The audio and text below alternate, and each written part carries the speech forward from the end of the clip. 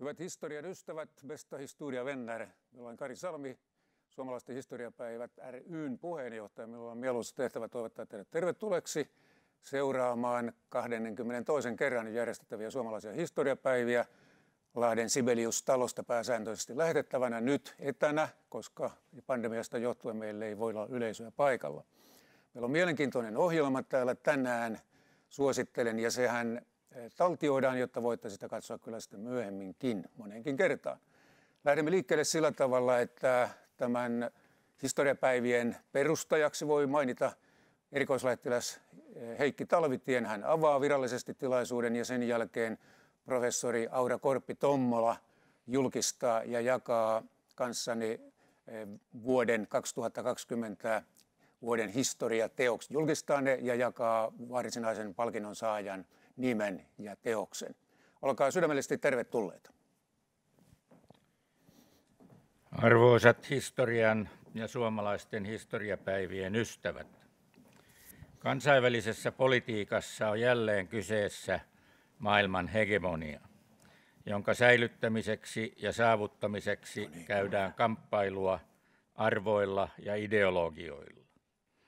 Tavoitteena on globaali herruus, mutta olemme jo kokeneet sen, että globalisaation liittämämme myönteiset odotukset eivät ole toteutuneet. Kauppasodat, pakotteet ja sotilaallisen varustelun määrä osoittavat globaalin maailman pirstoutuneisuuden. Pandemian puristuksessa maailma ja Eurooppa ilman rajoja oli illuusio – ja monet ovat jo ymmärtäneet, että kansallisvaltio on ollut suomalaisten turvallisuuden perusta. Jopa Pohjoismaat ovat nostaneet raja-aidat toisilleen. Olemme saaneet tuta varsin konkreettisesti, että maailman hegemoniaa ylläpitävä Yhdysvallat on jakaantunut kansakunta. Englanti on jättänyt Euroopan unionin saavuttaakseen jälleen suvereenisuutensa. Euroopan unionin piirissä on muutakin hajaannusta.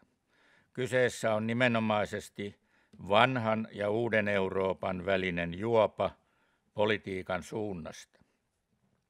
Kiina pyrkii maailman suurimmaksi taloudeksi riippumatta autoritäärisestä hallinnostaan. Venäjä on lännen ja suomalaisten arvomaailmasta katsottuna – vieras ja toisenlainen. Lännen Venäjäpolitiikassa korostuu arvomaailmasta korostuu vaihtoehdottomuus ja pakotteiden käyttö. Suomen Venäjäpolitiikka on sidoksissa Euroopan unionin minimalistiseen linjaan. Maailma ja sen mukana me suomalaiset haemme turvallisuuttamme ensisijaisesti varustautumalla sotilaallisesti. Emme ole harmaalla vyöhykkeellä, olemme vaarallisella alueella. Hyvät ystävät, kirjan status on kovassa muutosvaiheessa. Tietoa haetaan entistä enemmän netistä. Tämä muutos näkyy kustannustoiminnassa, kirjakaupoissa ja kirjastoissa. Muutamista Espoon kirjastoista – voi jo nyt lainata lumikenkiä. Media, media-alalla roiskuu myös.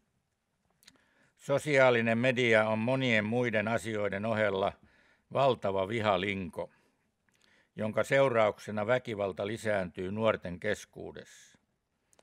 Viha yleisesti ottaen ei kohdistu vain omaan piiriimme, siitä saavat osansa naapurimaatkin. Informaatioalustajien omistajat päättävät nyt siitä, ketkä voivat esiintyä sosiaalisessa mediassa. Valtamedia kannattaa tätä voidakseen hallita informaatiokenttää.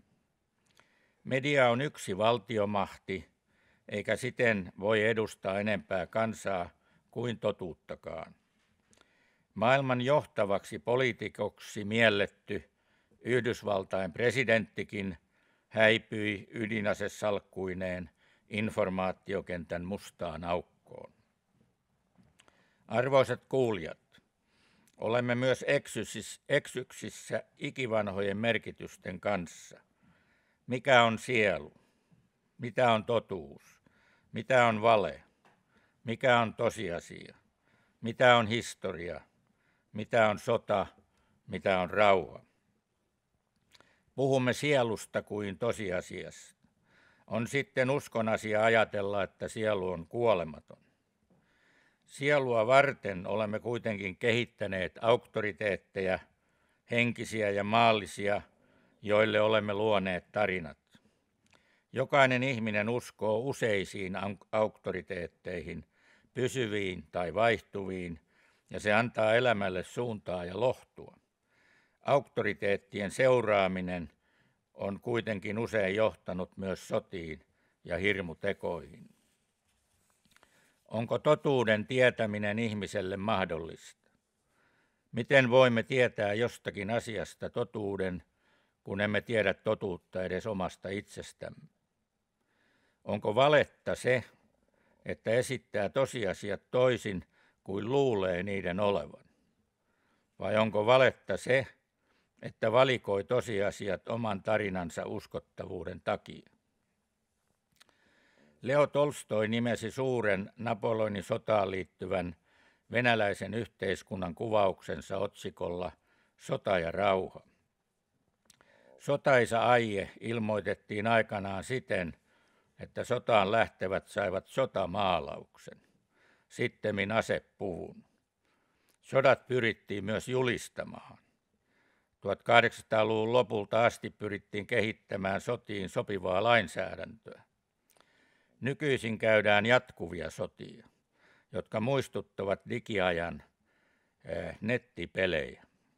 On sotia terrorismia vastaan tai uutena versiona kybersota. Rauhantutkimus on konfliktien tutkimista. Henry Kissingerkin ihmetteli, miksei kukaan tutki rauhan tilaa ja sen säilyttämistä. Hän ihmetteli sitä, olisiko tähän ollut materiaalia saatavissa. Ruotsi on esimerkki, johon sopii tämä lähestymiskulma. Yli 200 vuotta rauhantilassa on Euroopan valtioiden keskuudessa saavutus, joka ei ole tullut sattumalta. Mitä rauhantilan pitäminen naapurustossa, jossa kaikki muut toimijat ovat olleet sodassa, on vaatinut Ruotsin yhteiskunnalta, siinä eräs Talstoin tapainen tutkimusaihe. Historian kirjoitus keskittyy tosiasioihin ja niiden yhdistämiseen. Paraskin historian kirjoitus on tarinan kerronta. Tarinan tekee uskottavaksi se, että historioitsija pyrkii tekemällä perustutkimusta löytämään kaikki asiaan liittyvät tosiasiat ja esittämään ne ja niiden keskinäisen yhteyden historian kirjoittamiseen liittyvällä metodiikalla. Usein sanotaan sotien, jäl- sotien jälkeisestä historian kirjoittamisesta, että se on voittajan historiaa. Keväällä 1918 sekä valkoiset että punaiset puhuivat kapinasta.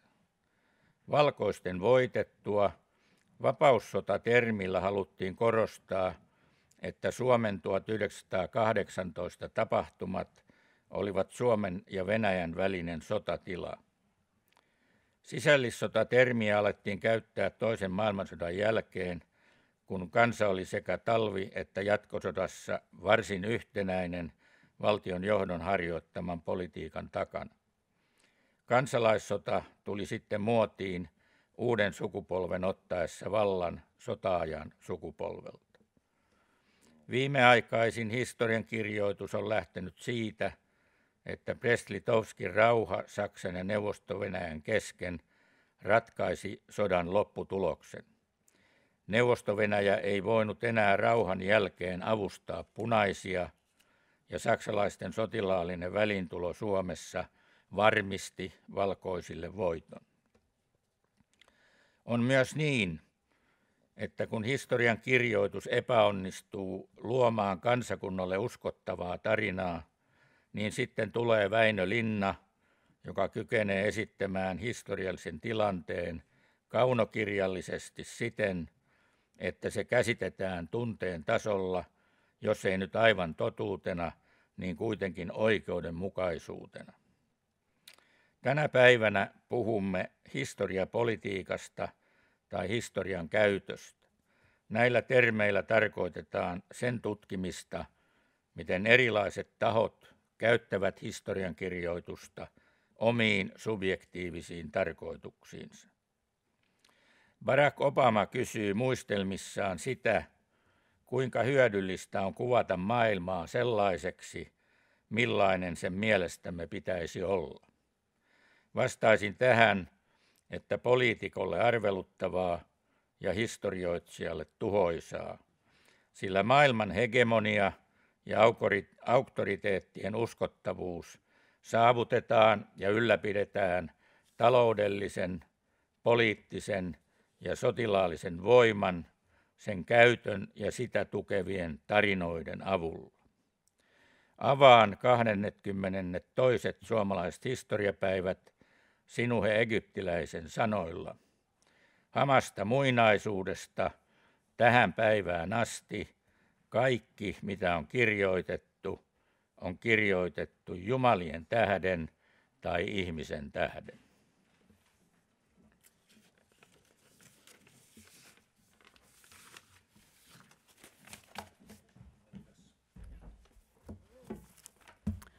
Hyvää huomenta, hyvä yleisö täällä ja mahdollisesti siellä jossain muuallakin. Historian ystävien liitto palkitsee vuosittain ansiokkaan historiateoksen. Liiton hallitus valitsee histori- yleisön tekemistä ehdotuksista noin kymmenen teosta lähempään tarkoitu- tar- tarkasteluun. Käsittelevä raati on kolmijäseninen ja siihen ovat tänä vuonna kuuluneet lehtori Vuokko Aromaa, rehtori Virjo, Ma, Ville Marjomäki ja minä Aura Korppitommola tämän raadin puheenjohtajana. Valintakriteerinä on, että teos on ansiokkaasti edistänyt historiallisen tietämyksen laajenemista ja syvenemistä suomalaisen yleisön keskuudessa. Teoksen tulee olla historian tutkimus, joka avaa uusia näkökulmia – käyttää uutta lähdemateriaalia ja on suunnattu laajalle yleisölle. Raati arvostaa ennakkoluuloja ravistelevia teoksia, jotka innostavat keskusteluun, jotka on kirjoitettu lukijaa innostavalla tavalla. Vuoden 2020 kirjasadosta valittiin 11 teosta lähempään tarkasteluun. Näistä teoksista Raati valitsi vuoden historiakirjan ja myönsi kaksi kunniamainintaa – Kahdeksan muuta tarkastelussa olevaa teosta on myöskin lyhyesti esi- esitelty tiedostoon, joka tulee Historiaystävän liiton kotisivulle. Kaikki ihania kirjoja hyvin laajalla skaalalla. Kehotan tutustumaan niihin. Vuoden historiateos on Lea Pakkasen ja Santeri Pakkasen Se tapahtui meille, isän ja tyttären matka Inkerin suomalaisuuteen.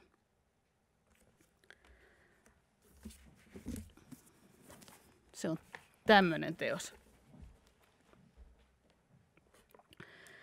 Teos on iholle käyvä historia Inkerin suomalaisten kohtaloista Neuvostoliitosta ja kohtelusta Suomessa. Se kertoo sopeutumisesta ja sopeutumattomuudesta vieraassa kulttuurissa ja vihamielisessä ympäristössä. Teoksen jännite syntyy sukupolven tarinasta ja suhteesta muuttuvaan ympäristöön. Omakohtaisuus tuo tarinaan inhimillisen kosketuksen. Vaikka teos on yhden suvun tarina, se on vahvasti dokumentoitu sekä valtiollisiin ja poliittisiin tapahtumiin sidottu.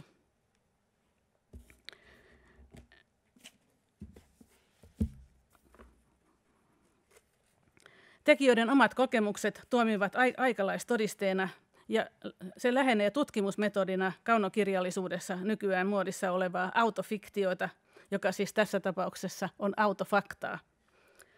Santeri Pakkanen oli jo nuorena yhteiskunnallisesti aktiivinen. Hänestä kasvoi sekä neuvostokansalainen että tietoinen Inkerin suomalainen, joka eli valtaväestön ja inkeriläisen vähemmistön välisessä puristuksessa. Hän opiskeli Petroskoissa suomen kielen opettajaksi ja toimi myös toimittajana. Hän työskenteli, perusti perheen Neuvostoliitossa ja muutti aikuisena Suomeen juuri ennen Neuvostoliiton romahtamista. Lea Pakkanen puolestaan tuli Suomeen lapsena perheen mukana. Hän kasvoi ja opiskeli täällä. Hänellä oli varhaislapsuudessa maailmaan kyselevä ja ulkopuolinen asenne.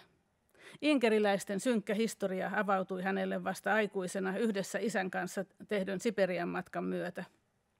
Toiseuden kokemus Suomessa vei hänet kansainvälisiin tehtäviin. Venäjällä he olivat suomalaisia ja Suomessa yllätyksekseen Inkerin suomalaisia. Teoksessa on kyse myös oivaltavasta inkeriläisten identiteetin muodostumisesta ja vähemmistökansan oman kulttuurin luomisesta ja sen ylläpitämisen mahdollisuudesta. Aihepiiri on erittäin ajankohtainen, kun Suomessa tutkitaan maanmiestemme kohtaloita Neuvostoliitossa. Tekijöiden kieliopinnot ja toimittajakokemus näkyvät teoksen sujuvuudessa ja erinomaisessa kieliasussa. Se imaisee lukijan mukaansa surulliselle, vaikka tekijöiden osalta ehkä onnellisesti päättyneelle matkalle historiaan. Onnittelen lämpimästi Lea ja Santeri Pakkasta tästä teoksesta ja palkinnosta. Ja kun he nyt sattumalta ovat, tä, ovat täällä ja pitävät seuraavan, seuraavan esitelmän, niin luovutamme nämä kunniakirjat. Ja sitten, ettei se olisi ihan pelkkää kunniaa, niin meillä on myöskin liiton puolesta Yrjö, Sakari Yrjö Koskisen mitalit. Ja mä ojennetaan nämä yhdessä liiton puheenjohtaja Kari Salmen kanssa. Olkaa hyvä.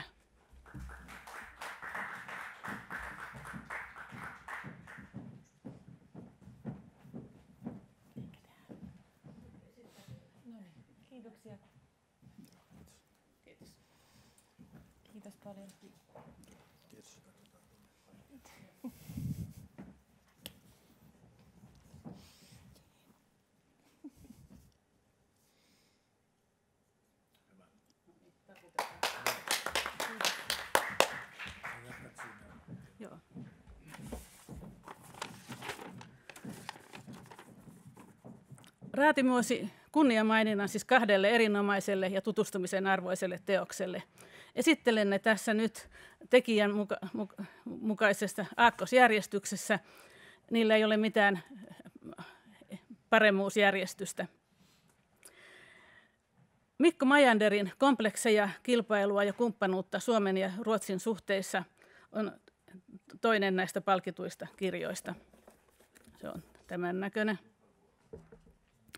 Majander on pureutunut Suomen ja Ruotsin välisiin poliittisiin suhteisiin viimeisen 40 vuoden ajalta. Ruotsi on lähin naapurimaamme, jota luulemme ymmärtävämme ja tuntevamme. Majander kertoo lähivuosikymmenien suhteista, hyvästä yhteistyöstä ja kitkasta. Teos valaisee hienolla tavalla jännitteitä, jotka ovat syntyneet ennen muuta Euroopan yhdentymiskehityksen sivutuotteena ja kylmän sodan viimeisten vuosien kurimuksessa. Kansainvälisissä suhteissa mentiin kylmän sodan aikana Ruotsi edellä, mutta Euroopan unioniin Suomi sopeutui nopeammin ja ajoi Brysselissä aluksi myös Ruotsin etuja. Teos osoittaa, ettei tämä naapuruussuhde ole ollut pelkkä rakkaussuhde, vaan ryppyjäkin on ollut. Niiden syynä on ollut kilpailu ja luottamuksen rakoilu. Valtioiden johtohenkilöiden ja suomalaisten ruotsin kielen taidon merkitys tulee myös hyvin esiin. Teos on helppolukuinen ja kiinnostava perusteos maidemme välisestä lähihistoriasta.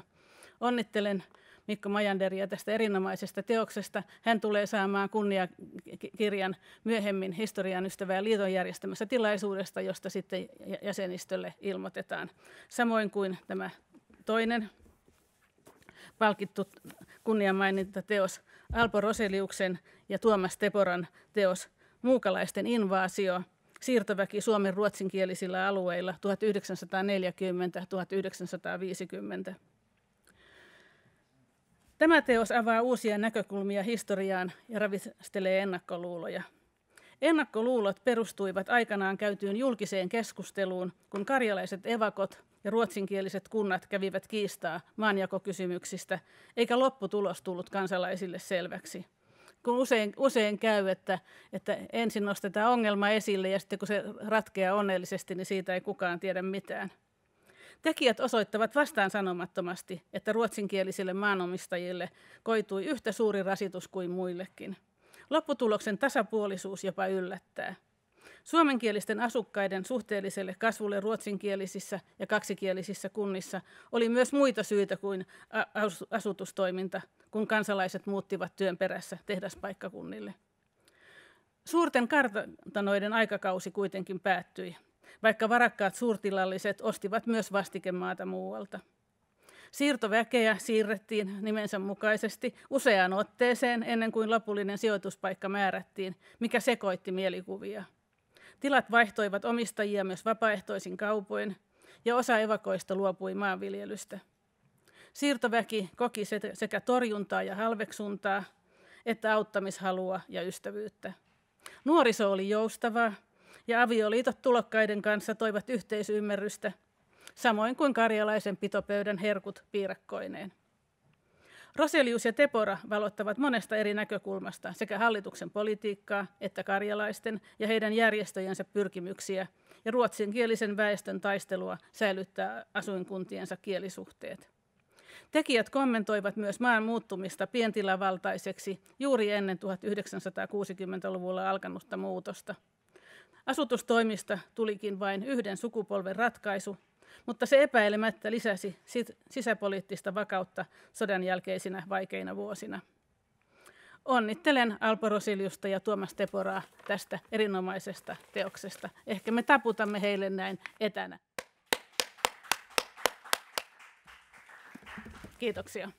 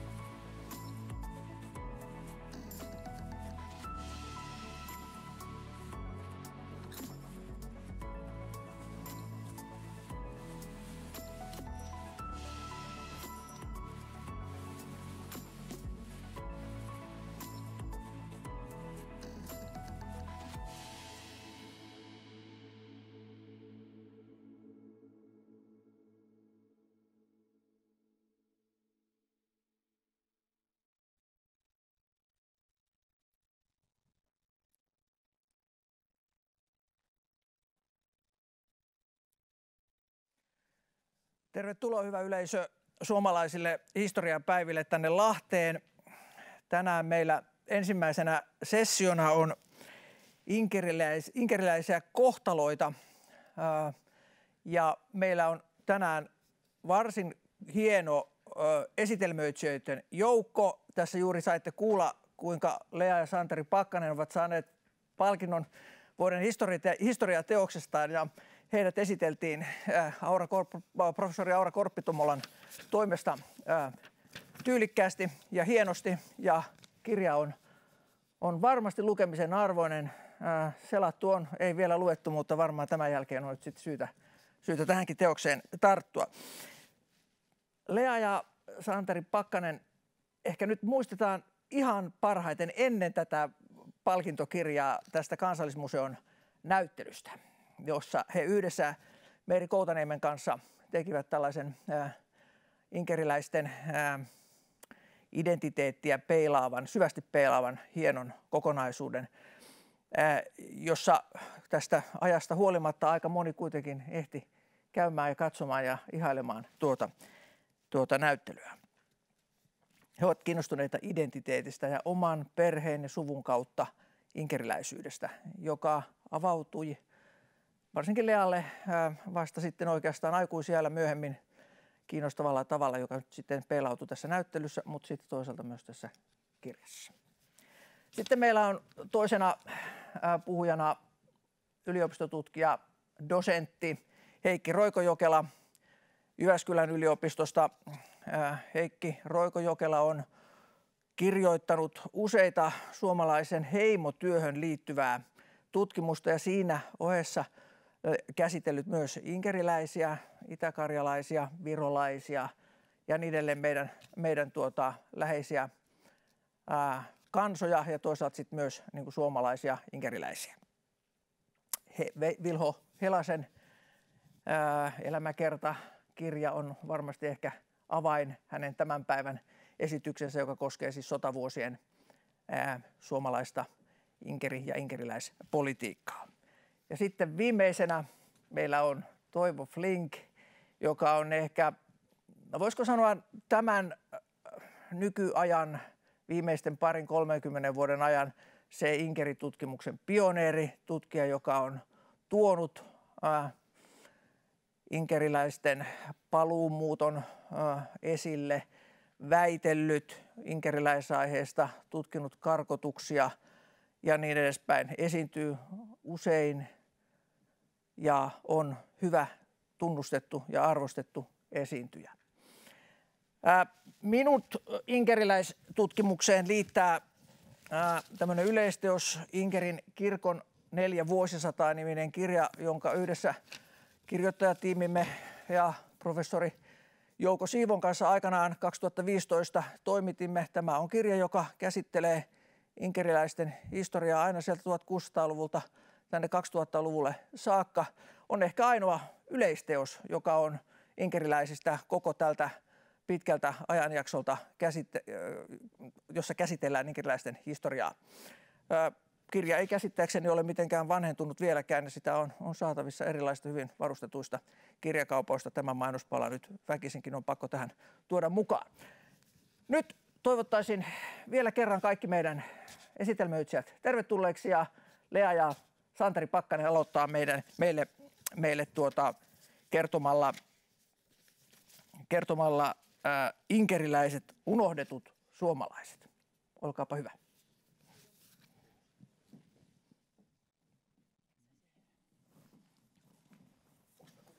Eikö hyvin?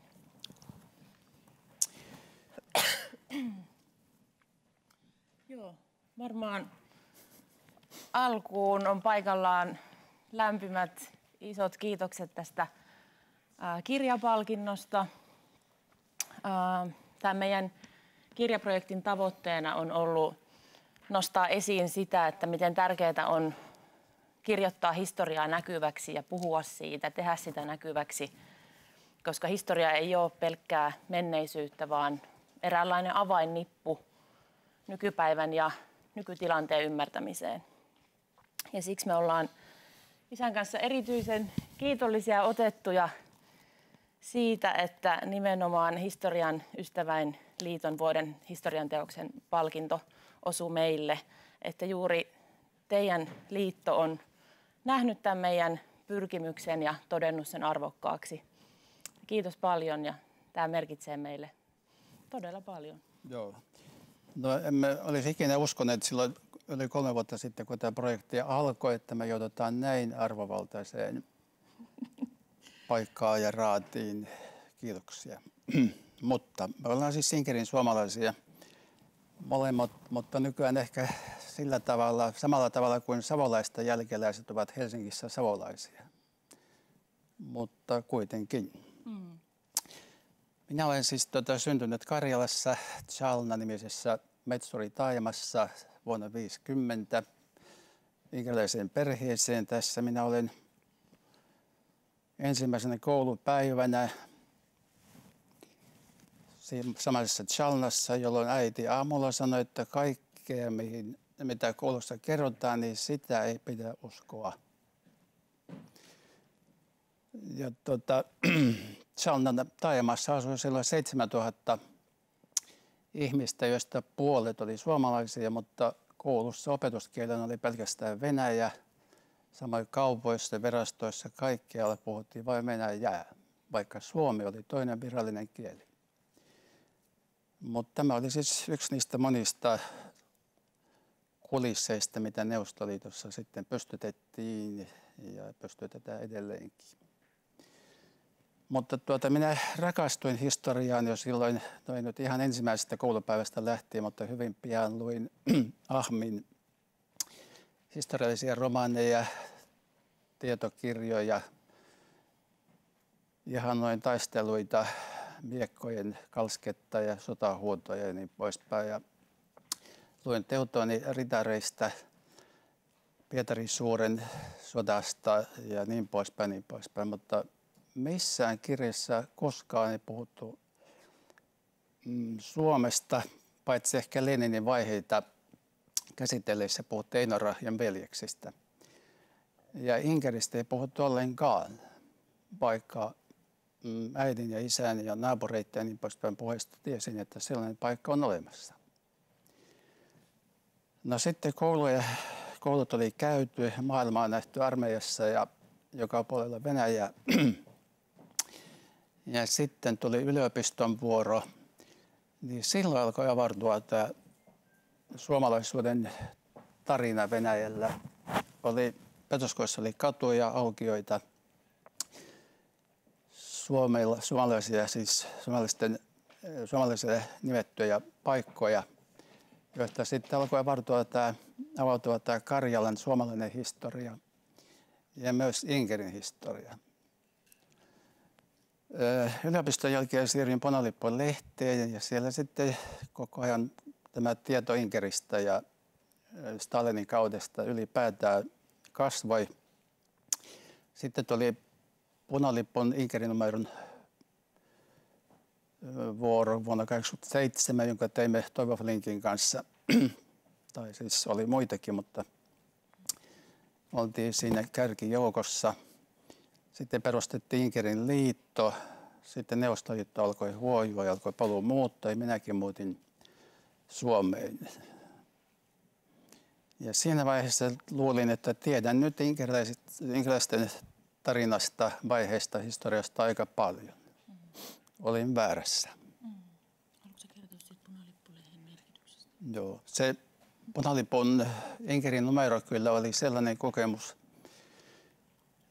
jonka soisin jokaiselle kirjoittavalle ihmiselle. Se palautevyöry oli valtava. Mm, voidaan sanoa, että se tavallaan kuin räjäytti, räjäytti tämän hiljaisuuden. Mm.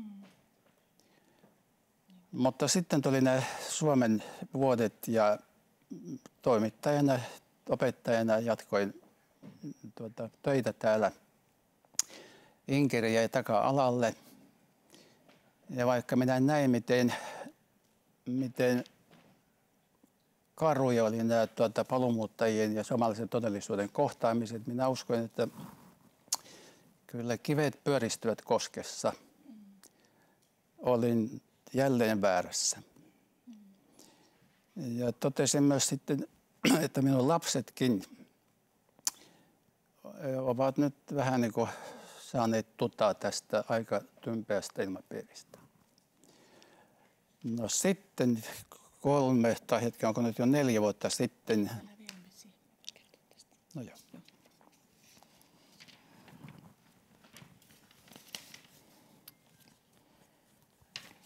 Nyt mennään tähän, tai jatketaan tässä perhekuva-teemalla. Tuota, tuossa vasemmalla on mun kuva petroskolaisesta päiväkodista. Mä oon tuossa keskirivissä toinen vasemmalta, jolla on vähän vino otsatukka Leninin valvovan katseen alla kaikkien muiden kanssa. Ja oikeinpuolimainen kuva on sitten mun ensimmäisen luokan koulukuva Pudasjärveltä vuodelta 1991. Eli tuota, mä olin seitsemänvuotias, kun meidän perheelle koitti tämä paluumuutto. Ja tota, me muutettiin Suomeen. Ja niin kuin tuossa Aura siinä palkintoa antaessaan niin kuin kuvasi sitä mun kokemusta, niin tota, Neuvostoliitossa mulle oli itsestään selvää, että mä oon suomalainen. Meidän perhe oli vahvasti osa sitä Petroskoin suomalaista yhteisöä. Ja tota, samalla niin kuin semmoinen tietty ero ehkä siihen niin kuin ympäröivään venäläiseen kulttuuriin oli myös tuntuvaa. Ja tota, sitten kun se paluumuutto tapahtui ja tultiin tänne Suomeen, niin ehkä me niin kuin jotenkin ajateltiin, että me muutetaan suomalaisina suomalaisten maahan, että me palataan tänne niin kuin omiemme joukkoon. Mutta sitten kun päästiin perille, niin jotenkin niin kuin pikkuhiljaa kävi aika selvästi ilmi, että valtaosalle muista ihmisistä, muista suomalaisista ei tuntunut olevan selvää, että miksi me täällä ollaan, miksi me tänne tultiin ja ketä me oikein ollaan ja miten Inkerin suomalaiset mukaan liittyy Suomeen. Että tota, toi ää, edeltävien vuosikymmenten tämmöinen suomettumislinja, mitä, mitä oli niin kuin ihan valtiojohtoisestikin vedetty ja sitten siitä osaltaan syntynyt Suomeen jääneiden, sotiaikana jääneiden Inkerin suomalaisten pelkoja, matala profiili ja pysyttely omissa porukoissaan, niin tuota, ne oli vaikuttanut siihen sillä lailla, että Inkerin suomalaisuus tunnettiin Suomessa aika huonosti silloin, kun me tänne tultiin. Ja mä oon käynyt mun kaikki koulut Suomessa ala-asteelta lukion loppuun ja yliopistoon asti. Ja millään tunnilla ei koskaan puhuttu Inkerin suomalaisista mitään, niin kuin ei oltu kerrottu, niin kuin, mitä nyt monilta aiempina vuosikymmeninä kouluja Suomessa käyneiltä on kuullut, niin ei ollut silloinkaan puhuttu tästä aiheesta. Mutta tota, tätä huonoa historian tuntemusta niin korvasi sitten tämmöinen aika kattava paluumuuton käsittely mediassa ja yhteiskunnallisessa keskustelussa. Ja se oli niin kuin ilmapiiriltään, tunnelmaltaan tosi negatiivista enimmäkseen. Ja tota, tavallaan se paluumuutto kyllä ansaitsikin kritiikkinsä, että sehän toteutettiin niin kuin tämänhetkisen tiedon perusteella niin aika lailla ilman kunnollisia esivalmisteluja. Ja ensimmäiset kymmenen vuotta tänne tuli kymmeniä tuhansia ihmisiä käytännössä ilman minkäänlaista kotouttamis, niin kuin politiikkaa, kotouttamisohjelmia, mitä nykyään on olemassa.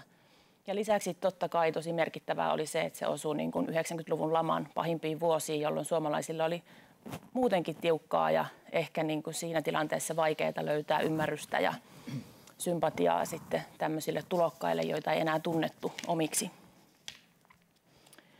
Ja tota, niin, tämän kaiken niin kuin kautta Inkerin suomalaiset paluumuuttajat leimattiin suomalaista hyvinvointijärjestelmää hyväksikäyttämään saapuviksi venäläisiksi.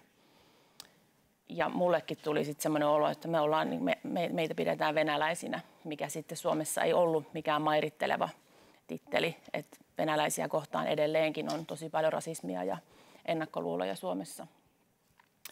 Eräässä paluumuuttajia käsitelleessä tutkimuksessa vuodelta 2004 kävi ilmi, että 60 prosenttia paluumuuttajataustaisista vanhemmista kertoi, että heidän lapsiaan oli kiusattu koulussa nimenomaan tämän paluumuuttajataustan vuoksi. Ja lähes puolet aikuisista koki syrjintää, kun hakivat töitä. Ja sitten myös ihan niin kuin kolmas osa koki kadulla syrjintää ja viides osa asunnon haussa. Eli tavallaan se tympeä ilmapiiri, mihin isäkin viittasi, niin se oli, se oli tosi konkreettista. Ja mulle tästä kaikesta välittyi kuva, että Inkerin suomalaisuus on Suomessa jotenkin automaattisesti huono ja niin kuin semmoinen asia, mistä ei, ei pidä olla ylpeä. Ja sitten samalla niin tämä meidänkin suvun, mikä nyt jokaisessa inkeriläisessä perheessä käytännössä on vaikeita kokemuksia just tältä Stalinin aikakaudelta, niin tota, tämä suvun kipeä historia jäi tämän negatiivisen leiman alle. Ja mä tiesin, että mun mummo on ollut karkotettuna Siperiaan. Mä tiesin, että mun ukki on ollut vankileirillä Siperiassa ja että, että heidän Inkerin suomalaisuutensa liittyy tähän jollakin tavalla. Ja tiesin, että on paljon, paljon muutakin, mitä mä en tiedä. Mutta se kaikki tuntui niin vaikealta vyhdiltä, kun siihen ei saanut kauheasti mitään kontekstia mistään, niin mä en oikein osannut alkaa selvittää sitä. Ja tota, Ähm, niin, paluumuutto jatkuu vuoteen 2016 asti ja sen aikana Suomeen saapui noin 30 000 Inkerin suomalaista. Mutta tota, kyse ei ollut, eikä ole nytkään siitä, että inkeriläisistä ei kukaan tiedä mitään. Et kyllähän inkeriläisistä on tuotettu paljon tietoa. Tässäkin huoneessa on ansioituneita tutkijoita. Varmasti siellä kotikatsomoissa on ihmisiä, ketkä on tutkinut ja tutustunut ja perehtynyt tähän aiheeseen hyvinkin paljon. Inkeriläisten muistelmia on julkaistu aika paljon. Tässä kuvassa on tota, ää, karkotuksessa ja vankileireillä vuosia viettäneen inkeriläisen matematiikan opettaja Amalia Suden muistelmia, joita hän on kirjoittanut vanhoille lakanoille leirikokemustensa jälkeen. Ja siis lakanoille ilmeisesti siksi, että hän ajatteli, että viranomaiset Neuvostoliitossa löytää ne huonommin kuin sitten tämmöiset paperille kirjoitetut muistelmat. Näitä säilytettiin piilossa Amalian perheessä ennen kuin ne sitten 90-luvun alussa kuljetettiin Suomeen. Ja nyt niitä pidetään tuolla kansallisarkistossa. Ja Amalian muistelmia ei ole mun mielestä julkaistu kirjana, mutta tosi monien muiden inkeriläisten kokemuksia on. Kymmeniä teoksia. Ja lisäksi inkeriläisten yhdistykset ympäri Suomea käsittelee historiaa, inkerin suomalaisten historiaa jatkuvasti. Ja inkeriläisistä on tehty myös jonkun verran tutkimusta. Niin kuin sanoin, niin täälläkin paikalla on, on kärkinimiä siltä saralta. Ja jo paluumuuton alkuun mennessä esimerkiksi oli tehty Pekka Nevalaisen tutkimus inkeriläistä siirtoväestä, myöhemmin sitten Eila Lahti Arguuttina ja Toivo Flink ja Helena Miettinen ja Reijo Rautajoki ja Anni Reuter ja Antti Luoma muun muassa on tuonut sitten lisää, lisää tietoa. Mutta se tieto, sitä ei ole tavallaan otettu osaksi yleissivistystä Suomessa tai osaksi suomalaisuuden suurempaa tarinaa. Et se on niin jotenkin jäänyt semmoisiin pieneen tai tietynlaiseen kuplaan ja siihen niin kuin inkeriläisten harrastajien ja inkeriläisyyden tutkijoiden piiriin, mikä on sitten aika mielenkiintoista, kun ottaa huomioon, että inkeriläisiä on Suomessa tällä hetkellä noin 50-70 000, että kyse ei ole mistään niin kuin ihan pikkuruisesta tämmöisestä niin kuin marginaaliryhmittymästä. Ja tota, myös paljon tämmöistä perustutkimusta Inkerin suomalaisesta historiasta niin puuttuu edelleen. Et tutkijat ei ole vielä päässyt niihin käsiksi. Esimerkiksi Stalinin vainojen ajalta niin karkotuksista ja telotuksista ja vankileireistä on yllättävän vähän tietoa. Ja tosi isot odotukset kohdistuukin nyt tähän kansallisarkiston Neuvostoliiton suomalaisia koskevaan tutkimukseen, jonka osana myös inkeriläisten vaiheita on tarkoitus selvittää. Ja se tuntuu olevan niin, että mitä nuorempi ihminen oli sitten inkeriläinen tai ei, niin sitä huonompi se tietotaso inkeriläisyydestä yleensä on. Myös niin kuin inkeriläisten itsensä keskuudessa. Ja mä kuulun, kuulun tai ainakin kuuluin yhteen heistä. Et sitten aikuisena mä tajusin, että miten vähän mä oon selvittänyt ja kyennyt selvittämään mun, mun suvun vaiheita ja omia juuriani ja koko tämän niin kuin yhteisön historiaa. Ja tota, se vaivas mua ja tästä se alkoi tämä meidän koko kirja ja näyttely hmm. Savotta. Eli tota, melkein kohta jo neljä vuotta sitten seisomme Leijan kanssa siellä mun kotipaikassani Chalnassa rakentamani saunan edessä, johon oveen Lea lähti Suomeen muuttaessaan, kirjoitti liidulla näkemiin hyvästi mummo – älä itke, äläkä ikävöi. Ja jo ennen sitä matkaa panin merkille, että Lea vähän niin kuin kipinöi, kipunoi, oireilee niiden paluumuuttokokemustensa kanssa. Vähän niin kuin tuhannet muut, varsinkin nuoret inkeriläiset, jotka oikein miettivät, että mikä niiden paikka on tässä lottovoittajien maassa – ja silloin Lea ehdotti, että hei, mitä jos me ruvetaan nyt selvittämään tämä asia. Käydään kaikki ne paikat läpi, missä sukulaiset ovat nyt joutuneet käymään. Ja siitä alkoi tämä meidän matka,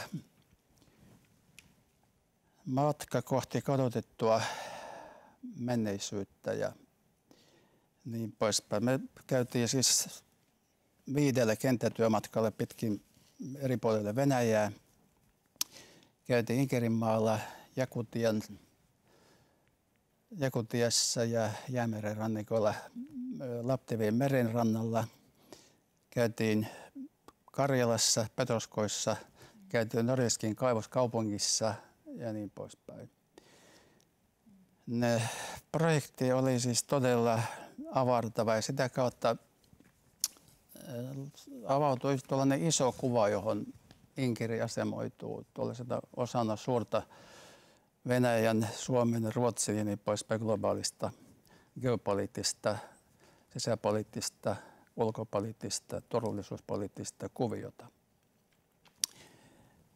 Ja tota,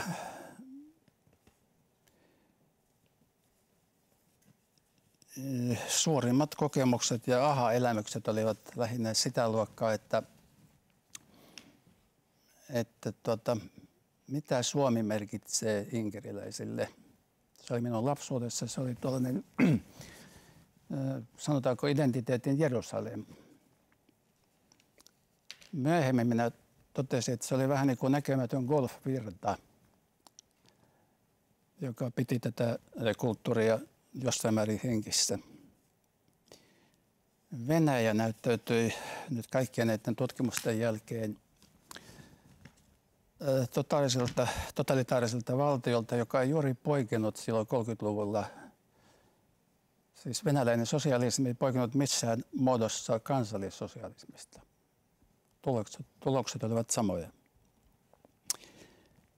Siperiassa järkyttävin kokemus oli unohdus isolla uulla.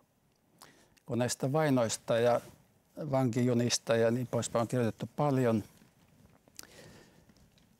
se, miten ihmiset päätyivät Jämeren rantaan, Noriskin kaivoksien vuorille, niin tota, sinne ne jäivät. Kukaan niitä hautoilla sen jälkeen käynyt katsomassa. Ja tosi harvat, koska tosi niin harvat. Niin päästä. Joo. Mm. Ja tuota, oli äh, se tuollainen, tietysti Venäjä ei piittaa inkeriläisistä eikä muistakaan vainotuista ja niiden haudoista, mutta oli, oli jotenkin riipasivan äh, epäoikeudenmukaista havaita, että Suomi ei ole noterannut näitä sinne vietyjä ihmisiä, inkeriläisiä, ponakartalaisten jälkeläisiä loikkareita ja muita millään tavalla.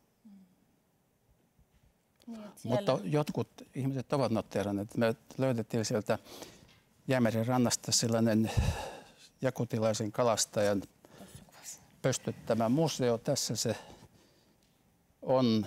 Ja hän keräsi sinne sitten asiapapereita ja kaikenlaista esineistöä, joka liittyy sinne meren rantaan karkotettuihin suomalaisiin. Mm. Ja hänen kotoaan löytyi sitten myös todisteita, että mun mummon siskot ja mun mummo on ollut tuolla paikassa karkotettuna. Tota, jos mä etenen tähän. Mut, niin, siinä, että miten toi unohdus ja niin kuin unohdetuksi tuleminen oli keskeinen löytö tämän meidän projektin aikana, niin tota, ja se, niin kuin, että miten se poliittinen historia on on jotenkin hämärissä, hämärissä niin kuin suurimmalta osalta, suurta yleisöä inkeriläisten osalta, niin sitten on ollut myös merkittävää huomata, että, että tämmöistä niin kuin inkeriläistä arki- ja kulttuurihistoriaa on myös painunut unohduksiin. Että tämmöisiä lauluja, ruokaperinteitä, juhlatraditioita, sananlaskuja, tämmöisiä iloisia arjen asioita, niin niitäkään niin kuin ei välttämättä enää niin hyvin tunneta. Mutta että ei se tilanne ole niin ihan täysin synkkä, et mun mielestä on ollut mahtavaa nähdä, miten vaikka sosiaalisessa mediassa on, on tosi monta ryhmää, missä kaikenikäiset inkeriläiset etsii apua tähän muistamiseen toisiltaan ja kyselee, että miten se meni se yksi värssy tai missä kylässä asuu tämän ja tämän nimisiä tai mikä se oli se tota, tämä ruoka, miten se tehtiin. Ja siihen sitten aina jostain niin sen kollektiivisesta muistista löytyykin monesti vastauksia. Ja tämä kertoo myös siitä, että miten ihmisillä on tarve muistaa ja pitää kulttuuria ja historiaa elossa. Ja tota, näin lopuksi voisi sanoa, että, että Suomi ja suomalaisuus on suomalaisille rakkaita tutkimusaiheita ja käsitteitä, mutta ne esitetään helposti aika yksinkertaisesti tai yksinkertaistaen ja jotenkin samalla tavalla toistuvasti. Et kun on syntynyt meidän lailla suomalaisena Suomen rajojen ulkopuolella, niin tietää syntymästä asti, että todellisuus on paljon moniulotteisempi. Ja että Suomen valtion historia ei ole yhtä kuin suomalaisten tai suomalaisuuden historia. Ja jotenkin me ollaan huomattu, että suomalaisuus tutkijan käsitteenä, niin se vaatii vähän enemmän työtä kuin mitä helposti voisi olettaa, mutta se sitten myös antaa enemmän. Että semmoinen tietty ylirajaisuus ja monipuol- monipuolisuus, niin se tarjoaa myös niin kuin hedelmällisiä näkökulmia myös tämän päivän haasteiden tutkimiseen ja ymmärtämiseen, koska kyseessä ei ole vain historiaa, vaan myös niin kuin monien ihmisten elettyä todellisuutta ja päivittäistä identiteettien etsintää.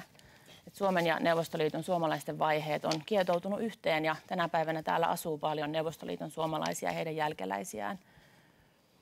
Ja jotenkin me ollaan sitä mieltä, että tätä suomalaisuuden tutkimuskäsitettä laajentamalla, niin myös Inkerin suomalaiset vois mahtua osaksi Suomen tarinaa ja suomalaisuuden kokemusta ja sen julkista esittämistä esimerkiksi kouluissa tai museoissa tai kirjoissa tai elokuvissa tai yhteiskunnallisessa keskustelussa.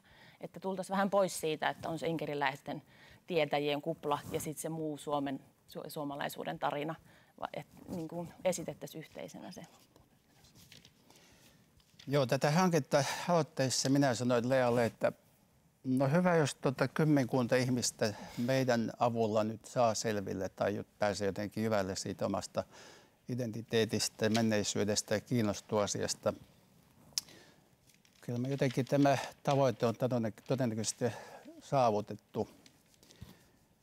Mutta tuota, Suomalaisuutta on monenlaista. Hyvin paljonhan tämä tosiaankin inkeriläisyys rajataan vähän niin kuin kakkosluokan suomalaisuudeksi. Vaikka myös kaikki punakaartilaisten loikkareitten, Kanadan ja Amerikan suomalaisten tänne Suomeen palumuuttajina tulleet suomalaiset ihan kyllinkin jälkikasvua myöten ovat saapuneet Suomeen inkeriläisenä palumuuttajina, mm. siis virallisesti. Mutta kuitenkin tämä ö, huomio, jonka tämä näyttely ja kirja ovat saavuttaneet, ovat olleet siis, se, nämä on euforisia kokemuksia. Kiitos teille. Kiitos. Kiitos tärkeästä puheenvuorosta, puheenvuorosta jossa joka varmasti 1990-luvun alussa olisi ollut meille suomalaisille aika vaikea. Elimme aika homogeenisessa mm. yhtenäiskulttuurissa, joka nyt 30 vuotta myöhemmin on koko lailla muuttunut ja, ja toisenlainen erilaisten ö, maahanmuuttoon liittyvien ilmiöiden seurauksena. Ja ö, on tietysti aina eri asia se, miten yksilö – ihminen kokee oman identiteettinsä unohduksen ää, ja miten siihen, sitä unohdusta yritetään palauttaa, hakea kontaktia siihen menneisyyteen, omaan, om, omiin, oman elämän keskeisiin tapahtumiin. Ja mä luulen, että teillä molemmilla on, on samanlainen etsintä ollut, mutta, mutta kuitenkin aika lailla erilainen sen takia, että, että sukupolviero on kuitenkin aika, aika suuri. Historiassahan tutkitaan tai pyritään tai ollaan kiinnostuneita rakenteista, yleisistä asioista, pyritään yleistämään. Ja siellä taustalla on se yksilö, yksilön kokemukset ja tapahtumat, elämänvaiheet, jotka vaikuttavat voimakkaasti. Santerille, Santerilta oikeastaan haluaisin kysyä, että, että miten itse koit niin kuin Neuvostoliiton ajan ja siinä kuitenkin tapahtuneet ainakin poliittisella ylätasolla ne selvästi näkyvät ehkä myös siellä ale, ale, niin kuin alespäin ihmisen arkipäivään tulevassa elämässä, niin erilaiset suojasäät, joita kuitenkin Neuvostoliitonkin aikana sitten oli. Näkyykö ne inkeriläisten vaiheessa siellä Petroskoissa millään tavalla, sanotaan vaikka 60-luvulla tai, tai sitten tuota myöhemmin? No sanotaanko, että tuollainen äh, tunne, joka oli koko ajan siellä taka-alalla, mm, oli tuollainen toiseus. Joo. Niin kuin Lea sanoi, toiseudesta, puhuu toiseudesta täällä Suomessa, mutta kyllä se oli sielläkin. Että ympäristö koko ajan korosti, että joo, no teidän presidentti tuli käymään ja teidän jääkiekko joukkue voitti ja niin poispäin. Ja sitten myös se, mitä poliittiselta areenalta puhuttiin ja Braudelehti kertoi, myös se oli vierasta.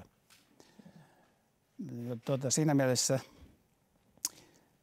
suomalaiset, varsinkin inkeriläiset, jotka kokivat todella rankkoja juttuja, niin niiden epäluulo oli siis sellainen todella syvä. niin minä kasvoin sellaisessa ilmapiirissä. Niin suojasäät, jotka sitten julistettiin radiossa ja, ja lehdissä, myös niihin suhtauduttiin. Vanhemmat sanoivat, että joo joo, no taas on joku kampanja. Ja vasta ehkä sitten kun tuli perestroikka ja glasnost, niin se vähän kohautti ja sai mielenkiinnon heräämään, mutta tuota, siinäkin vanhemmat ihmiset sanoivat aina, että joo joo, kyllä tämäkin menee ohi. Vielä Santeri, toinen kysymys sinulle. Me kun kirjoitimme tätä Inkerin kirkon historiaa, niin siellä hyvin voimakkaasti tämä luterilainen uskonto ja seurakunnallinen elämä tuli esille semmoisena kantavana, yhdistävänä ja voimaannuttavana tekijänä kuitenkin kaikissa näissä – erilaisissa vastoinkäymisissä. Te ette ole puhunut tästä asiasta kovinkaan paljon. Tunnistatteko tämän, tämän, Joo, kyllä. tämän tilanteen?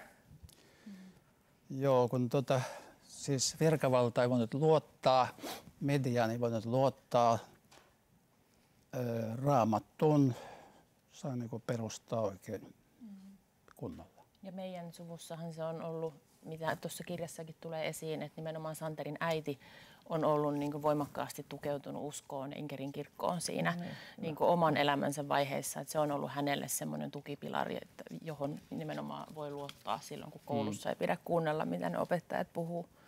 Mutta, tota, mutta sitten se vaihtelee, että millä lailla se niin kuin siirtyy sukupolvelta toiselle se, se niin kuin kirkon merkitys tai usko. Joo, mm. joo. No Lealle oikeastaan voitaisiin jatkaakin tästä tämmöisestä identiteettipohdiskelusta. Aika, aika hyvin avasit tätä omaa, omaa tarinaasi tässä. Omaa tarinaa, joka, joka tavallaan on niin kuin tietysti ainutlaatuinen. Monet nuoret kokee kyllä historiattomuutta, niin. kuulumattomuutta riippumatta siitä, mikä heidän taustansa oikeasti tänä päivänä on, mutta on tietysti tärkeää, että tilanteessa, jossa tullaan toisesta kulttuurista toiseen kulttuuriin, niin, niin se varmasti kärjistyy tai tuntuu hyvin, hyvin dramaattista, kuten nyt kerroitkin tässä mm. omassa, omassa puheenvuorossasi. Ö, mitä Venäjä ja venäläisyys ja venäläinen kulttuuri merkitsee nyt, kun olet ollut täällä Suomessa jo näin pitkään? Onko sillä, miten suhtaudut siihen? Mm. Siinä mulla on siihen niin kuin, tosi monia ajatuksia ja tunteita, että se on, mä tunnistan sieltä tosi paljon ihania asioita, jotka on ollut läsnä mun elämässä lapsuudesta asti. Ruoka niin kuin, on tärkein niistä ehkä ja tota, semmoinen niin lämpö ja ihmisten välisen, välinen kanssakäyminen ja niin kuin, miten vanhuksista pidetään huolta ja semmoinen tietty huumori – ja tota, Mutta sitten samalla mulla on vähän niin kuin nyt noiden meidän matkojen aikana mä ajattelin jotenkin, että ehkä mä nyt otan haltuun tämän mun venäläisen puolen, jonka varmaan nyt sitten pitää olla minussa myös olemassa. Ja siellä me rampattiin ja ei se niin kuin, en mä ottanut sitä haltuun, että se, ei se niin kuin sitten ihan kuitenkaan ole mun kulttuuri, no. mutta paljon siitä tunnistan semmoista lämmintä. Vielä ihan lopuksi, kritisoitte aika voimakkaasti tätä suomalaista 1990-luvun kotouttamispolitiikkaa. Mm. Ja sitten tietysti se lama siihen taustaksi ehkä antaa oman, oman sy, sy, sy, syynsä, mutta, mutta onko se oikea syy tähän? Oliko suomalaiset viranomaiset ylipäätään tässä homogeenisessa yhtenäiskulttuurissa kokemattomia ottamaan vastaan ulkopuolisuutta? Niin. Mikä se selittää? niin. Sen selittää varmaan suomettuminen ja todellakin kokemattomuus näissä maahanmuuttoasioissa. Vaikka meillä oli kuitenkin ollut siis äh, periaatteessa evakoita asutettiin 400 000, ne oli toki nyt Suomen oli, kansalaisia, mutta omia, joka tapauksessa, mm. joka tapauksessa että, että tavallaan niin tämmöinen haltuunotto, sijoittaa, tämmöinen niin asutuspolitiikka ja tämmöinen oli kuitenkin, niin kuin, sitähän niin. osattiin, mutta inkeriläiset ei jostain syystä, niin kuin, niin. he jäi vähän tästä, tästä niin, ulkopuolisesta. Ja mun mielestä se niin kuin just se historian tietämisen katkos, mikä sen niin kuin suomettumisen aikana inkeriläisten osalta Suomeen mm. muodostui. Että ei enää niin kuin tunnettu. Ja sitten oli joku semmoinen niin kuin kaukainen Larin Paraske-tyyppinen aikakausi, josta sitten ajatellaan, että no sieltä tulee näitä Larin Paraske-inkeriläisiä tänne Suomeen. Ja sitten siinä on kuitenkin välissä koko niin kuin neuvostoaikakausi, mm. Stalinin vainot ja sitten niin kuin sen jälkeinen elämä. Ja sitten sieltä tulee sen todellisuuden muokkaamia ihmisiä, joiden arjesta suomalaisilla viranomaisilla, sen kuin tavallisillakaan ihmisillä ei ollut hirveästi tietämystä. Ja sitten heihin kohdistetaan odotuksia, joihin he ei millään lailla voi vastata. Ja sitten on lama ja nämä kaikki muut tekijät. Samanlaisia kokemuksia oli Saksassa, kun sinne tuli Kyllä. Volgan saksalaisia jotka puhui parhaassa tapauksessa jotain 1700-luvun murretta ja ne koettiin, mm. että mitä ihme porukkaa Pontoksen kreikkalaiset, on. jotka meni sinne. Että. Tämä vertaileva aspekti on tietysti erittäin hyvä niin kuin historian tutkimuksen näkökulmasta. Että mm. riippumatta täysin siitä, miten yksilöiden, yksilöiden kokemukset, miten ne otetaan ja nähdään. Että, mutta vertailu antaa tiettyä syvyyspohjaa aina. Kiitos teille tärkeästä puheenvuorosta. Kiitos. Joo, kiitos. Ja sitten Heikki Roikojokela, ole hyvä. Heikki kertoo meille, meille tänään inkeriläisestä siirtoväestä Suomessa 1940-luvulla.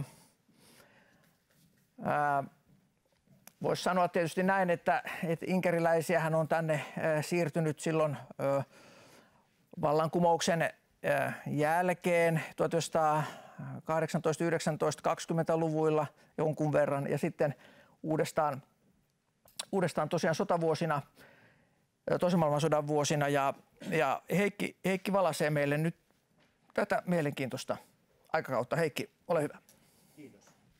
Hieman tuossa omasta taustastani tähän inkeriläisyysteemaan liittyen, vaikka Jyrki tuossa mutta esittelikin jo alussa. Mä olen tehnyt väitöskirjani vuonna 1995. Siitä on siis kulunut aikaa jo aika paljon. Ja itse asiassa niin nimenomaan niin tämmöinen Suomen, Viron, Suur-Suomen heimotyön tutkimus on lähtenyt liikkeelle jo sieltä 90-luvun puolivälistä lähtien. Mulla semmoisena kantavana teemana on tosiaan ollut niin lähinnä niin heimotyö, Suomen suhteet lähialueisiin. Ja niin kuin tuossa alussakin on viitattiin siinä, niin tähän päivän tematiikkaan liittyen, niin Mä olen toimittanut yhdessä Heikki Seppäsen kanssa Helsingin yliopiston pohjoispuolisen osakunnan 90-vuotisjuhlakirjan Vilho Helasesta. No, kuka oli Vilho Helanen? No, voidaan sanoa näin, että hän oli erittäin monisärmäinen persoona, joka vaikutti 20, erityisesti 20-30-luvulla, mutta myös sotien jälkeisinä aikoina. Ja Helasen elämäntyössä hän kulminoitu nimenomaan niin viro, virolaisuus, estofiilisyys, mutta myöskin ajatukset Suur-Suomesta ja tähän päivän teemaan liittyen niin inkeriläiskysymys, koska hän oli silloin sota-aikana Tallinnassa siirtokomission johtajana. No hieman tästä tutkimustilanteesta, mihin minäkin tulen tässä viittaamaan, että mitä on tutkittu tästä inkeriläisyydestä. Voidaan sanoa että oikeastaan, että perustutkimus on nimenomaan Pekka Nevalaisen erittäin ansiokas väitöskirja 90 julkaistu tämän esityksen itse asiassa niin otsikon mukaisesti Inkeriläinen siirtoväki Suomessa 1940-luvulla. Ja Nevalainen on tässä väitöskirjassaan silloin avoinna oleviin dokumentoihin perustuen käsittääkseni itse asiassa ensimmäisenä tutkijana niin käsitellyt tematiikkaa siinä, että – miten inkeriläisiä siirrettiin Suomeen, miten siirtoväki sopeutui tänne ja sitten myöskin näitä myöhempiä vaiheita, mitkä liittyy välirauhan sopimuksen solmimiseen ja näihin inkeriläiskohtaloihin. No kuten tuossa jo aikaisemmin viittasin, niin itse olen sitten lähestynyt tematiikkaa lähinnä Vilo Helasen näkökulmasta.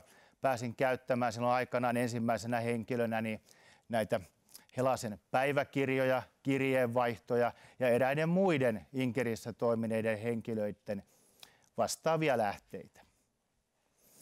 Ja inkeriläiskysymystä sitten myöskin niin jatkoin sitten eteenpäin osittain virolaispakolaisten tematiikan ympärille.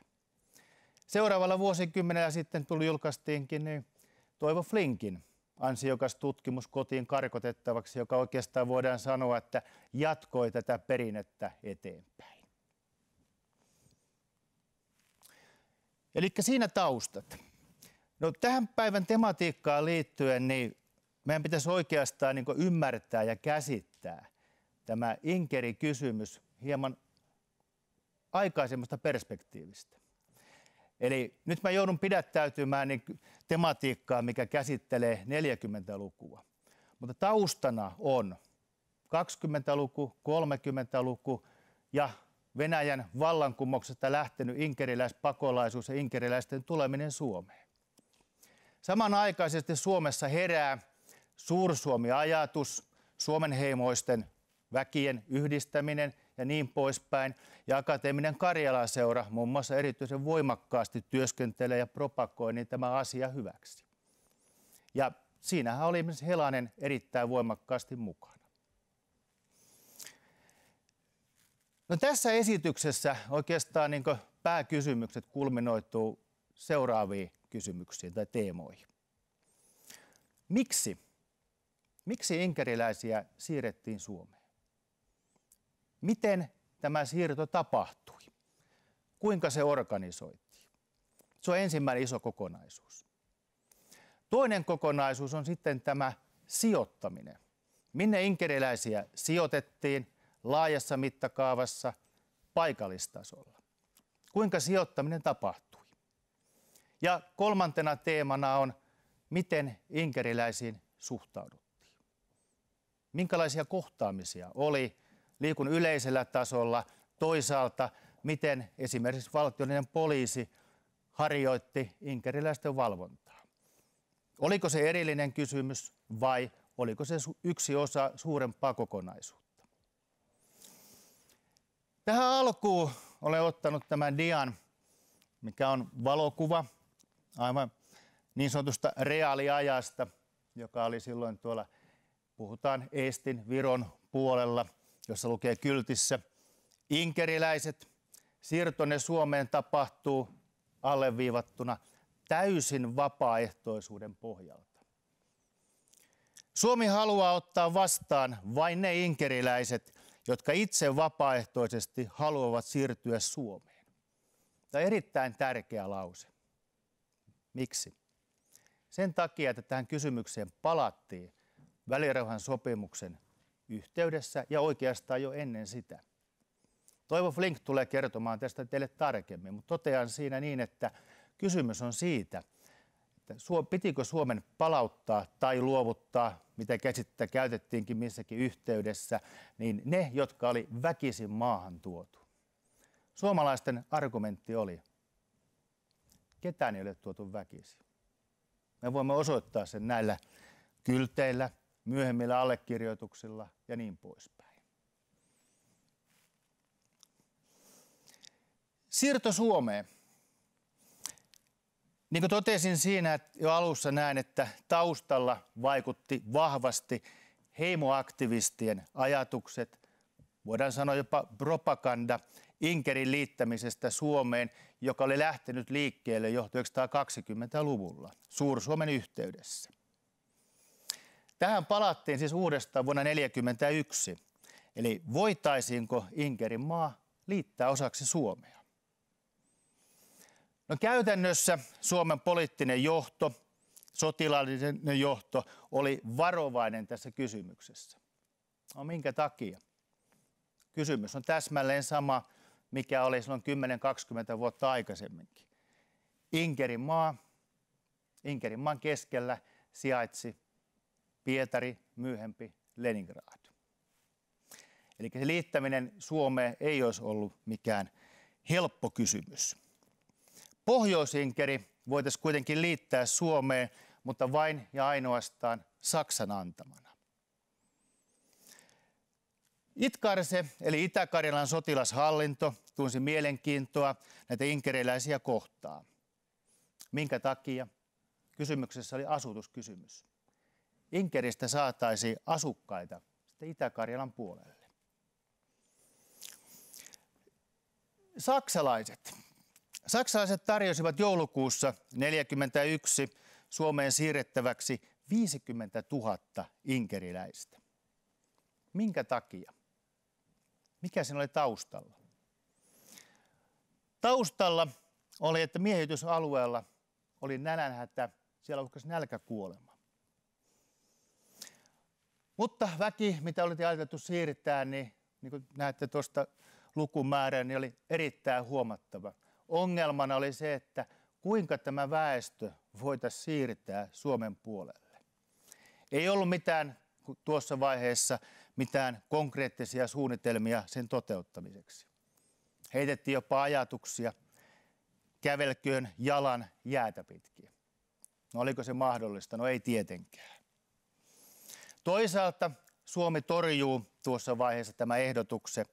Taustalla vaikuttaa elintarviketila, nämä kuljetusongelmat ja myöskin poliittiset epäluulot. Mutta ajatus näistä siirroista jää kuitenkin elämään ja itämään. Eli ratkaisevaksi tekijäksi suomalaista näkökulmasta nousee työvoimapula, työvoimakysymys. Eli siirtoa lähdetään pohtimaan, miten tähän sopimukseen päästiin. Koska nythän oli se ongelmallinen tilanne, että toisaalta saksalaiset halusivat myös työvoimaa. Varsinkin siellä Inkerissä toimineet saksalaiset. Saksan ulkoasiaministeriössä oltiin toisaalta hieman eri mieltä asiasta. Eli marraskuussa 1942 annetaan tiedotus Saksalle Suomesta käsin, että ollaan valmiita nopeisiinkin väestön siirtoihin. Valtioneuvosto teki asiasta päätöksen joulukuun alussa 1942. Valtiotasolla tätä kysymystä käsiteltiin vain ja ainoastaan työvoimakysymyksenä. Julkisuuteen tuotiin toki inhimillisiäkin syitä. Tammikuussa 1943 valtioneuvosto hyväksyy ainakin 40 000 inkeriläisen siirron. Mutta niin kuin aikaisemmin jo mainitsin tässä, niin tässä tulee vähän ristiriitaa. Eli Saksan armeija ja Inkerinmaan miehityshallinto vastustaa tätä siirtoa tämmöisessä laajuudessaan ja taustalla on nimenomaan työvoimakysymys, työvoimatarve. Saksan ulkoministeriö ajoi sitten kuitenkin tammikuussa 1943 läpi korkeintaan 12 000 henkilön siirron. Eli aika lailla oli tipahtanut siitä alkuperäisestä tavoitteesta. Suomessa oli kuitenkin jo käynnistetty siirtoorganisaatio ennen Saksan virallista myöntymistä. No, käynnistetty en, ennen tuota, eli voidaan sanoa, että varmaankin hyvin todennäköisesti asia oli jo sovittu, että näin tullaan tekemään. Väestön siirtojen johtoon asettuu Suomessa sitten professori Pentti Kaitera, ja niin kuin jo aikaisemminkin viittasin, niin Akateemisen Karjala-seuran puheenjohtaja, estofiili, eräänlainen voidaan sanoa heimoaktivisti Vilho Helanen, ja hänestä tulee avainhenkilö Tallinnassa. No miten siirrot sitten käytännössä toteutettiin? Eli Helanen matkustaa Tallinnaan helmikuussa 1943 päästään sopimukseen 8000 työkykyisen inkeriläisen siirtämistä ja huomatkaa perheineen. Tässä on myös aika kauaskantoinen kysymys. Lapsia tulee mukana. Käytännössä henkilömäärä ylittää tätä kautta tuon sovitun 12 000. Siirrot johdetaan Tallinnasta, rintama-alueelta evakuoidot kootaan ensin Hatsinaan ja sitten Klookan leirille rannikolle Paldiskiin. Ja Suomen puolella alkuun vastaanottopaikkana oli yksin Hanko. Ensimmäinen alus kohti Suomea lähtee liikkeelle sitten maaliskuun lopussa 1943. Mutta tämä siirto ei ollut kuitenkaan täysin yksinkertaista. Eli saksalainen virkakoneisto aiheuttaa sille käytännön ongelmia. Mitä nämä sitten oli? Muun muassa luvattuja väestön siirtoja vaikeutettiin tykistökeskityksillä. Eli sitä evakointia pyrittiin rajoittamaan, että älkää lähtikö pois. No mitä Suomen puolella tehtiin tai suomalaiset siis tekivät? No tässä on yksi pieni esimerkki, vettä väkemällä voideltiin saksalaisia.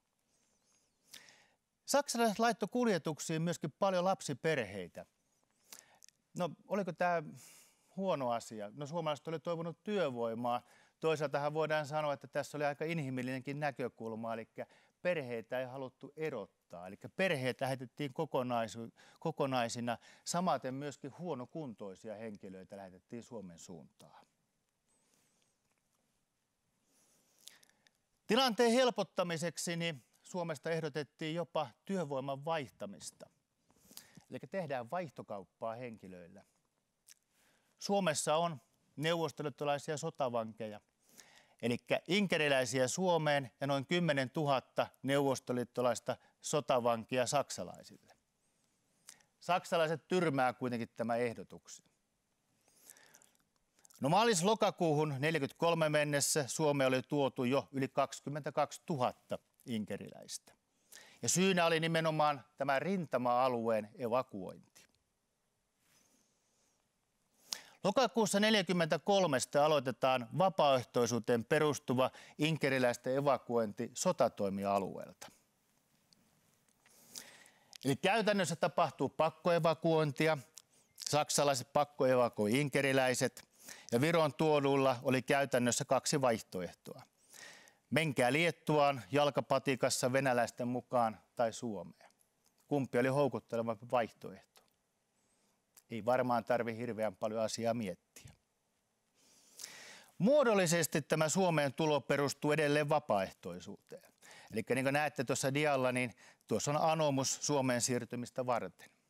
Nyt on kuitenkin huomattava, että tuossa tilanteessa niin oli valtavasti ihmisiä.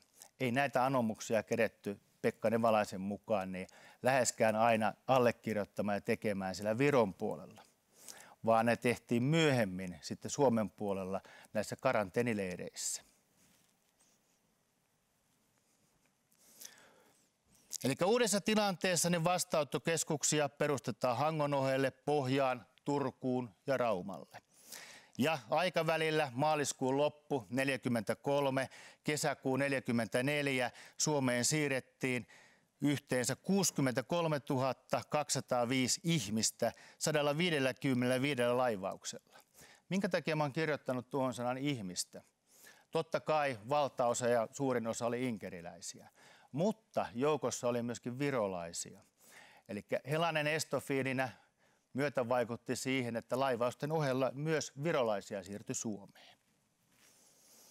No, tässä on sitten karttakuva otettu Pekka Nevalaisen väitöskirjasta, jossa on sitten sijoitettuna nämä karanteeni- ja väestöleirit, missä päin niitä Suomessa sitten oli. Lukumäärä 15 leiriä, valtaosa Lounais- ja Etelä-Suomessa. Sijoituksista vastasi väestösiirtoasiain keskustoimisto. Huoltoon joutuneiden valvonta oli alkuun kansalaisjärjestö Maatalousnaiset ryllä ja sitten myöhemmin siirtoväenhuollon keskuksella. Vastaanottoleirit ja karanteenileirit, edelleen Nevalaisen tutkimuksesta otettu kuva. Siinä hän on kuvannut inkeriläisten vastaanottoleirit, leiri, toiminnan alkaminen, toiminnan loppuminen inkeriläisten osalta, maksimimäärä ja leirin kautta kulkeneiden inkeriläisten henkilöiden lukumäärä noin arvioina. Toiseen taulukkoon on sitten laitettu inkeriläisten varsinaiset karanteenileirit Suomessa. Ja niin kuin tuosta nähdään näin, niin suurimpana leireinä ovat sitten niin Lohja, Loimaa, Salo, Eurajoki.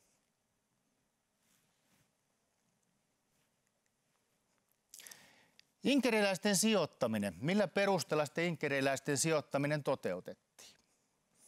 Ei ollut mitään erityissuunnitelmaa, vaan sijoitukset riippuu työ- ja huoltopaikkojen tarjonnasta. Turvallisuussyistä ei Itä-Karjalaan eikä vallatun Karjalan rajapitäjiin. Kielisyistä niukasti rannikon ruotsalaisiin kuntiin.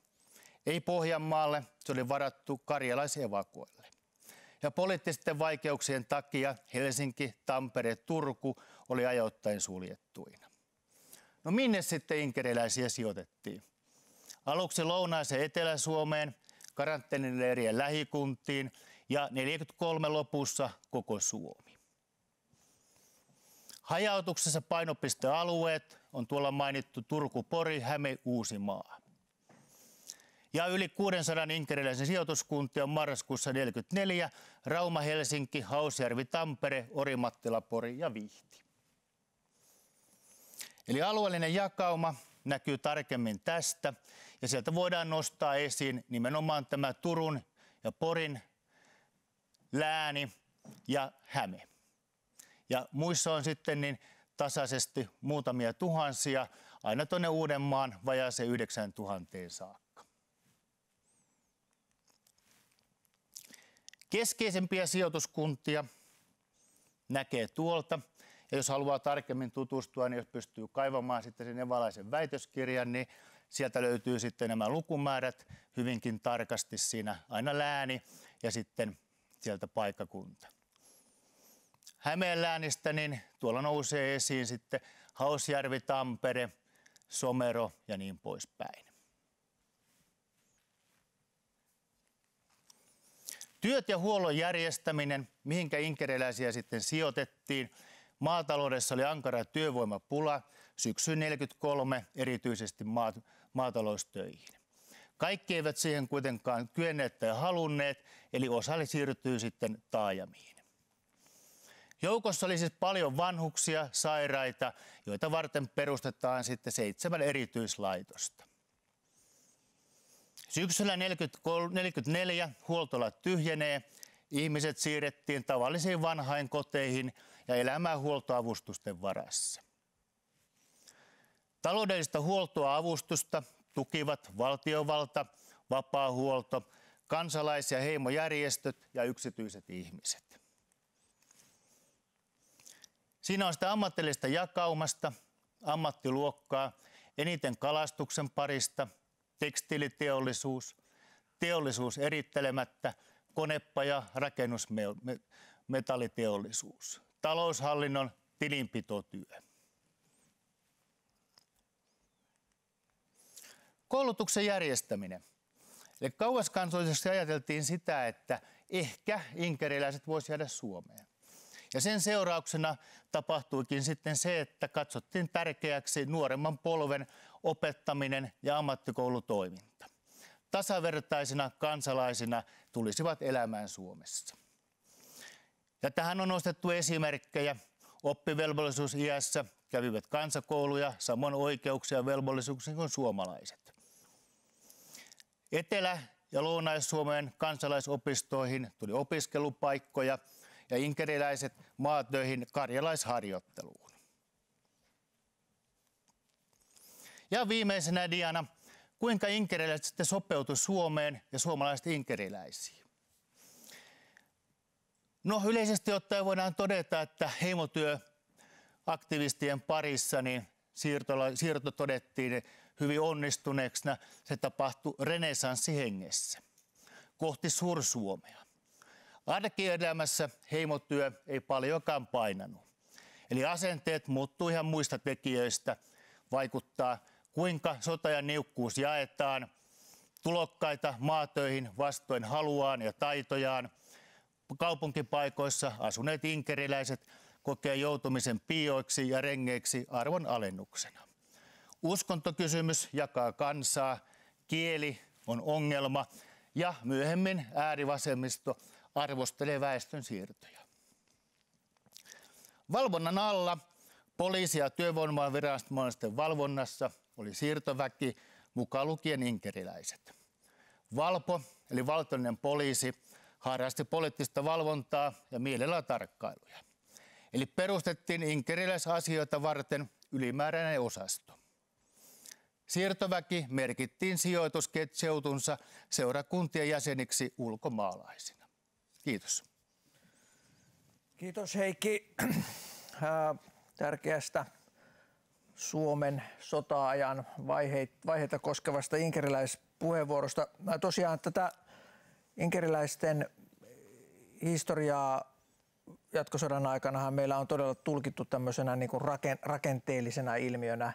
Tarkasteltu paljon määriä, tarkasteltu kuinka väki siirtyi, siirrettiin Suomeen, mitä he täällä tekivät ja niin edespäin ja niin edespäin. Ähm, onko olemassa tällä hetkellä mitään tutkimusvirityksiä, jotka pohjautuisi esimerkiksi tämmöiseen haastattelu- tai muistelmatutkimukseen, jossa yksilö tulisi näkyviin. Viittaa nyt tähän Pakkasten edelliseen esitelmään, jossa yksilöt tuli, tuli esiin aika, aika niin kuin voimakkaalla, voimakkaalla tavalla. No tuon täytyy sanoa sillä tavalla, että seuraava esitelmä pystyy varmaan vastaamaan siihen tarkemmin, että onko vireillä. Mä puhun nyt enemmän sitten siitä, että mitä on tehty ja, ja tota, ei sitä juuri ole, ole katsottu yksilöiden näkökulmasta. Ja korostaa täytyykin siinä, että kun puhutaan, että on yli 63 000 henkilöä, niin varmasti on erilaisia kohtaamisia, erilaisia näkemyksiä siitä, että mitä, miten siirrot tapahtuu, miten suomalaiset kohteli inkeriläisiä ja niin mm. poispäin. Ja tämä on mun mielestä hirveän tärkeä tutkimusaihe, minkä nostit tuossa esiin siinä, että yksilöiden kokemuksen ja kokemusmaailman kautta voidaan myöskin hahmottaa sitä, että mikä oli tämän suuren kokonaisjoukon näkemys ja kokemus Suomesta ja suomalaisuudesta silloin 40-luvulla siinä.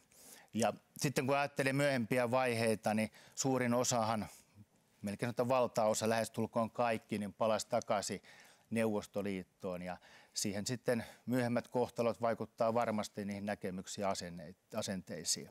Edelleen pitää muistaa se, että vuonna 1948, kun YA-sopimus solmittiin, niin liikkui hirveä huhu siitä, että siinä voisi olla mukana pakkoväestönsiirtoja koskeva pykälä. Ja tämä aiheutti muistaakseni yli 800 inkeriläisen pakolaisuuden silloin Ruotsin puolelle. Eli tilanne oli tosiaan hyvin tulenarka siinä vaiheessa. Ja sanoisin tosiaan tuon kysymykseen vielä, että en osaa sanoa, että onko tällä hetkellä vireillä, mutta toivottavasti on. Ainakin se on se arvoinen tutkimus, että kannattaa tehdä. Kiitos Heikki. Kiitos. Ja seuraavaksi sitten Toivo Flink tulee kertomaan meille tutkimuksestaan kotiin karkotettavaksi. Tässä vaiheessa en voi olla mainitsematta äskettäin kansallisarkistossa päättynyttä Inkeri, kansallisarkiston inkeriläis, inkeriläisten sivistyssäätiön ja suomalaisen kirjallisuuden seuran yhteishanketta Inkeri ja inkeriläisyys muistot talteen, arkistot haltuun, jossa on kerätty inkeriläisten kirjallista materiaalia, tehty haastatteluja ja tämä, tämä aineisto on nyt tulossa käsittääkseni tutkimuksen käyttöön ja, ja antaa ikään kuin uutta syvyyttä nyt Inkeri-tutkimukselle ja odottaa innokkaita uusia tutkijoita paneutumaan inkeriläisten historiaan sekä siellä omalla Inkerinmaalla että sitten Suomessa. Mutta nyt Toivo, ole hyvä. Kiitoksia.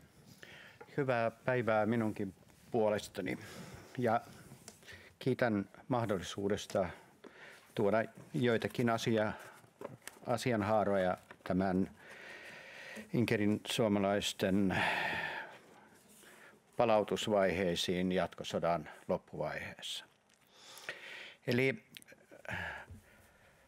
Suomen aloitteesta maahamme siirrettiin jatkosodan aikana yli 63 000 inkeriläistä saksalaisten miehittämältä Leningradin alueelta.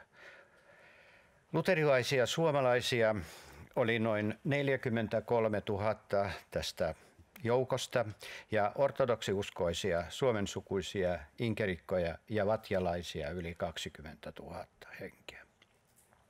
Valtaosa 80 oli naisia ja lapsia. Väestön siirrot toteutettiin kevään 1943 ja kesän 1944 välisenä aikana. Sekä ajankohta että väestönsiirron rakenne ovat meille tärkeitä tulevien tapahtumien kannalta. Jatkosota johti välirauhan sopimuksen solmimiseen ja se allekirjoitettiin Moskovassa 19. syyskuuta 1944. Tässä on kuva siitä ja ähm, samalla perustettiin valvontakomissio, joka saapui Suomeen saman vuoden lokakuussa. Erityisen merkille pantavia inkeriläisten kannalta ovat sopimuksen artiklat 10 ja 21. Kymmenennessä artiklassa Suomi sitoutui luovuttamaan hallussaan olleet neuvosto- ja liittolaisvangit sekä internoidut ja väkisin maahan tuodut palautettaviksi heidän kotimaahansa. Artiklassa 21 Suomi sitoutui lakkauttamaan kaikki sen alueella toimineet Neuvostoliitolle vihamieliset järjestöt, ensisijaisesti heimojärjestöt. Niihin kuuluivat muun muassa Helsingissä 1922 perustetut Akateeminen Karjala-seura ja Inkerin liitto.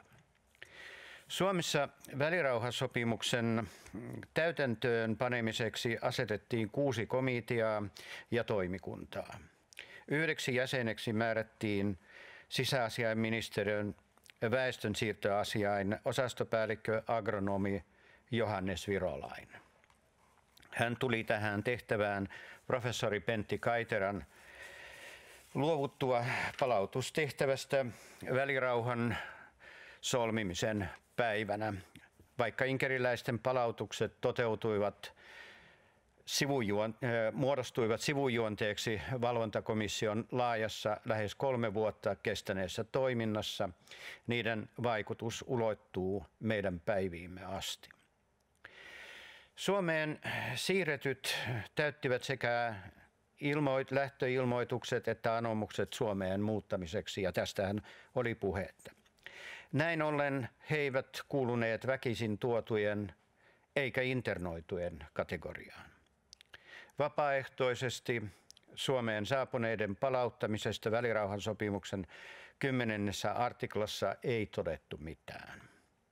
Valtioneuvosto käsitteli inkeriläisasiaa iltakoulussaan vuonna 1944 yhteensä kolmesti.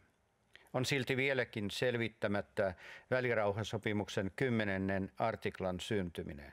Kenen aloitteesta, kuka tai ketkä sen käytännössä muotoilivat.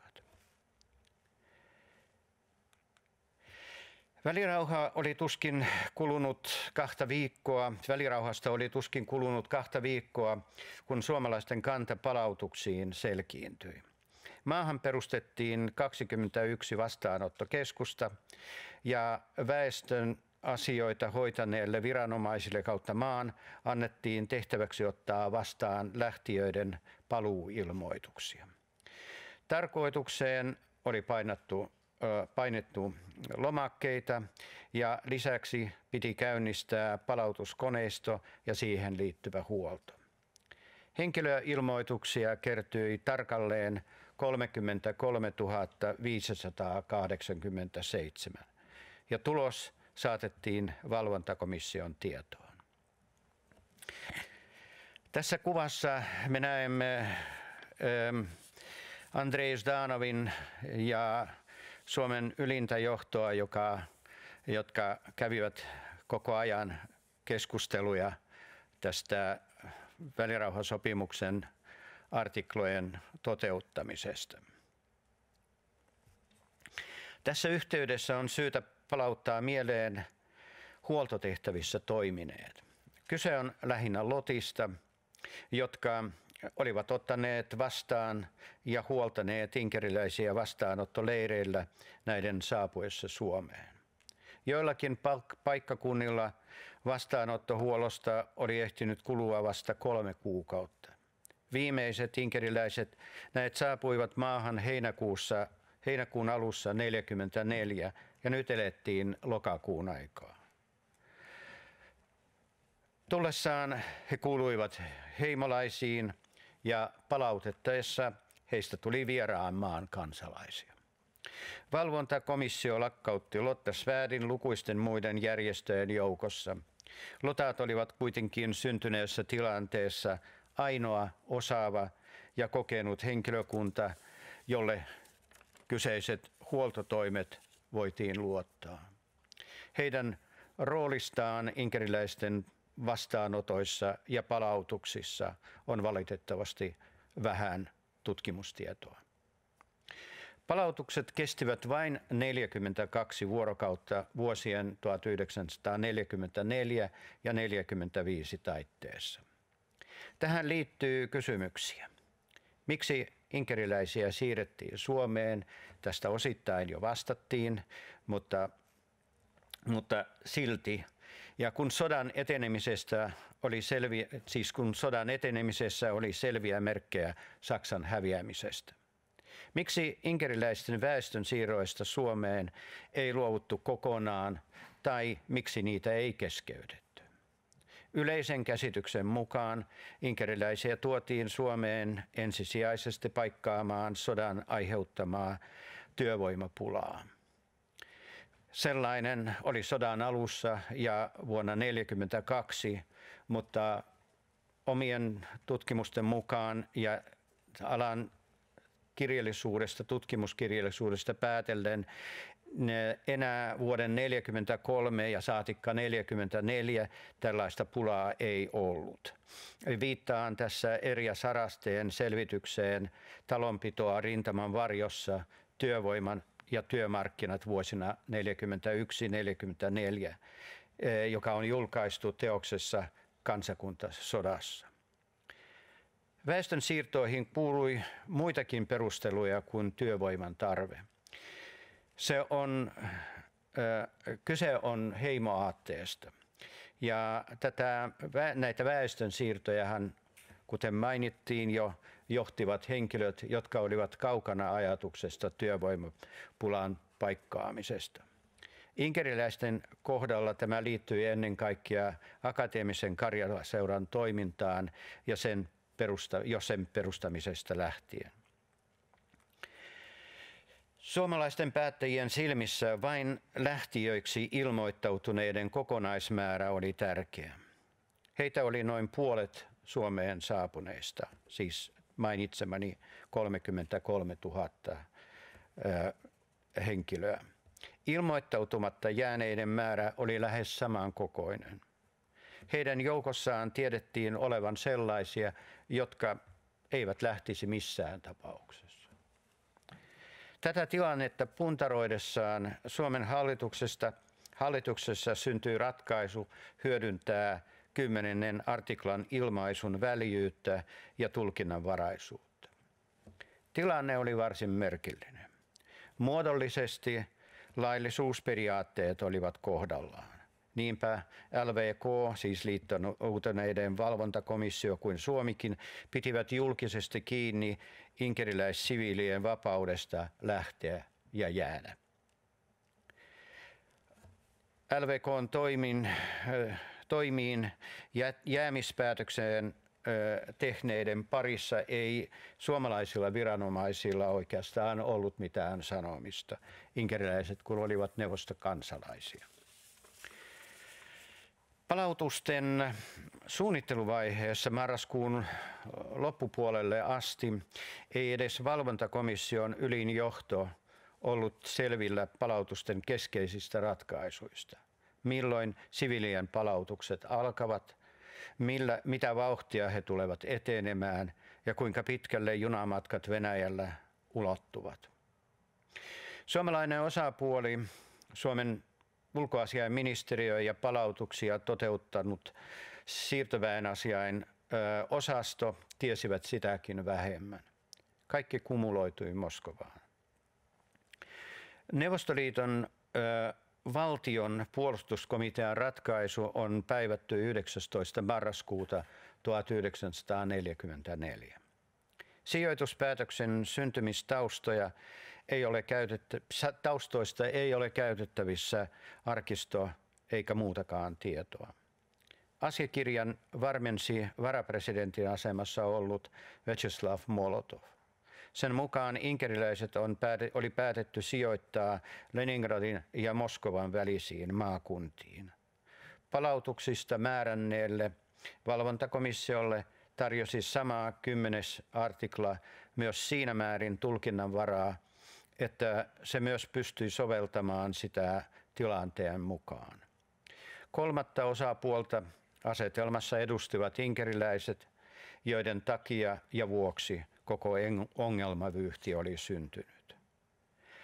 Varsinaisia valvontakomissiota tarkastelevia, tarkastelevaa laajaa ja perusteellista myös venäläiseen arkistoaineistoon nojaavaa tutkimusta ei valitettavasti ole. Sama koskee valvontakomission ylintä johtajaa, kenraali Everstia Andrei Zdanovia, joka näkyy tuossa kuvassa sotilaspuvussaan. Mielestäni aika on kypsä kummankin tutkimuksen käynnistämiselle. Suomesta katsottuna inkeriläiset olivat yksinkertaisesti ulkomaalaisia ja Neuvostoliiton kansalaisia. He saapuivat Suomeen ja oleskelivat maassa ulkomaalaislain hallituksen vuonna 1942 tekemän päätöksen turvin. Tässä heillä oli vastineena väestön siirtoasiain viranomaisten myöntämä ulkomaalaiskortti, joka tässä näkyy kuvineen ja sormenjälkineen. Kortti toimi Suomeen jääneiden henkilöllisyystodistuksena, kunnes heille myönnettiin maan kansalaisoikeudet. Viimeiset Inkerin suomalaiset saivat kansalaisoikeuden 1700, 1970-luvun alussa. Enkerin suomalaiset epäilemättä tiesivät, millaiset kurinpidolliset seuraamukset oli heillä, heitä odottamassa luvattomasta muutosta Saksaan, Saksan puolella taistelleeseen Suomeen. Heidän pelkonsa oli aito ja suuri. Palaneiden haastatteluista ja muistelmista päätellen sitäkin suurempi näytti olleen heidän vaistonvarainen uskonsa siihen, että nöyrä synnin tunnustaminen ja paluu voisi pelastaa heidät pahimmalta, eli uusilta karkotuksilta. Voidaan kuvitella, mitä kokouksiin saapuneiden mielestä liikkui, kun muistiin tuoreena nousivat perheiden miesten vangitsemiset, karkotukset ja teloitukset, sodan jaloista heidän itsensä ja lastensa pelastaminen sekä Suomessa kohtalonsa tyytyminen. Silloin heidän eteensä astelee neuvostoupseeri olkaimet kiiltäen. Venäjää puhunut upseeri kuvi, vakuuttelee, että maansa kustantamana he kohta pääsevät damoi kotiin, narodinu kotipuoleen. Venäjän kielessä rodina-sana tarkoittaa yhtä lailla kotipuolta ja synnyinmaata. Epäluulosta huolimatta tuskin kukaan olisi osannut epäillä, että heille kotiin paluusta puhunut oli tarkoittanut sitä aivan muuta kuin Inkerin maata. Koti kangasteli mielessä. Maantieteellisesti se ei ollut kaukana. Loputtomilta tuntuneiden vaellusten päässä kodin valo loisti niin kutsuvana, että sen kaipuu ylitti kaikki muut tunteet. Huhumylly heilutteli äärimmäisessä jännityksessä eläneitä ihmisten mieliä kuin kotikylän liekku konsanaan. Epätoivosta sodan erottaman perheen jälleen näkemisen riemuun. Pahiten piinasi tietämättömyys, mitä tuleman pitää. Näistä aineksista keitettyyn soppaan liittoutuneiden valvontakomission toimet lisäsivät omia mausteitaan. Yksi niistä koski ilmoittautumista niin suomalaisille viranomaisille kuin liittoutuneiden valvontakomissiolle. Ero oli siinä, että palautuksia hoitaneiden suomalaisten viranomaisten ei tarvinnut turvautua pakkotoimiin niitä kohtaan, jotka olivat ilmoittautuneet, mutta eivät olleet saapuneet kokoontumispaikoille määräaikaan mennessä. Siis Suomeen perustettiin 21 tällaista kokoamiskeskusta, jonne piti ilmoittautua ennen kuin siirrot kotimaahan olisivat toteutuneet. Ja kotiutuksia pidettiin valvontakomission ja asianomaisten, siis lähtiöiden välisenä asiana. Yhtä vähän kuin voimme estää lähtemästä, voimme pakottaa poliisivoimalla ketään lähtemään. Ulkoasiainministeri Karl von Enkel ja sisäasiainministeri Karlo Hillillä olivat lausunnossaan painottaneet 15.12.44. Muistettakoon, että palautettavia oli jo kymmenen päivän ajan kolistellut näille raiteilla rajan yli kahden junan vuorokauden vauhtia. Suunnilleen samoihin aikoihin Johannes Virolainen kirjasi muistivihkoonsa keskustelunsa palautuksia hoitaneen LVKn Eversti Filatovin kanssa. Toimiiko yhteistyö hyvin? Filatov kysyy. Toimii, Virolainen vastaa. Mitä tehdään niille, jotka ovat ilmoittautuneet, mutta eivät olleet saapuneet? Filatov jatkaa. Lähetetään perässä, Virolainen lupaa. Lähteä siis oli pakko, vai oliko? Sydän syrjällään kovin monet alistuivat, kun viranomaisten vastustamiseen tarvittavat henkiset voimat olivat ehtyneet.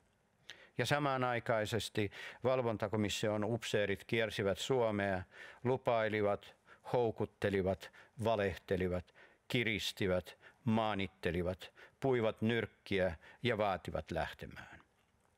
Tarkoitus pyhitti keinot. Käytössä olevan arkistoaineiston perusteella voidaan päätellä, että kunkin junakuljetuksen määränpää Neuvostoliitossa oli vain niiden LVKn upseereiden tiedossa, jotka neuvottelivat suomalaisten kanssa junakuljetusten aikatauluista. Siis kalustohan oli suomalainen, kuljetuskalusto. Näin matkaan saatiin runsaat 56 000 henkeä. 8 000 jäi Suomeen, joista vähin eriin karkasi Ruotsiin, siis salaa lähti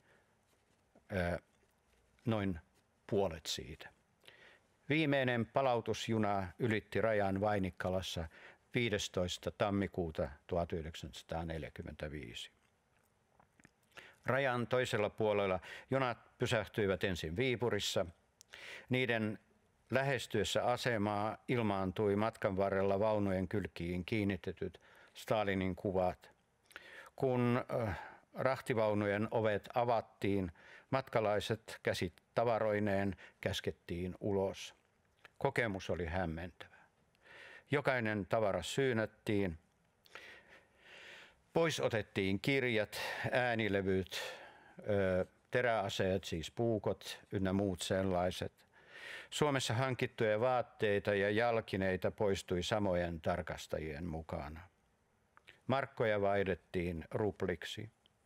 Venäläisten arkistotietojen mukaan matkalaisille tarjottiin lämmin ateria ja esitettiin kotimainen elokuva. Sen tärkein sanoma keskittyi toveri Stalinin johtaman Neuvostoliiton ja neuvostoarmeijan voittojen ylistämiseen. Kun vastaanottokaavan mukaiset toimet oli suoritettu, matkalaiset käskettiin paikoilleen. Härkävaunujen ovet kolahtivat kiinni ja juna nytkähti liikkeelle. Vauhti alkoi kiihtyä ja innokkaimmat pääsivät tirkistelemään vaunujen silmi seinissä oleviin reikiin. Odotettiin junien kääntyvän Leningradin suuntaan.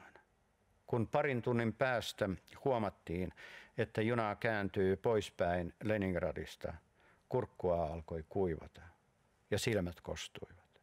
Silloin he tajusivat, että heidät on petetty ja vieläpä rankasti. Valvontakomissio katsoi tehneensä parhaansa. Neuvostohallitus ilmoitti tyytyväisensä kiittämällä Suomen hallitusta ja suomalaisia viranomaisia hyvin hoidetusta operaatiosta. Nyt tiedetään, että Suomesta palautetut kuljetettiin määräysten mukaisesti Veliki ja Lukin, Pihkovan, Novgorodin, Jaroslavlin ja Kalininin nykyisen Tverin hallintoalueille, hallinnollisia alueille, syrjäkyliin ilman paluuoikeutta kotikonnuilleen. Tämä kielto kosti, koski vain inkeriläisiä. Siis Inkerin suomalaisia. Kiitos. Kiitos Toivo Flink suorastaan koskettavasta puheenvuorostasi. Inkeriläisten kohtalot, väestön siirrot niin jatkosodan aikana kuin sitten vielä toisen maailmansodan kestäessä 44-45 on tietysti osa suurta ja laajaa eurooppalaisten kansojen ja väestöjen, väestöjen liikkeitä. liikkeitä ja, ja tietysti tämä on yksi, yksi olennainen ja tärkeä, tärkeä osa meidän menneisyyden, meidän oman historia, historiamme kannalta.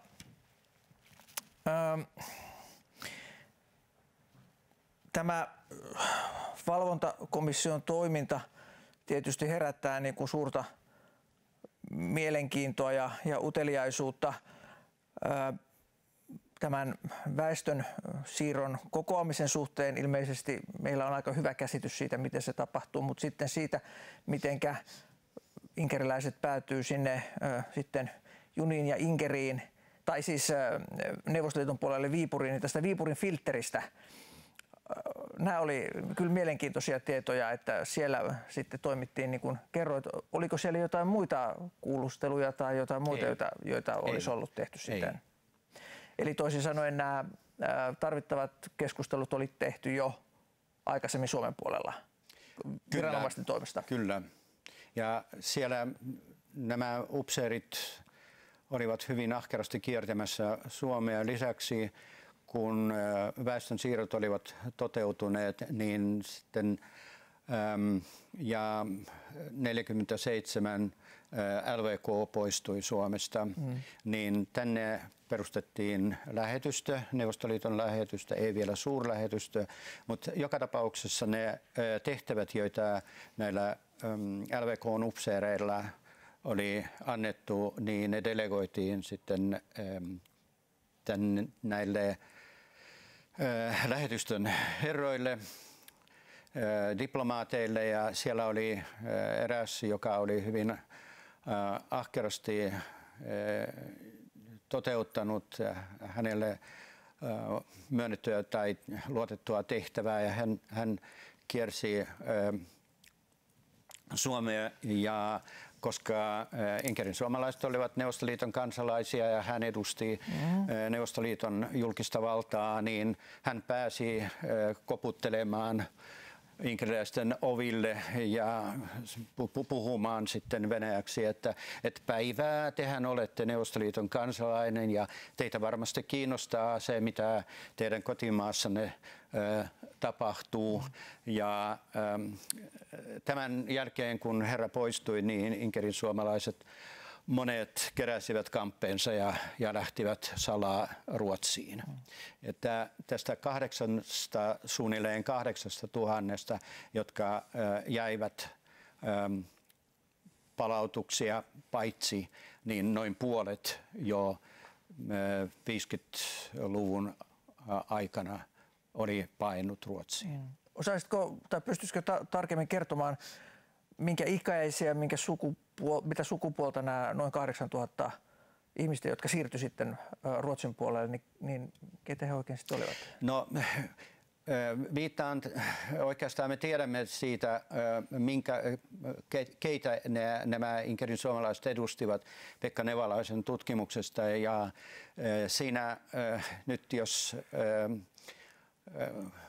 karkeasti sanoen siirretyistä oli kahdeksan kymmenestä oli naisia ja lapsia. Ja, ja sitten ne loput, noin kaksi, siis kymmenestä, oli, oli miehiä, joista noin puolet oli vanhuksia, siis ja.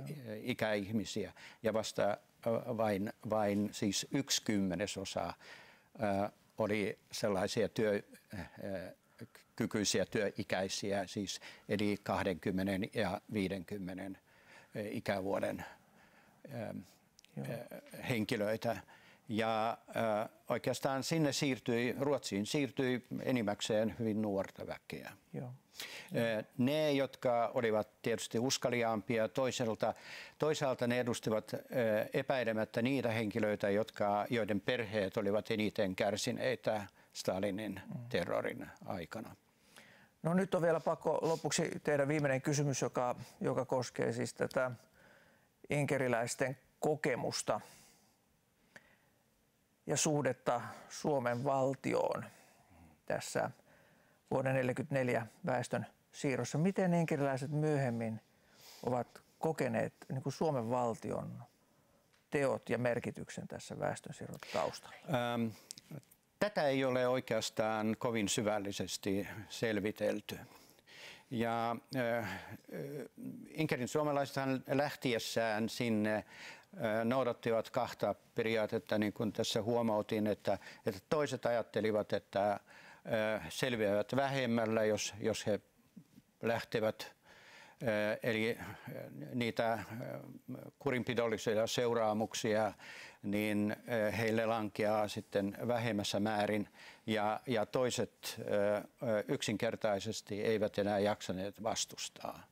Ja ne, jotka, jotka ymmärsivät, että heitä ei odota siellä Neuvostoliiton puolella mitään hyvää, niin ne jäivät ne jäivät Suomeen. Joo. Ja nyt kun tässä olen todennut, että tästä 63 000, siis varsinaisesti luterilaisia ja inkerin suomalaisia oli vähän yli 40, eli kaksi, noin 20 000 oli, olivat vat, siis inkeikkoja ja, ja vatjalaisia. Niin tästä 43 000, jos vähennetään kahdeksan, niin se on aika suuri määrä. Kyllä on. Kiitos Toivo. Kiitoksia. Ja hyvä yleisö, inkeriläis, inkeriläistematiikkaa käsittelevä sessiomme on, on päätöksessä ja nyt pidetään sitten pieni lyhyt 10-15 minuutin tauko, niin että 15 yli 11 jatketaan. Kiitos.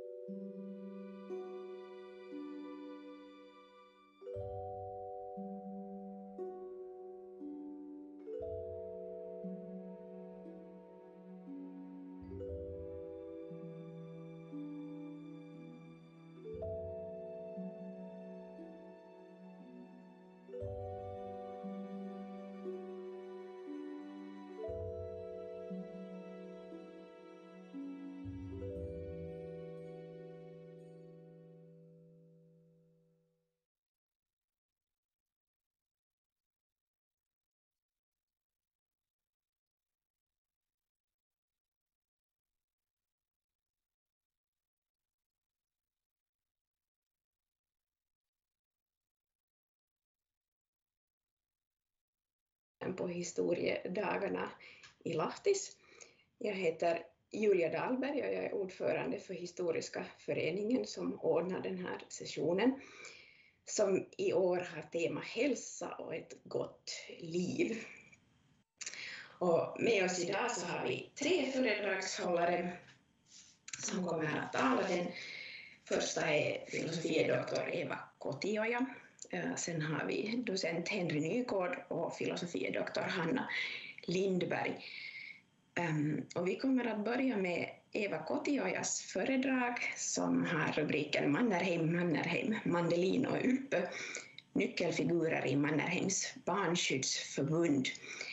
Och Eva Kotioja har disputerat från Helsingfors universitet för några år sedan med en avhandling som handlar om Adelaide Ernroth och efter det så har hon skrivit ehm, en hundraårshistoria om just Mannerheims barnskyddsförbund som kom ut på finska under hösten. Och det är på basen av den här som, som Eva kommer att tala idag. Så varsågod Eva, jag lämnar över till dig. Tack så mycket Julia. Och nu ska jag dela min, min presentation.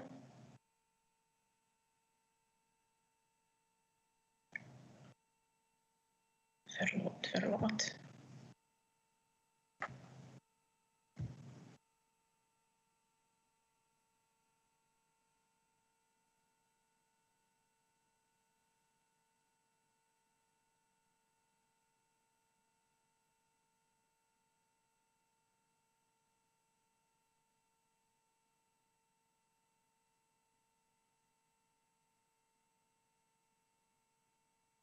Så här syns det och hörs jag. Jo, det syns och det hörs. Okej, fint. Och nu ska vi börja. Um, mitt ämne idag är, är att berätta hur Mannerheims barnskyddsförbund grundades lite över hundra år sedan. Det var ett projekt av eliten, så inflytelserika människor, nästan alla från Helsingfors, Eh, ville grunda ett barnskyddsförbund som skulle sprida sig över hela landet och leda Finlands barn mot en stabil framtid. Efter inbördeskriget ville dessa människor både stabilisera landet genom att skydda barn och samtidigt minska spädbarnsdödlighet. Så som forskare är jag alltid intresserad av människor. Så vem har gjort någonting? Vem är ansvarig? Och i detta sammanhang, vem var de centrala figurerna i det här förbundets verksamhet? I början kallades förbundet General Mannerheims barnskyddsförbund efter den vita generalen Gustav Mannerheim. Arbetarklassen tog emot namnet med bestörtning och kåsören Sasu Punanen skrev i Suomen Sosiaalidemokraatti att det är, det är olämpligt att göra barnskyddsarbete i Finland under Gustav Mannerheims namn. Men varför blev Gustav Mannerheim förgrundsfigur för barnskyddsarbete? Idag kommer jag, jag att koncentrera mig på de centrala människorna, nyckelfigurerna inom Mannerheims barnskyddsförbundet. General Mannerheims barnskyddsförbund grundades den 4 oktober 1920 i Gustav Mannerheims hem vid Mariegatan i Helsingfors. Så närvarande var äh, centralgestalterna inom det helsingforsiska organisationslivet bland annat Katri Bergholm som var ordförande för Soldathemsförbundet, äh, från Barnavårdsföreningen, Maggie Granfeldt och Anna af Schuttén och Ines Nevanlinna, maka till riksdagsledamot Ernst Nevanlinna. Så viktiga och sakkunniga människor som alla gav både deras tid och deras kunskaper till barnskyddsarbete. I mötet beslutades beslutades det att grunda Mannerheims barnskyddsförbund. Och följande dag, som ni ser här i DN, äh, skrev tidningar över landet om mötet och också äh, publicerade vädjan till Finlands medborgare och medborgarinnor undertecknad av Gustav Mannerheim. I vädjan kallades alla finländare till barnskyddsarbete. Även förbundets verksamhet började började genast dagen efter det konstituerande mötet. Gustav Mannerheim hyrde ut ett rum i hans hem som förbundets kansli och den nyvalda kanslichefen Erik Mandelin började hans arbete. Så förbundet fick, fick en flygande start. Planeringsarbetet hade pågått för en lång tid innan det konstituerande mötet. Innan mötet hade sammankallats hade Gustav Mannerheim, Sofie Mannerheim, Arvo Ylppö och Erik Mandelin tillsammans och på egen hand planerat hur privata borgerliga barnskyddsarbete borde organiseras i Finland. Jag vill berätta lite mera om de här fyra människorna eftersom eh, jag anser att Mannerheims barnskyddsförbunds framgång berodde klart på dessa fyra olika människor med fyra olika sakkunskaper och ambitioner och samtidigt deras förmåga att samarbeta. Så först, där i dian äh, finns Gustav Mannerheim. Som det står i förbundets namn, äh, General Mannerheims barnskyddsförbund byggdes upp kring Gustav Mannerheims person.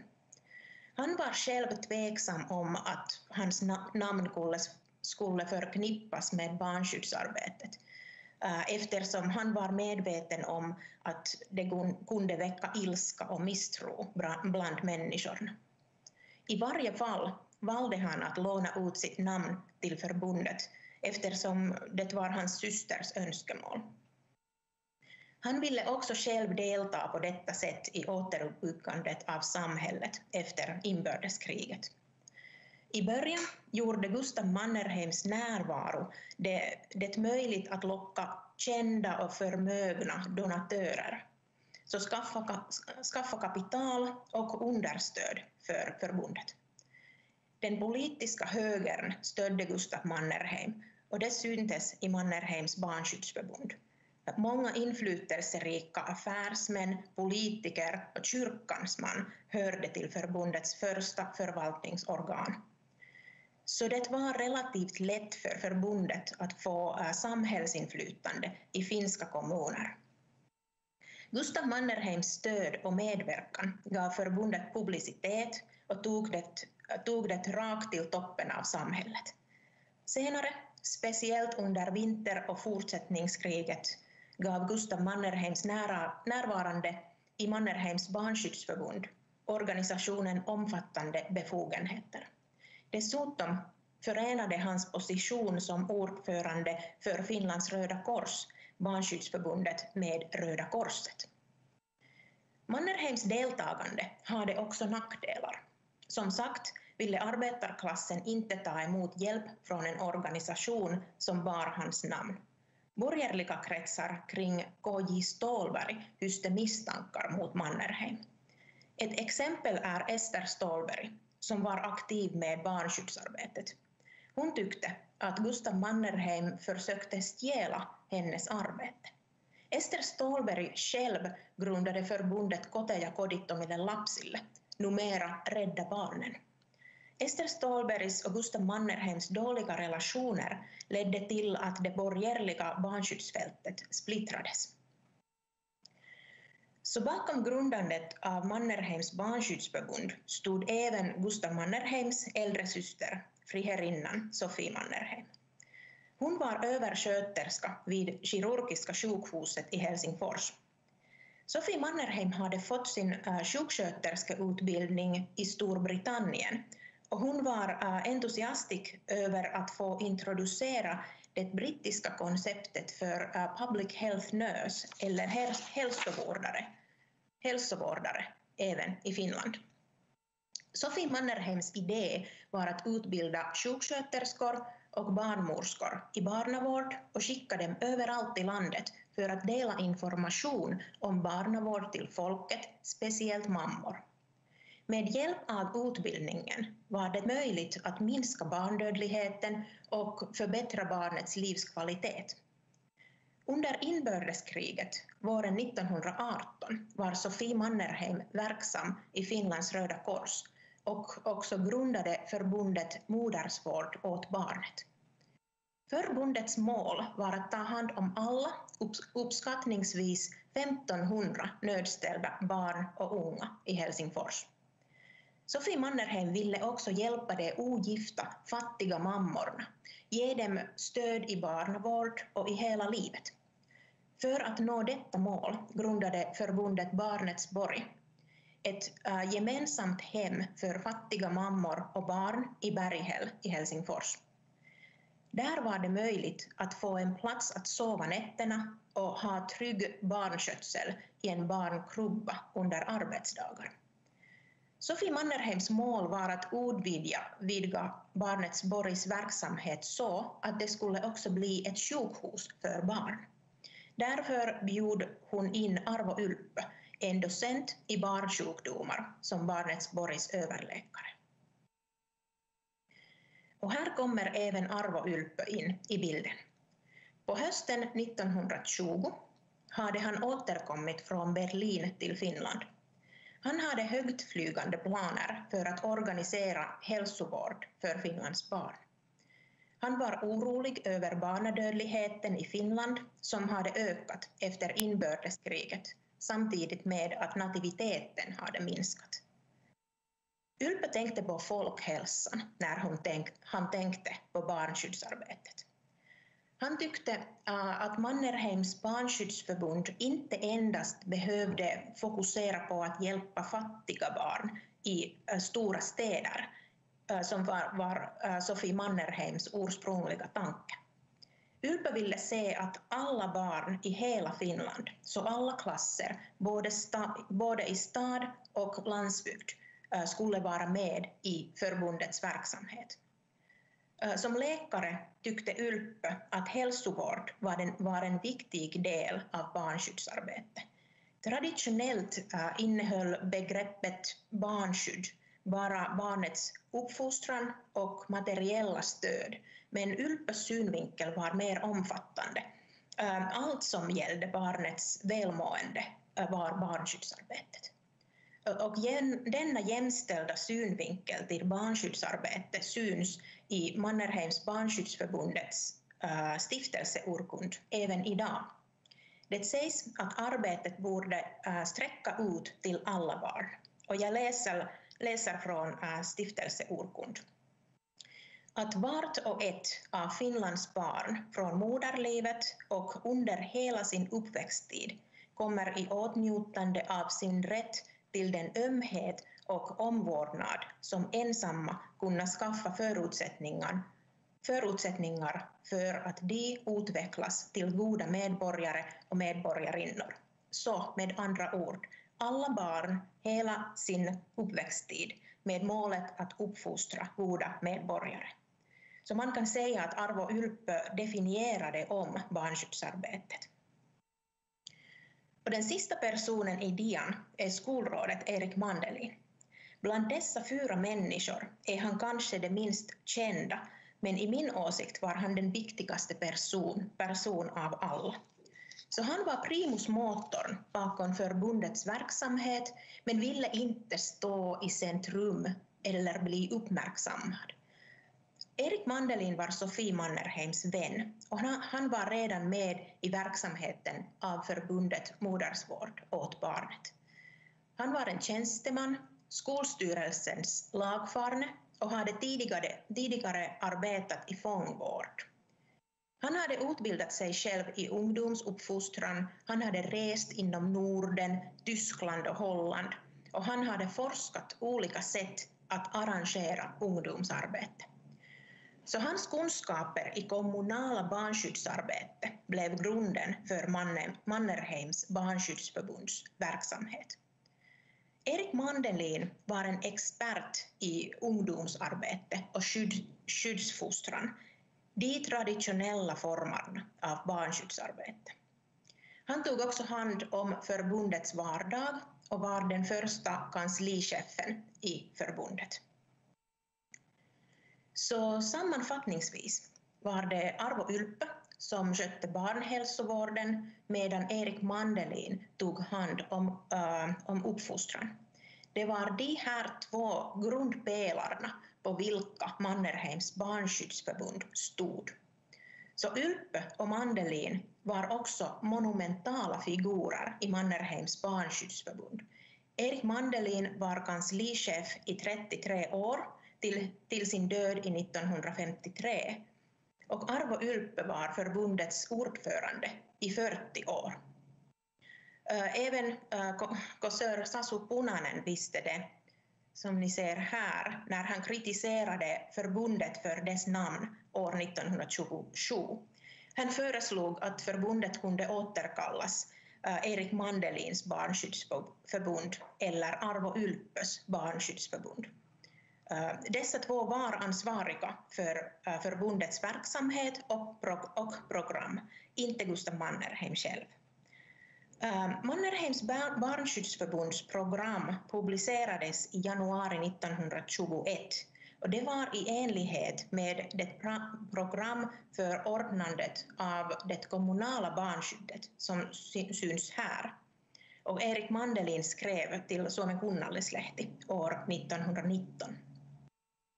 Så som Ylppö var Mandelin också orolig, uh, orolig för den sjunkande nativiteten och den höga dödligheten bland de unga, men betonade skydd, skyddfostran i hans skrivelse.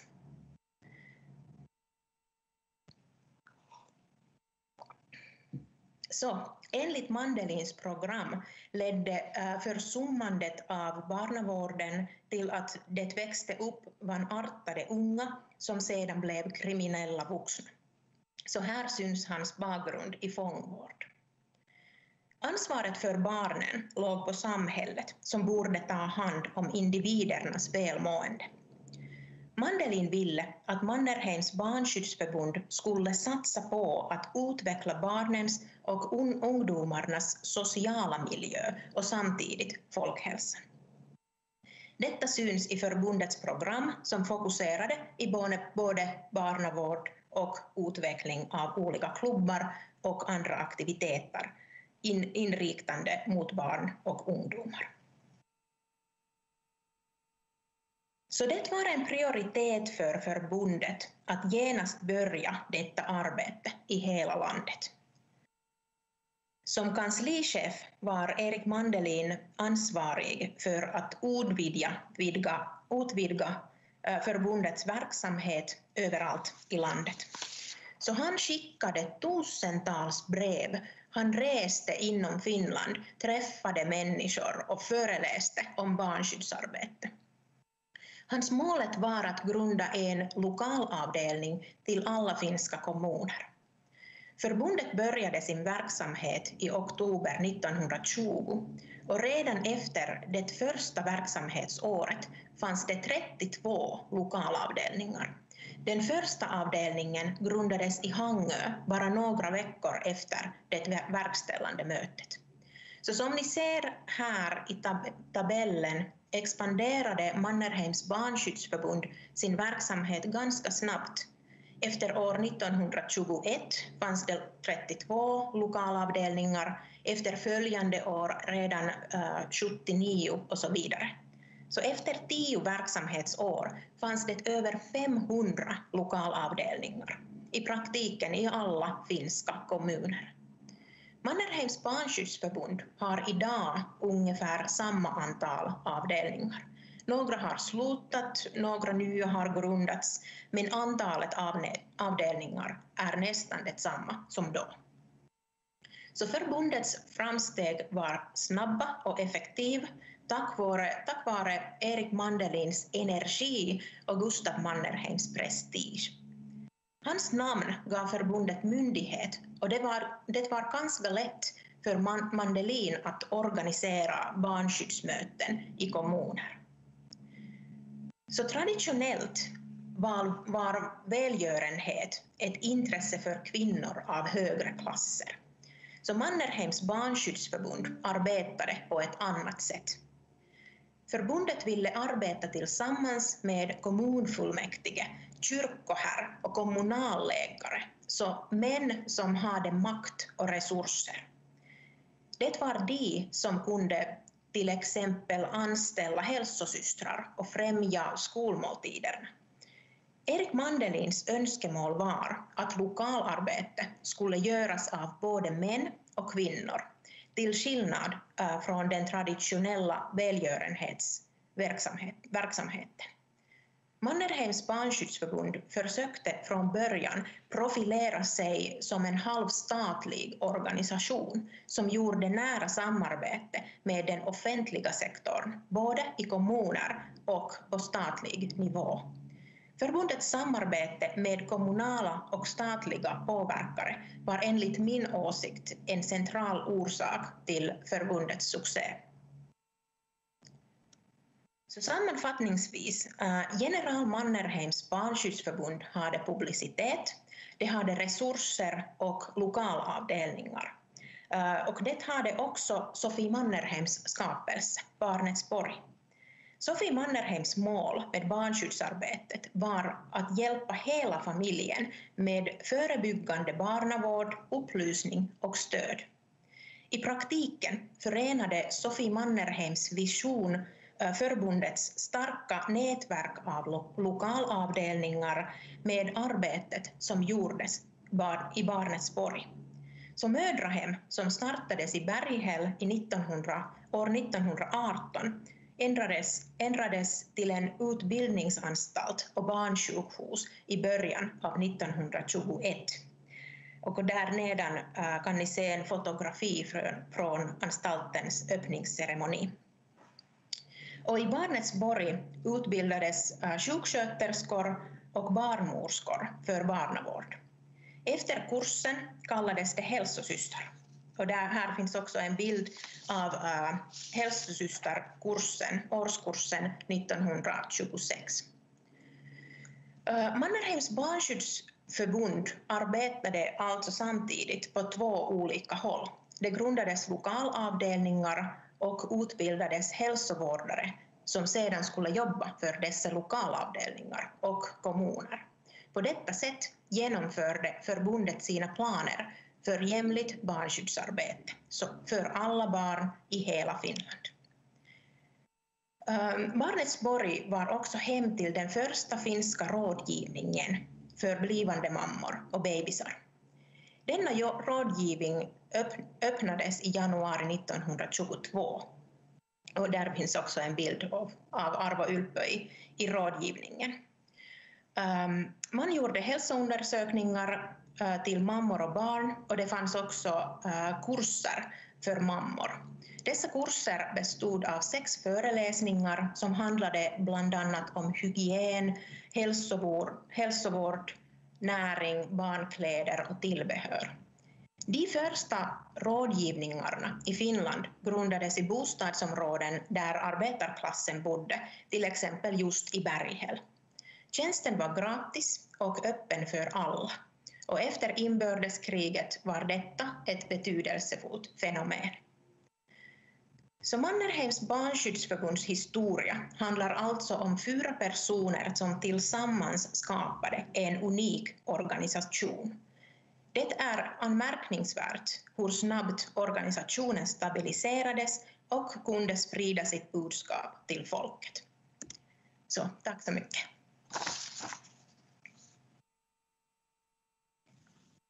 Tack Eva för ditt föredrag. Nu har vi en liten stund tid för frågor här och, och nu um, vänder jag mig till salen i Lahtis. Um, om det finns någon där som, som vill ställa en fråga så får man komma upp till talarpodiet och ställa den här frågan i mikrofonen så att vi kan höra den här via, via våra skärmar. Um, tosiaan nyt siellä Lahdessa, jos joku haluaa kysyä, niin saa tulla tuonne puhujan korokkeelle puhumaan mikrofoniin, niin me kuulemme teidän kysymykset.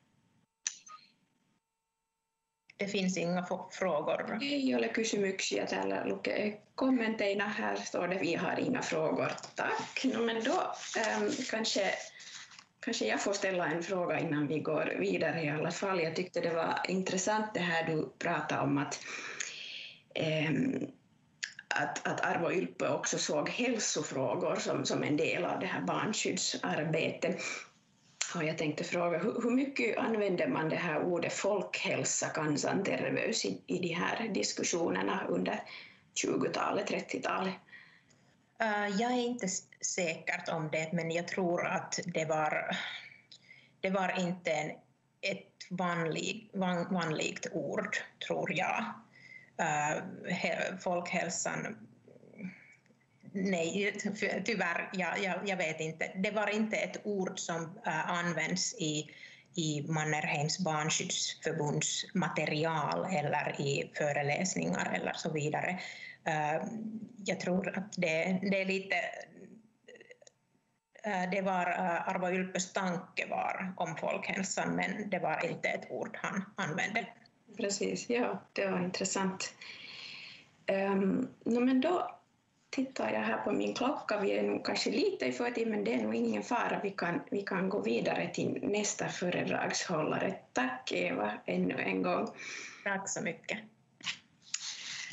Och nu ska jag ta mina papper här. Vår nästa föredragshållare är docent Henry Nygård, um, som är docent i nordisk historia vid, vid Åbo Akademi. Och eh, Henry har forskat mycket till exempel om, om avlopp, avfallshantering och, och hygienfrågor, men, men nu senast så är han aktuell med en, en biografi, en mycket fin biografi om provinsialläkaren Voldemar Backman från Österbotten, um, som, som det här föredraget kommer att handla om och, och rubriken är då Spotta ej på golvet, provinsialläkaren Voldemar Backman och österbottnisk hälsa. Varsågod Henry. Tack ska du ha. Hur är det med bild och ljud? Det hörs alldeles utmärkt och vi ser dig också. Ja, nu ser jag, såg jag mig själv en liten stund. Ja, om du har, du något powerpoint som du vill dela eller? Nej, jag har ingen powerpoint. Jag kanske visar någon bok här men att Just det syns väl i kameran tillräckligt då, bra. Då är vi färdiga att börja, varsågod. Ja, tack. Jag hade tänkt i, i min föreläsning beröra några frågor som tangerar sjuk och hälsovården under sent 1800-tal och tidigt 1900-tal.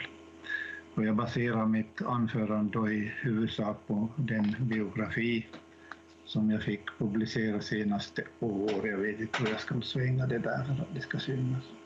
Men i varje fall, det var senaste år som den kom ut och i Svenska Österbottniska samfundets skriftserie. Men i samband med det här arbetet så kom jag att intressera mig för frågor som till exempel vad kunde läkarna eller läkarvetenskapen under den nämnda tiden erbjuda en patient som sökte hjälp för sina åkommor? Och vilka konflikter uppstod när nya medicinska rön mötte gamla och ingrodda trossatser och vilken inverkan hade detta på läkarpraktiken? Vi får här alltså tänka bort allt som rör antibiotika, verkmediciner och laboratorietester, sånt som vi känner till från den moderna medicinen. Rubriken som jag satt syftar naturligtvis på tidsperiodens största gissel, det vill säga tuberkulosen. Men eh, som en traditionell föreläsare så, så pratar jag inte helt om, bara om det här, om tuberkulosen, utan jag håller mig i högre grad på ett allmänt plan. Men att jag, att jag nämner Österbotten i sammanhanget så det beror helt enkelt på att provinsialläkaren Voldemar Backman verkade i det här landskapet under hela sitt liv. Det är kanske skäl att som inledning ändå nämna några ord om Voldemar för att tidsfästa sammanhanget. Han föddes 1870 i Nykarleby, studerade i Vasa och Helsingfors och blev legitimerad läkare 1896. Han gifte sig med läkarstuderande Elisabeth Nylund ett par år senare.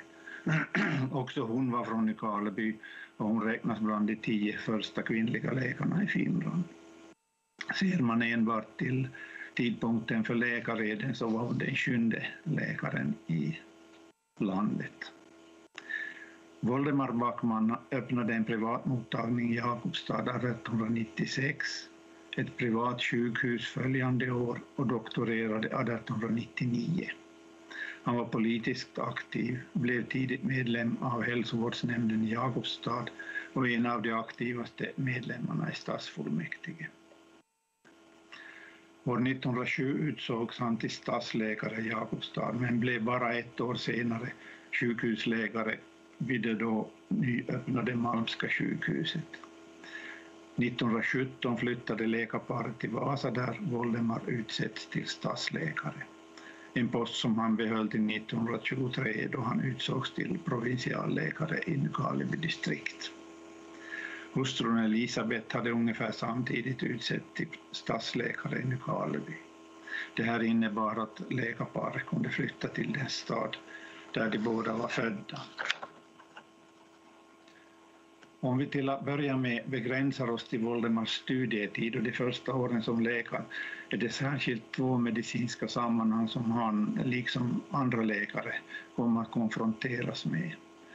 För det första en etiologi i förändring, det vill säga frågan om sjukdomsorsaker. Vad var det som förorsakade sjukdom och vad innebar det för den etablerade medicinen när etiologin förändrades?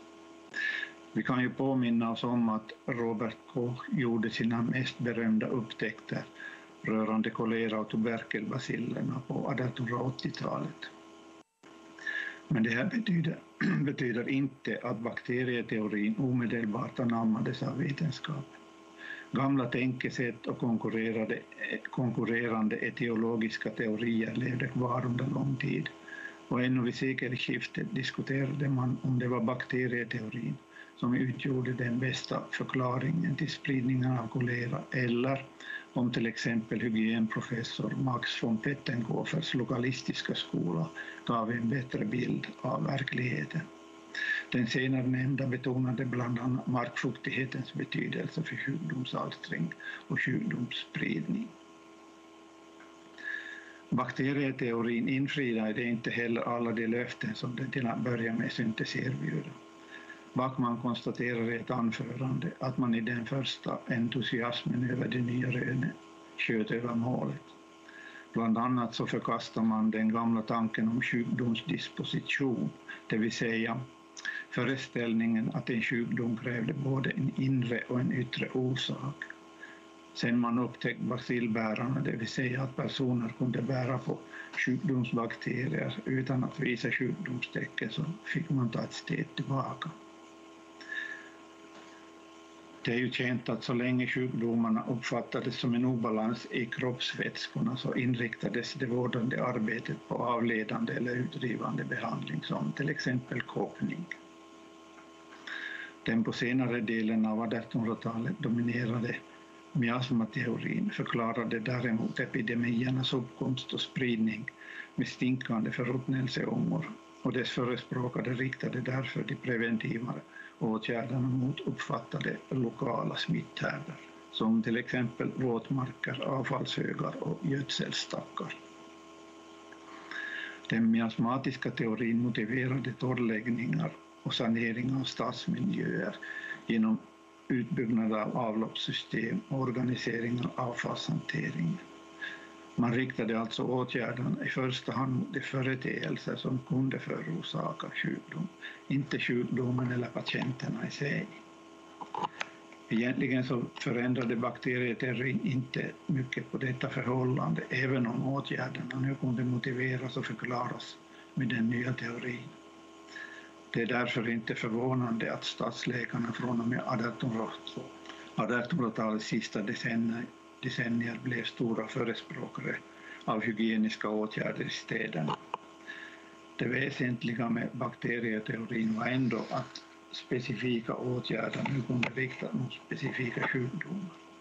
Man talar ju också om den specifika sjukdomsläran.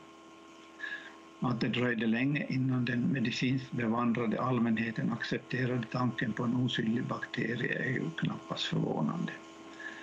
Bakterieteorin betraktades som herrarnas påfund. Det kanske inte heller i vissa sam sammanhang skulle vara helt befängt att dra paralleller till dagens medicinskt relaterade konspirationsteorier, men jag ska inte närmare utveckla det här.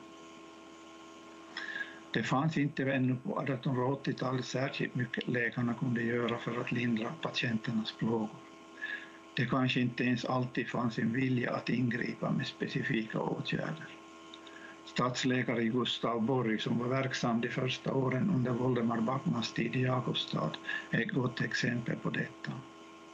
Hans uppfattningar om sjukdomar och vårdinsatser avspeglar de uppfattningar som var allmänt rådande under hans studietid på 1860-talet. Trots att man de sista årtiondena på 1800-talet kände till flera smärtstillande medel vägrade Borg att lätta patienternas lidande med sådana medel. Inte ens när livet stod på spel. Hans pietistiska uppfattning var att människan skulle uthärda de plågor Gud har pålagt dem. Inte förstod han varför man skulle inrätta sjukhus heller. Han hade enligt en egen utsago under en 40 år lång läkargärning bara påträffat ett eller två fall som skulle ha behövt sjukhusvård. Voldemar Backman kom att utmana den här inställningen. Särskilt den äldre läkarkårens oförmåga att erbjuda annat än schablonmässiga ordinationer gav utrymme för spekulationer och rent humbug. Det gäller särskilt åtgärder som kunde tänkas hjälpa personer som drabbats av tuberkulos. Också etiolin, etiologin utmanades. En välkänd utmanare var naturläkaren Louis Kuhne, som ursprungligen var snickare. Han var vegetarian och utvecklade på senare delen av 1800-talet en metod för att behandla olika sjukdomar. Kuren bestod av två delar.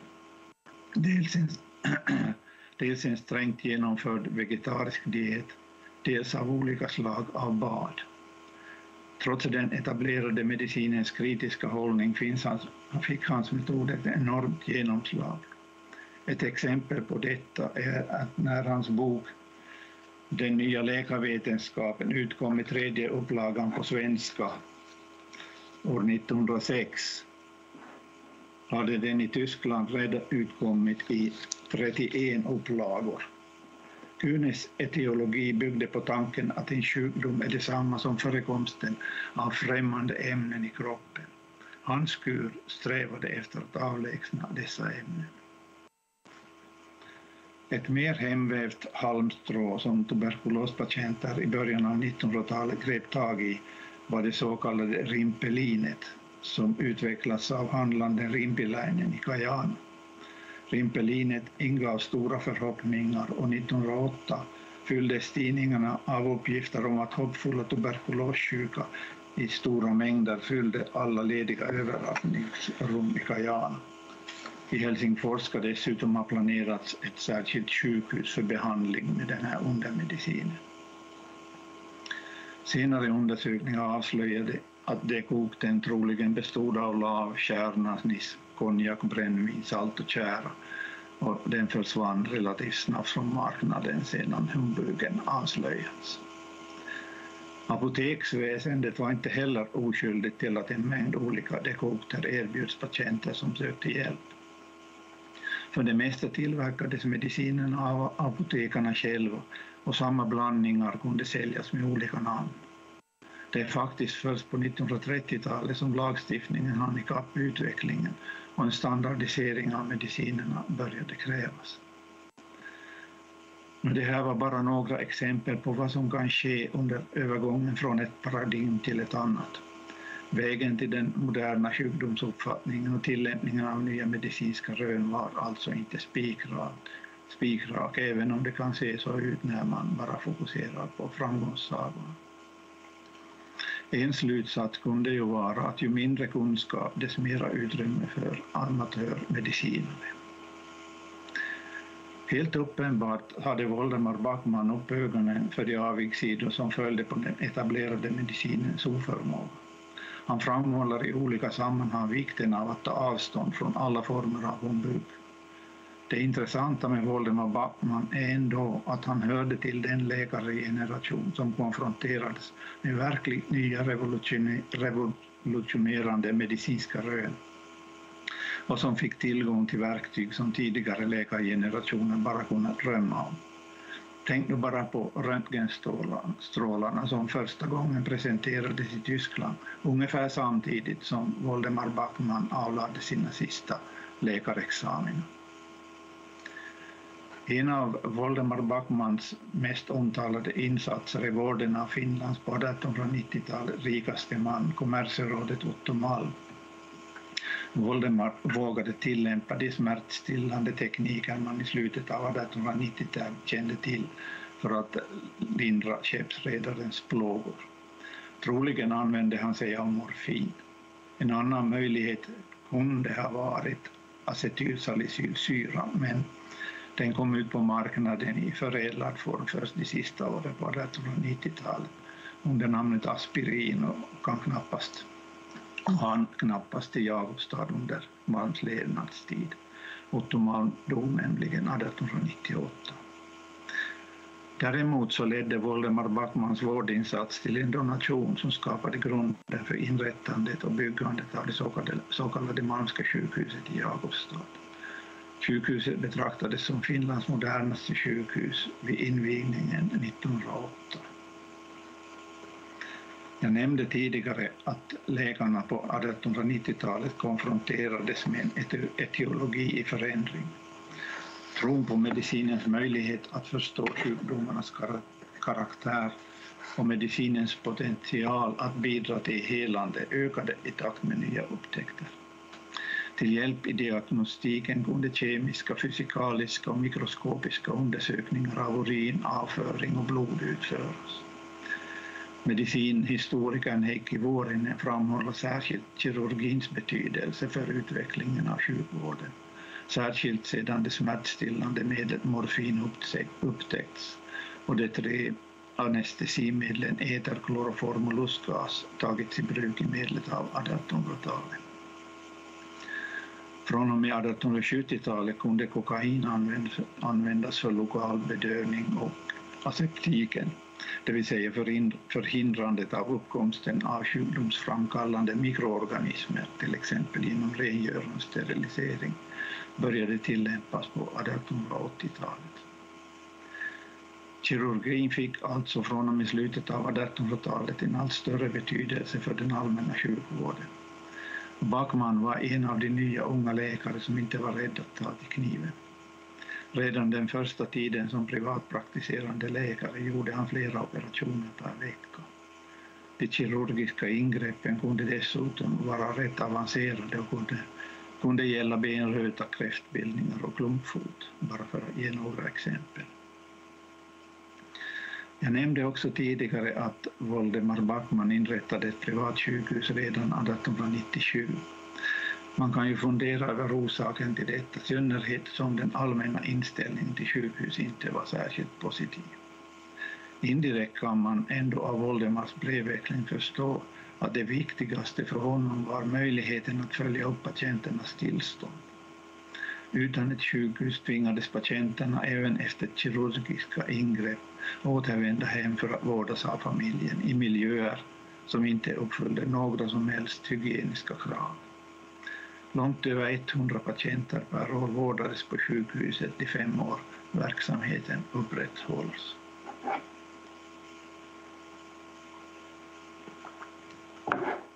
Voldemar Backman påstår i sina minnesanteckningar att han inte fick någon undervisning i hygien vid universitetet. Det här är nog knappast helt sant, men jag tror att han avser hygienens praktiska sida. Han tvingades nämligen i början av 1900-talet under sin tid i Augustad bland annat utveckla en egen systematik för undersökning och uppföljning av skolelevernas hälsa och skolornas hygieniska förhållanden. Likaså blev han en av föregångarna när det gäller bostadshygien och stadsrenhållning. Jag måste ännu nämna några ord om nyupptäckten av den österrikiske naturvetaren Mendels rön om ärftlighet vid sekelskiftet 1900 och den, dess betydelse. För Voldemar Backman och hans medicinskt utbildade kollegor syntes nyupptäck, nyupptäckten och djupa oanade möjligheter till att bemästra många av samhällets största gissel, som till exempel de ärftliga sjukdomarna och indirekt sociala problem relaterat till alkoholism, könssjukdomar och tuberkulos. Upptäckten fick nödvändigtvis inte direkt någon betydelse för Backmans praktiska läkarverksamhet, men desto mer för hans världsuppfattning. Han blev en stor förespråkare för socialhygieniska åtgärder och både skrev och föreläste på 1920-talet om degeneration och rashygien. Här kunde sociala problem lösas bland annat med äktenskapsplanering. Socialt missanpassade skulle inte gifta sig med varandra och inte heller personer med fysiska defekter. Det var särskilt den österbottniska befolkningen som var föremål för Backmans uppmärksamhet. En betydande, ett betydande socialt problem här var att Amerika, Amerikaemigrationen hade decimerat den mest livsdugligaste delen av befolkningen. Med tanke på befolkningskvaliteten var detta en ogynnsam utveckling enligt Backman. Det är alldeles tydligt att Backman var inspirerad av den rikssvenske rasbiologen Herman Lundborgs läror. Jag behöver knappast här närmare redogöra varken för dessa läror, läror eller rashygienen i allmänhet. Men däremot kom jag vid skrivandet att fästa mig vid den betydelseförskjutning som vissa ord genomgått under 1900-talet, särskilt då begreppet ras. Ofta leder detta begrepp in på tankar om hudfärg eller andra fysiskt relaterade skillnader mellan människogrupper. Läser man 1910 och 20-talets texter kan man uppmärksamma att ordet ofta användes i den enkla betydelsen människoras, utan fysiska eller andra konnotationer. Man fokuserade alltså inte nödvändigtvis på någon smalt avgränsad rasklassifikation, utan på människan som art. Den hierarkisering av raserna som ofta uppmärksammas i samband med rashygienen kunde i Backmans fall dessutom kopplas till hälsa och sjuklighet. En frisk människa var helt enkelt av en bättre ras än en sjuklig. Man brukar hävda att Voldemar Backman hade skrivklåda. Hans biografi innehåller långt över 100 bidrag till medicinska tidskrifter och tidningar. Men han sysslade också på äldre dagar med släkt och bygdeforskning. Till en del berodde detta säkert på att han inte längre som provinsialläkare hade tillgång till medicinskt intressant material av den typ en sjukhusläkare eller en stadsläkare hade. Ändå kan man även i släktforskningen, åtminstone initialt, ana ett både rasbiologiskt och medicinskt, medicinskt intresse. En god släkt var nämligen frisk, hade få ärftliga sjukdomar, låg spädbarnsdödlighet och få utomäktenskapliga barn. Det vill säga det stod både i moraliskt, psykiskt och kroppligt, kroppligt hänseende på en hög nivå. Sammanfattningsvis har jag här med några exempel för ge, försökt ge en bild av den omgivning läkarna från och med 1890-talet verkade i. Mycket kunde ännu tilläggas, till exempel rörande Backmans insatser för utvecklandet, utvecklandet av sjukhusväsendet i landskapet eller hans politiska engagemang, men det måste anstå. Provinsialläkartjänsten lämnade Voldemar i början av 1940-talet i samband med att hela institutionen upplöstes. Han dog 1946 och därmed får vi dra ett streck i berättelsen. Tack.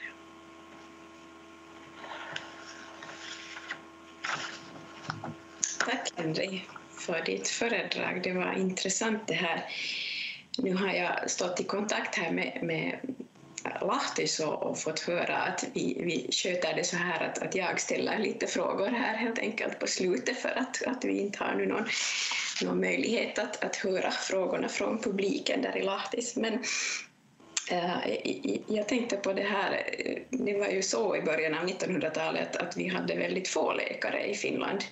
Det var en stor läkarbrist och, och de läkare som fanns hade, hade otroligt många patienter per läkare så att säga. Uh, hur, hur kan, kan, man på något sätt säga att, att Backman skulle ha, ha tänkt på det här eller reflekterat över det här och prioriterade han till exempel på något visst sätt när han tog sig an patienter? Det finns inte från den här början av 1900-talet så har jag inte hittat några dokument som skulle direkt svara på det här, men senare så blev han känd, verkligen känd för, för sina vad ska vi säga, sin positiva inställning till fattiga och sådana som inte kunde betala för, sin, för vården. Och, och det syns också i hans eftermälen att, att det här, patienter tackade honom för att han gjorde en insats. Men nog tror jag också att han var medveten om att det här läkarjobbet krävde en hel del för att jag tror att en av orsakerna till att han sökte sig bort från Jakobstad var att han var överbelastad helt enkelt. Manska sjukhuset hade två läkare och en befolkning, befolkningsunderlaget i, i betjäningsområdet uppgick till flera tiotals tusen människor. Så det var inte något enkelt. Mm. Just det. det här, ja, ja. Ja, Ska jag också ställa en fråga? Absolut, varsågod. Tack. Det här, tusen tack Henry, det här var jätteintressant. Um, det här, jag funderar mera på, på hans idéer om socialhygien. Uh, vem ansåg han skulle vara ansvarig för den här um, äktenskapsplaneringen? Var det då primärt prästerna som skulle hindra människor från med så kallade defekt att eh, gifta sig med varandra eller övertala dem att inte gifta sig med varandra? Eller var det på något annat sätt den här äktenskapsplaneringen skulle gå till? Mm, jag tror att det var främst genom upplysning som han ville nå den här, få genomslag för den här tanken. Han höll en mängd föredrag, publicerade texter i tidningar, berättade liksom om bakgrunden till varför behövde göras någonting. Man pratar ju om den degeneration, den här tanken att människostammen för, eh, försämrades hela tiden.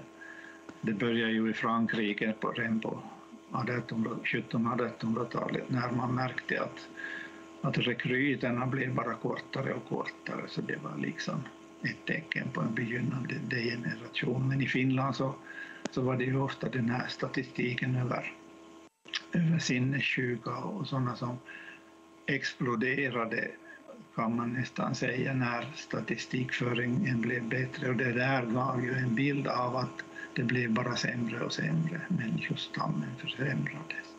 Men det var nog upplysningen som, som var det där nyckelordet här. Svarar jag på din fråga? Jo, absolut, tack. Mm. Hur är det, jag kan lite fortsätta kanske på den tråden. Vilka vägar kom han liksom i kontakt med den här Mendels ärftlighetslära och så här? Kan du säga någonting om det? No, den kom ju nog i läkartidskrifterna i första hand, i, i både den finska och den här finska läkarsällskapets tidskrift. Men sen kom det också väldigt tidigt, man skrev väldigt mycket om det här i början på 1900-talet i, i tidningarna. Och, och, det där, jag skulle säga att det var ungefär där vi, vid första, kring första världskriget som man blev verkligt intresserad av den här den här saken och det var då genom Herman Lundborg. Herman Lundborg var ju den här svenske mest kända rasbiologen i Sverige och han besökte Finland i flera repriser. Och, och det här han senast då 1921 när han höll festföredraget vid Svenska Österbottniska samfundets årsmöte i Vasa. Han blev då enligt vad källorna berättar så blev han eld och lågor när han hörde på det här Lundborg och hans teorier. Just det, så han hade alltså personlig, personlig kontakt också med Lundborg? Ja, han hade skriftlig brevväxling med honom. Jag hittar bara förstås några brev och det där det berättar inte så mycket. Han tackar närmast för det goda mottagande han hade fått och sådana saker. Ja. Men han hade i varje fall kontakt med honom. Mm. Och sen var han ju också kopplad på ett eller annat vis med, med det här med Helsingfors, där det här, vad hette han och den här som grundade, som var med i Folkhälsan. Ja, tänker du kanske på Harry Federley? Ja, precis. Han ja. hade brevkontakt med Federley och de hade, de var kompisar. Ja, det, det, var visst så att han var, han var också med och grundade den här lokala avdelningen för folkhälsan i, I Vasa. I Vasa, just det. Ja. Ja. Det, det, var ju tänkt att, att det där, enligt ett brev från, från Bundsdorf så, så det där, var det tänkt att Vasa skulle bli någon slags centralort för det här. Mm. I Österbotten. För det. Precis. Ja. Mm. Nu ska vi se, jag kastar en, en, en liten blick här på klockan och vi har ganska gott om tid. Um, hur, hur, är det, vilken möjlighet skulle du säga att, att han som läkare hade att, att påverka kommunala beslutsfattare och så här? Kunde han få sin röst hörd? Gjorde man som han föreskrev? Han kunde nog få sin röst hörd därför att läkarna hörde ju till samhällseliten och speciellt i småstäder så var ju inte eliten särskilt stor. Det var ju läkaren, det var kanske någon, någon tullförvaltare och så vidare. Och, och dessutom så hamnade läkarna väldigt ofta in i kommunalpolitiken. På samma sätt som Backman först började hamna han in i hälsovårdsnämnden. Blev så småningom ordförande. Han hamnade i, i, i det här stadsfullmäktige, blev ordförande i stadsfullmäktige. Så att eh, i den mån han fick, fick det här understödare med sig så gick det ganska lätt att få igenom radikala förändringar, men inte avfallshanteringen. Sådana saker som direkt kändes i borgarnas börs. Så det var, det var lite värre. Mm. Men det var det, genom den här politiska aktiviteten som han han nog hade ett genomslag. Han blev senare aktiv också inom Svenska, Svenska Folkpartiet. Ordförande för lokalavdelningen och för distriktet och så vidare. Mm. Ja, hur är det du, du berättade också att hans, att hans fru också var läkare, en av de här första kvinnliga läkarna i, i Finland. Hur, hur liksom såg deras samarbete ut, eller hade de samarbete? No, det, det, här, det sägs i skrifterna att de, de var så engagerade i det här läkarverksamheten att de, de, vid frukosten hade ett visst sjukdomsfall, vid middagen så behandlade vi något arm och magplågor och sen på kvällen någonting annat. De var, det var helt, helt, vad ska vi säga, upptagna av läkargärningen från morgon till kväll. Och det märks också i, i, i några av hans föredrag att han, hans andningshål var studieresorna till Tyskland i första hand, men också till Sverige och Danmark. Mm. Då, fick han, då kunde han delta och besöka operan, då kunde han betrakt, gå med eller besöka konstutställningar och sånt som han egentligen inte hade möjlighet till i Österbotten. Mm. Är det med Hanna eller Eva där? Kanske ni ännu har någon fråga eller ska vi börja avsluta och gå vidare till nästa föredrag? Ingen som just nu piper till så vi får kanske tacka dig Henry för det här, det var intressant. Och nu ska vi... tar jag bort mikrofon och kamera. Just det, tack. Då ska vi gå vidare till, till vårt tredje och sista föredrag i den här sessionen och då kommer vi till filosofie doktor Hanna Lindberg som är forskardoktor vid Tammerfors universitet. Ehm, Hanna har, har diskuterat 2014 vid Åbo Akademi med en avhandling som handlar om Heikki Varis och um, betydelsen av kön i vetenskaplig socialpolitik under 30 till 70-talet. Och just nu så Eh, är du då aktiv i Tammerfors och håller på och forskar kring eh, finlandssvenska döva. Och Hannas föredrag idag heter då Från sinneshandikapp till språklig minoritet, finlandssvenska döva under andra hälften av 1900-talet. Så varsågod Hanna, du får fortsätta. Ja, tack Julia. Jag ska öppna min presentation. Så, ser ni och hör ni mig? Jo, alldeles bra. Och ni ser? Vi ser också, ja. Ja, bra. Ja, tack för den här presentationen. Um, som Julia berättade så är jag alltså för tillfället forskardoktor vid uh, Tammerfors universitet, närmare bestämt vid spetsforskningsenheten för um, erfarenhetshistoria. Och det projekt som jag för tillfället arbetar med så är finansierat av Finlands akademi och behandlar finlandssvenska dövas minoritetsformation och arbete för rättigheter under andra hälften av 1900-talet. Och det är också då utgående från finlandssvenska döva som jag i det här föredraget eh, kommer att diskutera den här sessionens huvudteman eh, lite närmare. Äh, men jag kommer egentligen inte att fokusera speciellt mycket på första delen av äh, det här sessionsnamnet, äh, alltså hälsa. För funktionsnedsättning så är ju inte samma sak som dålig hälsa.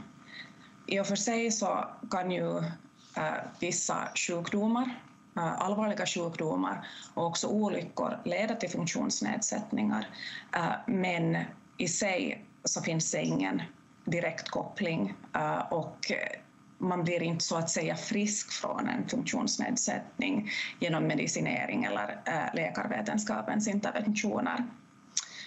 Däremot så är det här andra ledet i rubriken Ett gott liv av stort intresse eller väldigt relevant när vi tänker på dövas historia. Och man kan Ehm, med fog fundera på, genom att fokusera på dövas historia och speciellt då på finlandssvenska döva, vilka faktorer som bidrar till ett gott liv Och kanske framför allt, vem har rätt att definiera vad som är ett gott liv? Och vad är vägen till ett gott liv? Eh, som sagt så, så fokuserar jag då på finlandssvenska döva för att det är eh, finlandssvenska döva som jag forskar om, men mycket av det som jag berättar idag så är gemensamt för eh, också finska döva såklart, men också döva i många andra västerländska länder för att den här historiska utvecklingen har varit väldigt snarlik mellan uh, olika västerländska länder, även om uh, kan, samma sak har hänt under lite olika tider. Men före jag då går närmare in på att diskutera de här frågorna eh, så vill jag presentera eh, det finlandssvenska dövsamfundet lite närmare. Eh, även om naturligtvis döva personer alltid har funnits så kan man säga att döva som en social gemenskap eller dövsamfund så, så att säga föds Eh, i samband med att dövundervisningen introducerades eh, under slutet av 1700-talet och början av 1800-talet runt om i Europa. Genom att eh, samla döva barn som bodde då utspridda runt om i ett land till dövskolor så uppstod ett gemensamt språk, det vill säga teckenspråket och eh, en egen kultur och en egen identitet i anslutning till det här språket. I Finland så skedde det här uh, från och med 1846 då den första dövskolan i Finland grundades i Borgo och grundaren var en ung döv man som hette Carl-Oskar Malm. Och han hade då fått sin egen utbildning vid Manilla-institutet i Stockholm och förde med sig till Finland uh, idén om dövundervisning och också det svenska teckenspråket som sen utvecklades vidare uh, i Finland till, till två egna språk. Uh, år 1892 så delades dövskolorna i Finland på språklig grund och skolorna i Borgo och Jakobstad så blev svenskspråkiga skolor. Uh, före det hade alltså finska och uh, finskspråkiga och svenskspråkiga döva uh, undervisats i samma skolor. Men efter den här delningen så började sen då ett finlandssvenskt dövsamfund uppkomma eller utvecklas i anslutning till, till de här två skolorna. Och även om det här samfundet då har varit väldigt litet, eh, cirka 90 till 200 döva personer om vi ser på under loppet av eh, 1900-talet och också eh, deras familjemedlemmar, så utvecklades då under loppet av 1900-talet både en egen varietet av det finska teckenspråket som idag räknas som ett eget språk, nämligen det finlandssvenska teckenspråket. Och uh, en egen minoritet. Uh, när vi går sen mera mot slutet av 1900-talet, som jag om en stund pratar mer om, så börjar de finlandssvenska döva se sig själv också betraktas av andra som en minoritet eller som en minoritet inom minoriteten som då lever i skärningspunkten mellan dövhet och finlandssvenskhet. Men för att då gå lite tillbaka till den här frågan om ett gott liv så kan vi se under 1900-talet två motstridiga sätt att definiera vad som är ett gott liv för döva personer.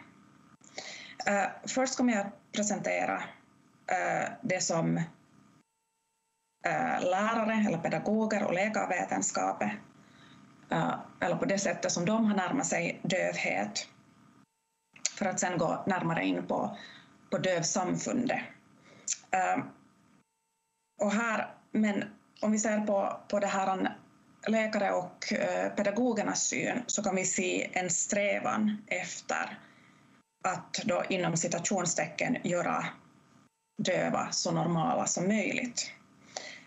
Samtidigt som dövskolorna då delades på språklig grund år 1892 så infördes även oralismen eller äh, talmetoden som den äh, dominerande undervisningsmetoden i dövskolorna.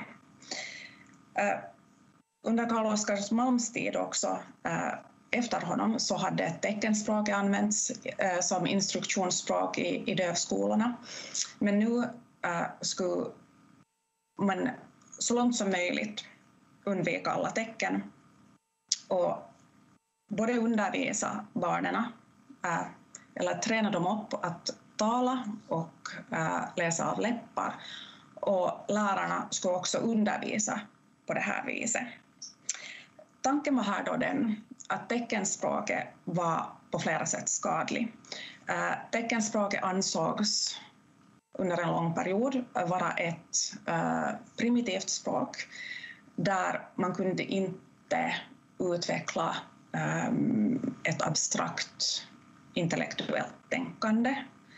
Eh, och dessutom så var teckenspråket ett ett väg mot en isolering av döva eftersom de genom, endast genom talet Eh, kunde bli fullvärdiga samhällsmedborgare och, och på det här viset också i princip göra sin dövhet äh, betydelselös. Den här synen på, äh, eller den här orala äh, metoden äh, så innebar att det gjordes en, en gradering av döva barnen i skolorna. De som var förmögna att lära sig tala och de som saknar den här förmågan. Eh, och I början så skickades då de här barnen eh, till olika skolor. Eh, de som inte klarade av talmetoden så fick gå sen i, i så kallade skrivskolor. Eh, den här synen på på döva eller den här oralismen som var som starkast under början av Äh, 1900-talet eller under första hälften av 1900-talet. Men som jag snart kommer att komma närmare in på så levde den också ganska länge kvar också efter det. Äh, ett annat sätt som just det här integreringen av döva i det hörande samhället förstärktes genom så var genom audiologins utveckling under um, efterkrigstiden, 40, 50, 60-talen. Här blev det då viktigt att, äh, att äh, utforska i vilken mån döva och hörselskadade barn hade kvar hörselrester och om de genom utvecklingen av den tekniska apparaturen och framförallt äh, hörapparaten kunde tränas upp att höra. Här satt alltså, sattes alltså tilltron till tekniken eh, och, eh, och genom tekniken och den tekniska utvecklingen skulle döva integreras i samhället. Och som sagt, eh, just med oralismen så var den här då synen på, på att döva skulle integreras i det hörande samhället som allra starkast under första hälften av 1900-talet. Eh, men även om jag snart kommer att gå in på en annan syn på vad som gör ett gott liv för, för döva, eh, så försvann inte den här synen heller någonstans under andra hälften av 1900-talet. Också speciellt den tekniska utvecklingen fortsatte eh, framåt och från slutet av 1900-talet så började döva barn erbjudas, eller familjer med döva barn erbjudas cochlea-implantat Eh, som då eh, gjorde att döva barn kunde höra i alla fall någonting. Men om då det hörande samhällets strävan var att integrera döva eh, genom tal, läppavläsning och att träna upp hörselröster så framkom en helt annan syn inom det döva samfundet själv. Som jag sa så uppkom då eh, dövsamfunden i samband med skolorna. Eh, men samfundet så levde också väldigt starkt genom de många dövföreningarna som började grundas i slutet av 1800-talet och genom hela 1900-talet. Och i de här dövföreningarna så levde teckenspråket starkt vidare trots oralismen.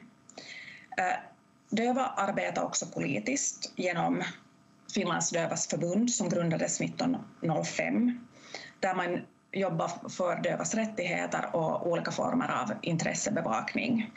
Eh, en sak som man kämpade för på 50-talet till exempel var att det här begreppet dövstum skulle tas bort från officiella sammanhang.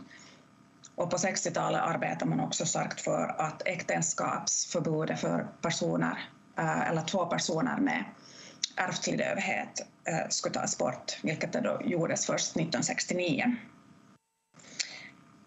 Men 60-talet och ännu mera 70 och 80-talet så var avgörande för en ny syn på döva som social gemenskap. Eh, på 60 och 70-talet så visade nämligen lingvister eh, i bland annat USA och Sverige att teckenspråken var på inga sätt primitiva språk utan de var fullvärdiga med talade och de hade en helt egen grammatik. Det var alltså inte heller så att teckenspråk var att bara lägga till tecken på ett talat språk. Samtidigt som den här utvecklingen skedde inom språkvetenskapen så började också olika grupper som på grund av ras, kön eller etnicitet upplevt diskriminering att kräva lika rättigheter. Och I det här klimatet så uppkom också en så kallad dövmedvetenhetsrörelse. I Amerika så kallades den här också Deaf Pride. Och det var också i Amerika som det här först började vid Gallaudet College ehm, i början av 70-talet. Eh, Gallaudet College var alltså en college för eh, döva och hörselskadade. Eh, enligt den här dövmedvetenhetsrörelsen så, så skulle döva för det första medvetandegöras om sina rättigheter för att på det här viset kunna stiga fram och vara med i sånt beslutsfattande som gällde dem. Och det här kunde endast ske om eh, teckenspråket accepterades som dövas modersmål och döva som grupp accepterades som en språklig minoritet. Eh, alltså inte i första hand som en um, grupp med en funktionsnedsättning eller handikapp. Eh, eftersom enligt den här dövmedvetenhetsrörelsen var stämplingen av döva som handikappade problematiskt eftersom handikapp var alltid funktion, äh, situationsbundet. Äh, en döv som var i sällskap av andra döva hade inga så kallade funktionshinder eller funktionsnedsättningar eftersom kommunikationen där löpte helt äh, problemfritt på teckenspråk. Äh, dessutom fanns det inget annat som gjorde döva funktionsnedsatta eller funktionshindrade. Om däremot en hörande kom in i ett sällskap med bara döva så var ju den funktionshindrad eftersom den inte kunde kommunicera på teckenspråk. Så ifall teckenspråket erkändes som ett fullvärdigt språk och det dövas modersmål så fanns det inga egentliga hinder för eh, döva att, att det här eh, var på lika nivå som hörande.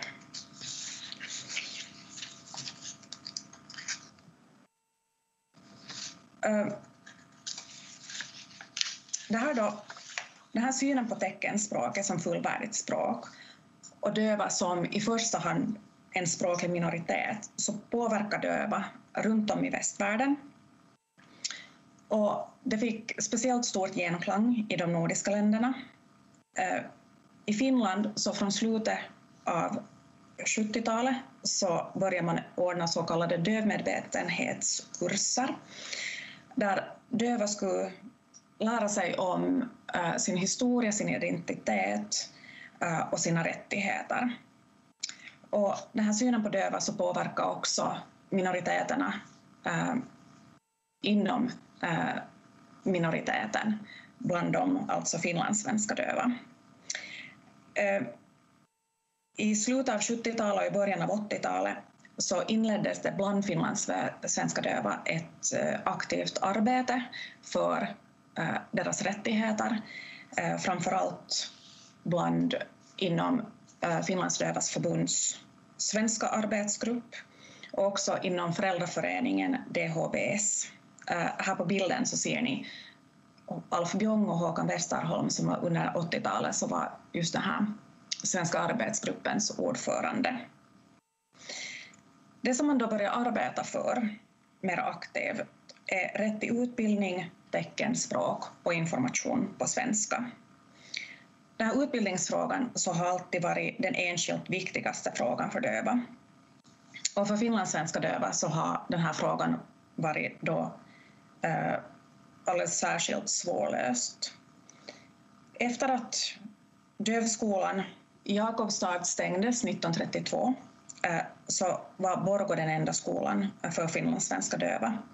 Och också den här skolan som var vid upprepade tillfällen under 1900-talet eh, indragningshotad på grund av eh, elevbrist. Dessutom så fanns det förutom några år på 50-talet ingen yrkesutbildning eller gymnasieutbildning för finlandssvenska döva. Och från, speciellt från 60-talet framåt så blev det allt vanligare då att finlandssvenska döva sökte sig till Sverige för att få utbildning och eh, många stannade kvar i Sverige. Så vi kan se under senare delen av 1900-talet hur det här finlandssvenska dövsamfundet sakta men säkert förflyttar sig från Finland till Sverige. Eh, men det var då inte bara den här existensen av en skola som skulle tryggas, utan även den här kvaliteten på undervisningen inom skolans väggar. Eh, de finlandssvenska döva skulle alltså ha rätt till samma möjligheter som eh, finska döva. Det vill säga material, god utrustning eh, och framförallt undervisning på sitt modersmål, det vill säga teckenspråket. Och även om då den rent orala metoden eh, så börjar överges där vid slutet av 60-talet, början av 70-talet och teckenspråket börjar sakta men säkert komma in, så väcktes det hemskt stor kritik mot lärarna vid dövskolorna för att deras teckenspråkskunskaper inte var eh, tillräckligt goda för att kunna lära ut på det här språket, på ett språk som, som det här eh, som de var då dövas modersmål. Eh, så på det här viset så blev döva, ehm, döva fortfarande diskriminerade på grund av att de inte fick undervisning på sitt modersmål.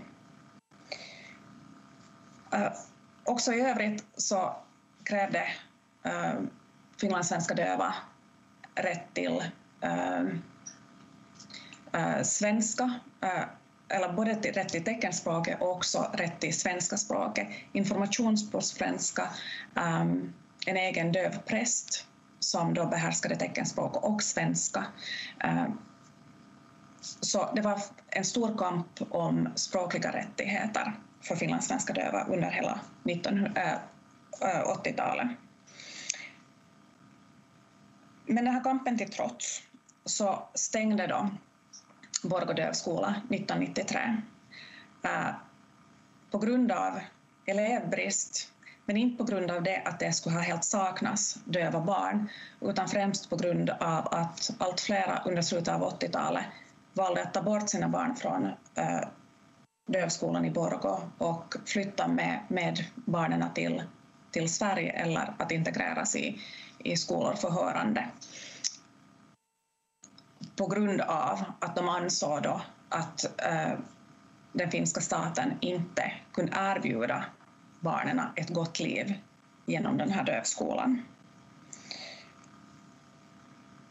Eh, den situation som då sen uppkom Äh, i slut, riktigt i slutet av 1900-talet är det i princip att det finlandssvenska dövsamfundet har förflyttats äh, till Sverige. Men när vi går in på 2000-talet så fortsätter det här arbetet för finlandssvenska döva också i Finland och då mera fokus på att det finlandssvenska teckenspråket äh, är ett eget språk och det bör revitaliseras för att det hotar att dö ut. Så också idag, så trots att den här gruppen är väldigt liten, så finns ett aktivt arbete för att eh, finlandssvenska döva ska få, få eh, eh tillgång till språk och eh, rättigheter på, på det, här, det finlandssvenska teckenspråket. Men före jag avslutar så vill jag gå tillbaka till den här frågan, vad är ett gott liv? Om vi tänker på de här två olika synerna som jag har presenterat, alltså det hörande samhällets syn på att eh, döva ska uppnå ett gott liv genom eh, att leva, eh, integreras i det hörande samhället och på det här viset leva ett så normalt liv som möjligt. Så uppkommer frågan när man ser igen på, på dövas perspektiv i historien, att hur definieras ett normalt liv? Eller hur definieras normalitet? Vem får bestämma vad är normalt och vad är inte.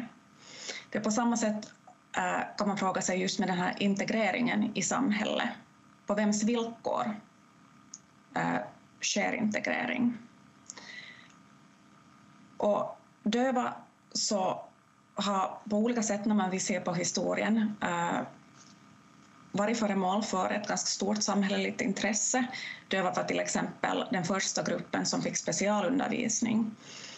Eh, men i vilken mån har då döva själva hörts i frågor eh, som gäller dem.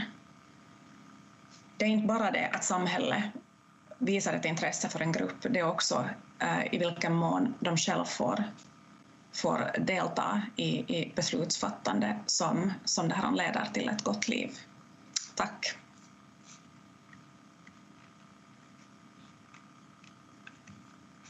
Tack Hanna. Jag måste har jag det här an. Får se. Dela, dela, dela. Är den borta nu, den här skärmen? Ja, ja, ja bra. Jag börjar visserligen själv lite dubbelt, men hur är det där i din ända? Nej, det, det ser nog bra ut. Okej, okay, bra. Ja, men, Eh, jag var väldigt glad för att du tog upp den här rubriken Hälsa och ett gott liv. Um, för det var kanske det som också på något sätt var, var en sån här tanke uh, när vi satte ihop den här sessionen, att, att de här föredragen alla på sätt och vis den, den liksom tangerar den här eh, diskussionen om att vad, vad är hälsa och vad är ett gott liv. Ehm, på, på, olika sätt. Det här är ju någonting som har förändrats under, ska vi säga, förstås längre tillbaka i tiden, men, men också under 1900-talet. Um, ehm, och, och, och, jag tänkte till exempel på den här Världshälsoorganisationen WHO som nu har varit framme väldigt mycket här i pandemitiderna som, som grundades 1946 är det visst. Um, och som då i sin den här eh, grundläggande deklarationen då uh, också definiera hälsa på ett, på ett sätt som, som har liksom citerats väldigt många gånger senare när man då skrev att hälsa är ett tillstånd av fullständigt fysiskt, psykiskt och socialt välmående och inte bara en sån här frånvaro av, av sjukdom eller funktionsnedsättning. Och det här är, har man ju sen lite kanske fått på så vis revidera att, att vad är nu sen en fullständigt fysiskt välmående eller ett fullständigt mm. psykiskt välmående, men i alla fall att, att det liksom är, är så mycket mer än den här, eh, de här kroppsliga aspekterna och, och en sån här frånvaro av, av sjukdom. Och det här är ju då liksom 1946. Mm. Och sen började på något sätt kanske den här synen då sippra över och få ett mer och mer um, blivit mera etablerad just under, under följande årtionden? När skulle du säga att det liksom börjar märkas just i den här dövsamfundet och i den diskussionen som man för där? Är det just det här 50-60-talet ungefär eller? Alltså det här, om du tänker på vad du syftar på, alltså just hur Just den här definitionen av vad, vad hälsa är och att det är inte bara en sån här frånvaro av, av sjukdom eller funktionsnedsättningar. Um, det här... Uh, inom döv, om vi ser på då just perspektivet från döva själva, uh, så, så är, är framförallt 70-talet eh, den viktiga Eh, det viktiga årtionde. Eh, 80-talet kanske mera eh, sen när vi kommer in på, på finlandssvenska döva och, och Norden. Men där är det inte...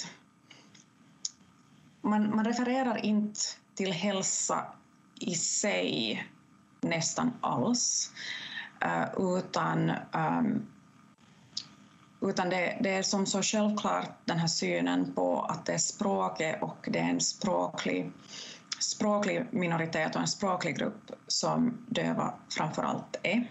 Och i och för sig, det finns då um, det finns uh, för, för barn så finns det ju då habiliteringsverksamhet, det finns uh, just med, när man ska mäta med, med det här um, med Eh, just de här hörselresterna när ett dött barn föds, så, så, det här, eh, så gör man det vid vid eh, olika sjukhus. Men inom, inom det här, det här intressebevakningsområdet bland döva själv så är inte det här någonting som man fokuserar på.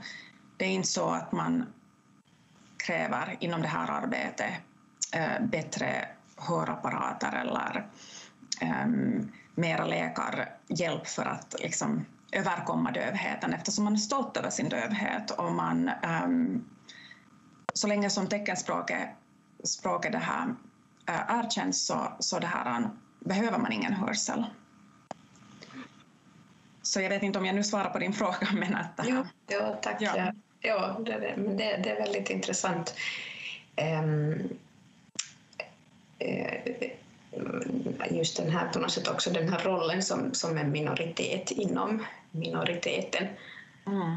Och, och, så här. Um, nu börjar jag, jag börjar titta på klockan här, att det börjar bli så mycket att, att vi ska kanske börja avsluta så småningom. Um, men, men jag får säkert säga tack till dig, Anna. Tack. Och tack till alla er som har, har lyssnat. Jag har sett här på min skärm, som jag har följt med ett öga, att, ni har varit rätt så många och det är ju väldigt glädjande eh, för oss. Och nu hoppas jag att, att ni eh, fortsätter här med oss hela eftermiddagen. Nästa mm, session börjar klockan ett, så nu har vi en liten Eh, 15 minuters paus här så att man hinner, hinner kanske äta någonting eller, eller gå på toaletten eller någonting annat. Och, och klockan ett så, så fortsätter vi med en, en session på finska om det gröna guldets land, Vihreä Gullan maa. Eh, men för Historiska föreningens del så, så vill jag tacka er allesammans och, och jag hoppas att vi ses igen så småningom. Tack.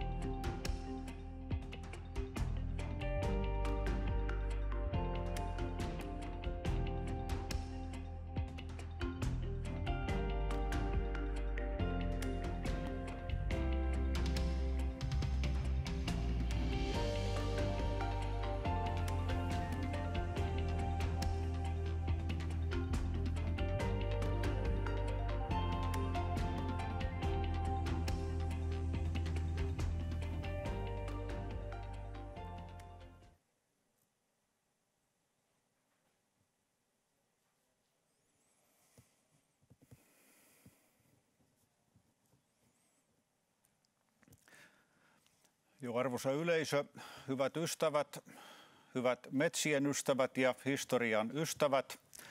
On suuri kunnia olla avaamassa, aloittamassa jaksoa, joka käsittelee suomalaisia metsiä. Vaikea kuvitella tai ajatella Suomea ilman metsiänsä hyvinvointina tai ympäristönä. Ja on moneen kertaan kuultu tämä sana vihreän kullan maa, se pitää paikkansa. Mietin kultaa, se on raaka-aine, arvokas raaka-aine, aine sinänsä, mukava katsella, se on kauneutta ja se on vaihdannan väline.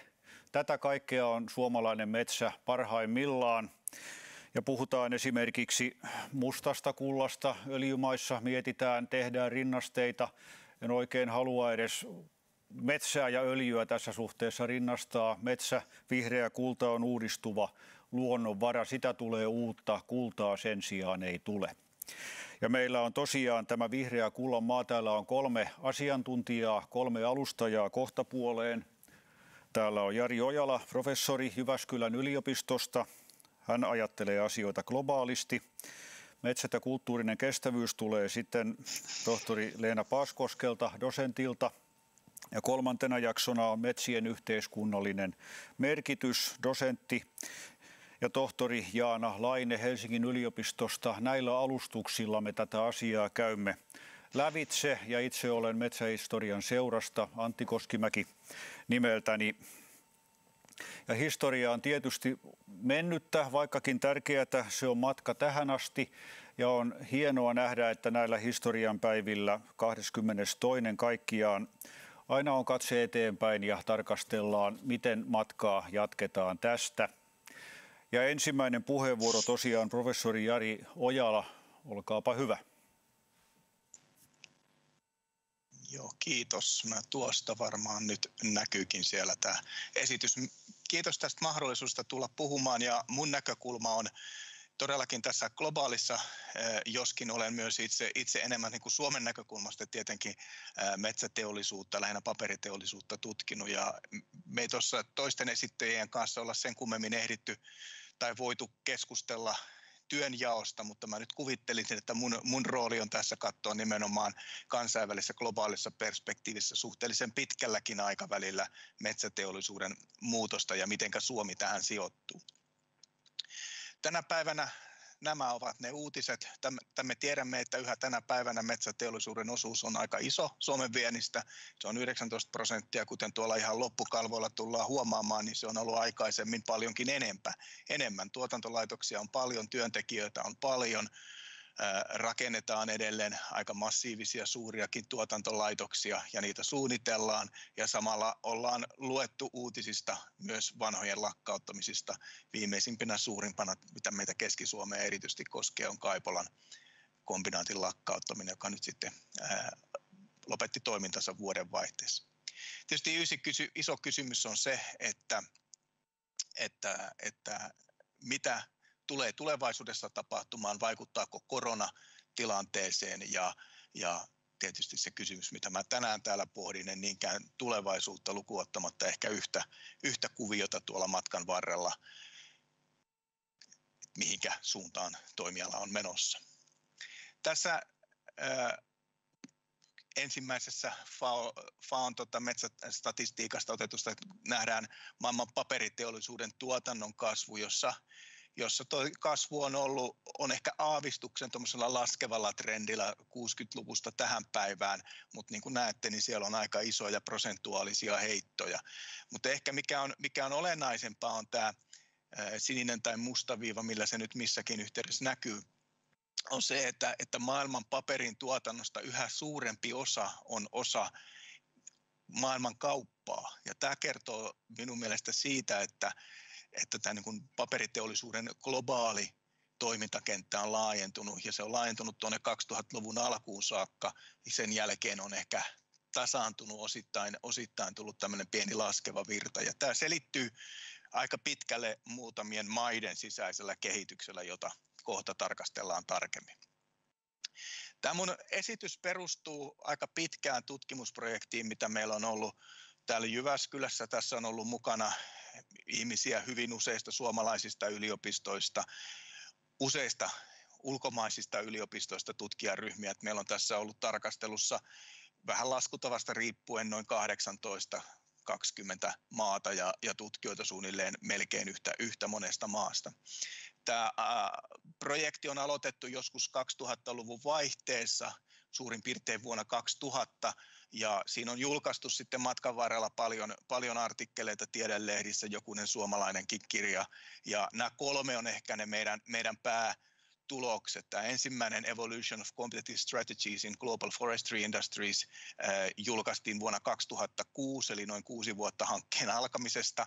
Ja tässä käydään suurimpien paperiteollisuusyhtiöiden strategia, strategista kehittymistä läpi äh, oikeastaan 1900-luvun aikana osittain mennään 1800-luvullekin ja 2000-luvulle tietysti kanssa. Lähinnä Pohjoismaat, Pohjois-Amerikka on tässä kohteena. Tätä seurasi sitten vuonna 2012 kirja Evolution of a Global Paper Industry 1850, joka on, joka on enemmän sitten tämmöinen niin kuin makro talousnäkökulmainen, mikä on ollut paperin tuotanto, mikä on ollut paperin kulutus, minkälaisia paperituotteita on eri maissa ollut, ollut mukana. Ja tämä on, tämä on, tässä tämä fokus on hyvin globaalia. Tässä meillä on tarkastuksessa, tarkastelussa 18 maata, keskeisintä paperin tuotantomaata. Ja sitten viimeisin on, on, on tämä, tota, tuo on siis vuonna 12. Sitten vuonna 18 äh, tuli Technological Transformation in Global äh, Pulp and Paper Industry. Mä en ole enää tässä, tässä itse toimittajana, mutta on, on toki mukana kirjoittajana, mutta tässä, tässä tota, käytännössä sama, sama kansainvälinen tutkimusryhmä on asialla.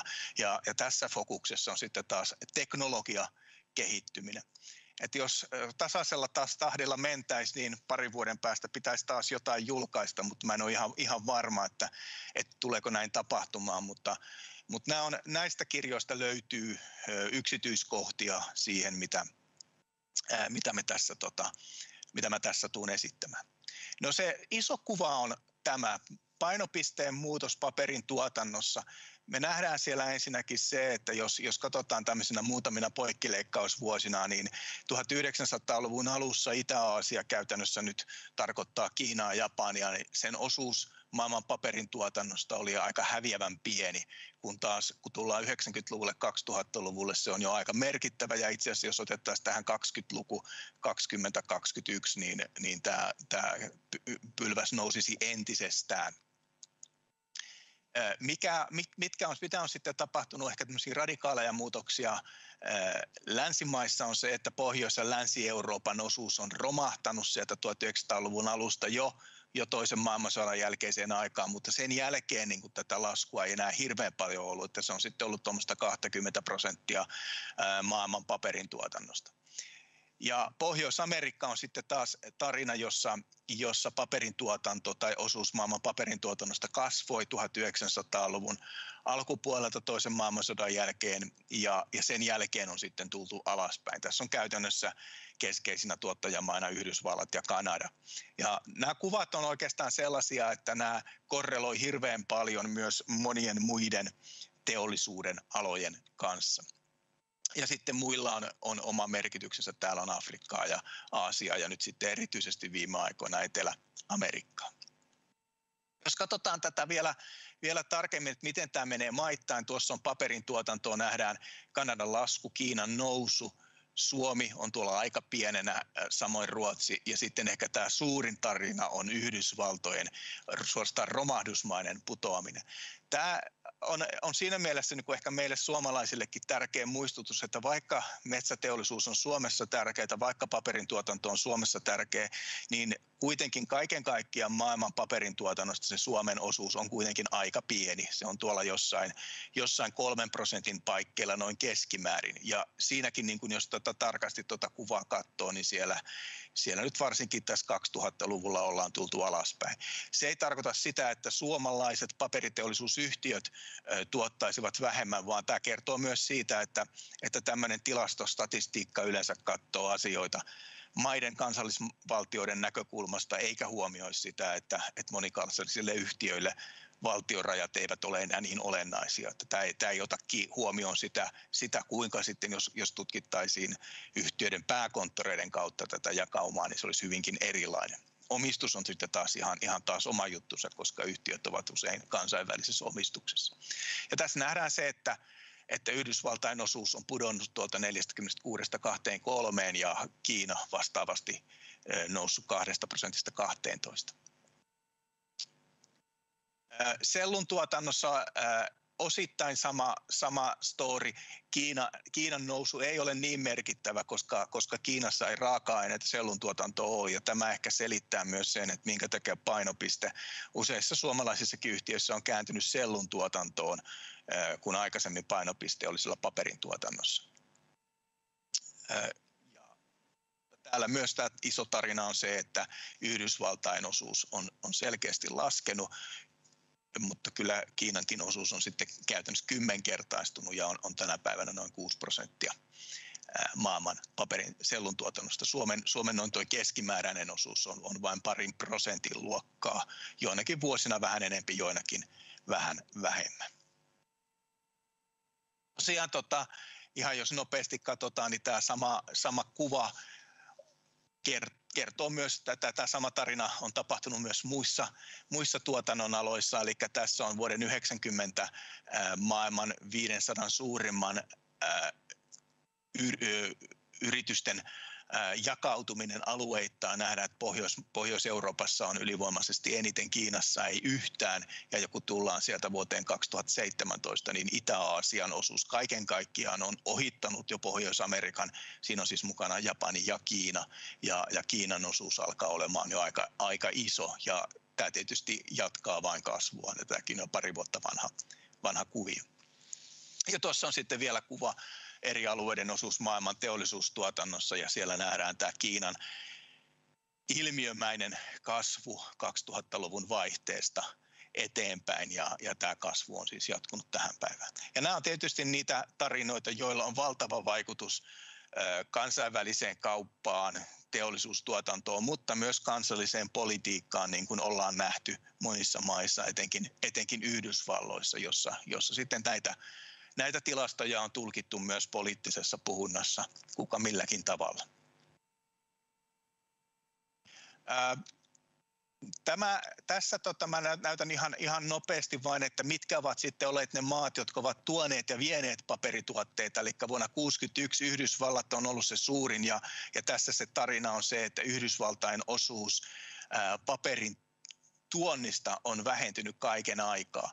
Ja samaan aikaan vuonna 1961 ylivoimaisesti suurin vientimaa oli Kanada, eli tässä on ilmiö se, että Kanadasta on viety paperia Yhdysvaltoihin ja Kanadan osuus on sitten taas laskenut kaiken aikaa.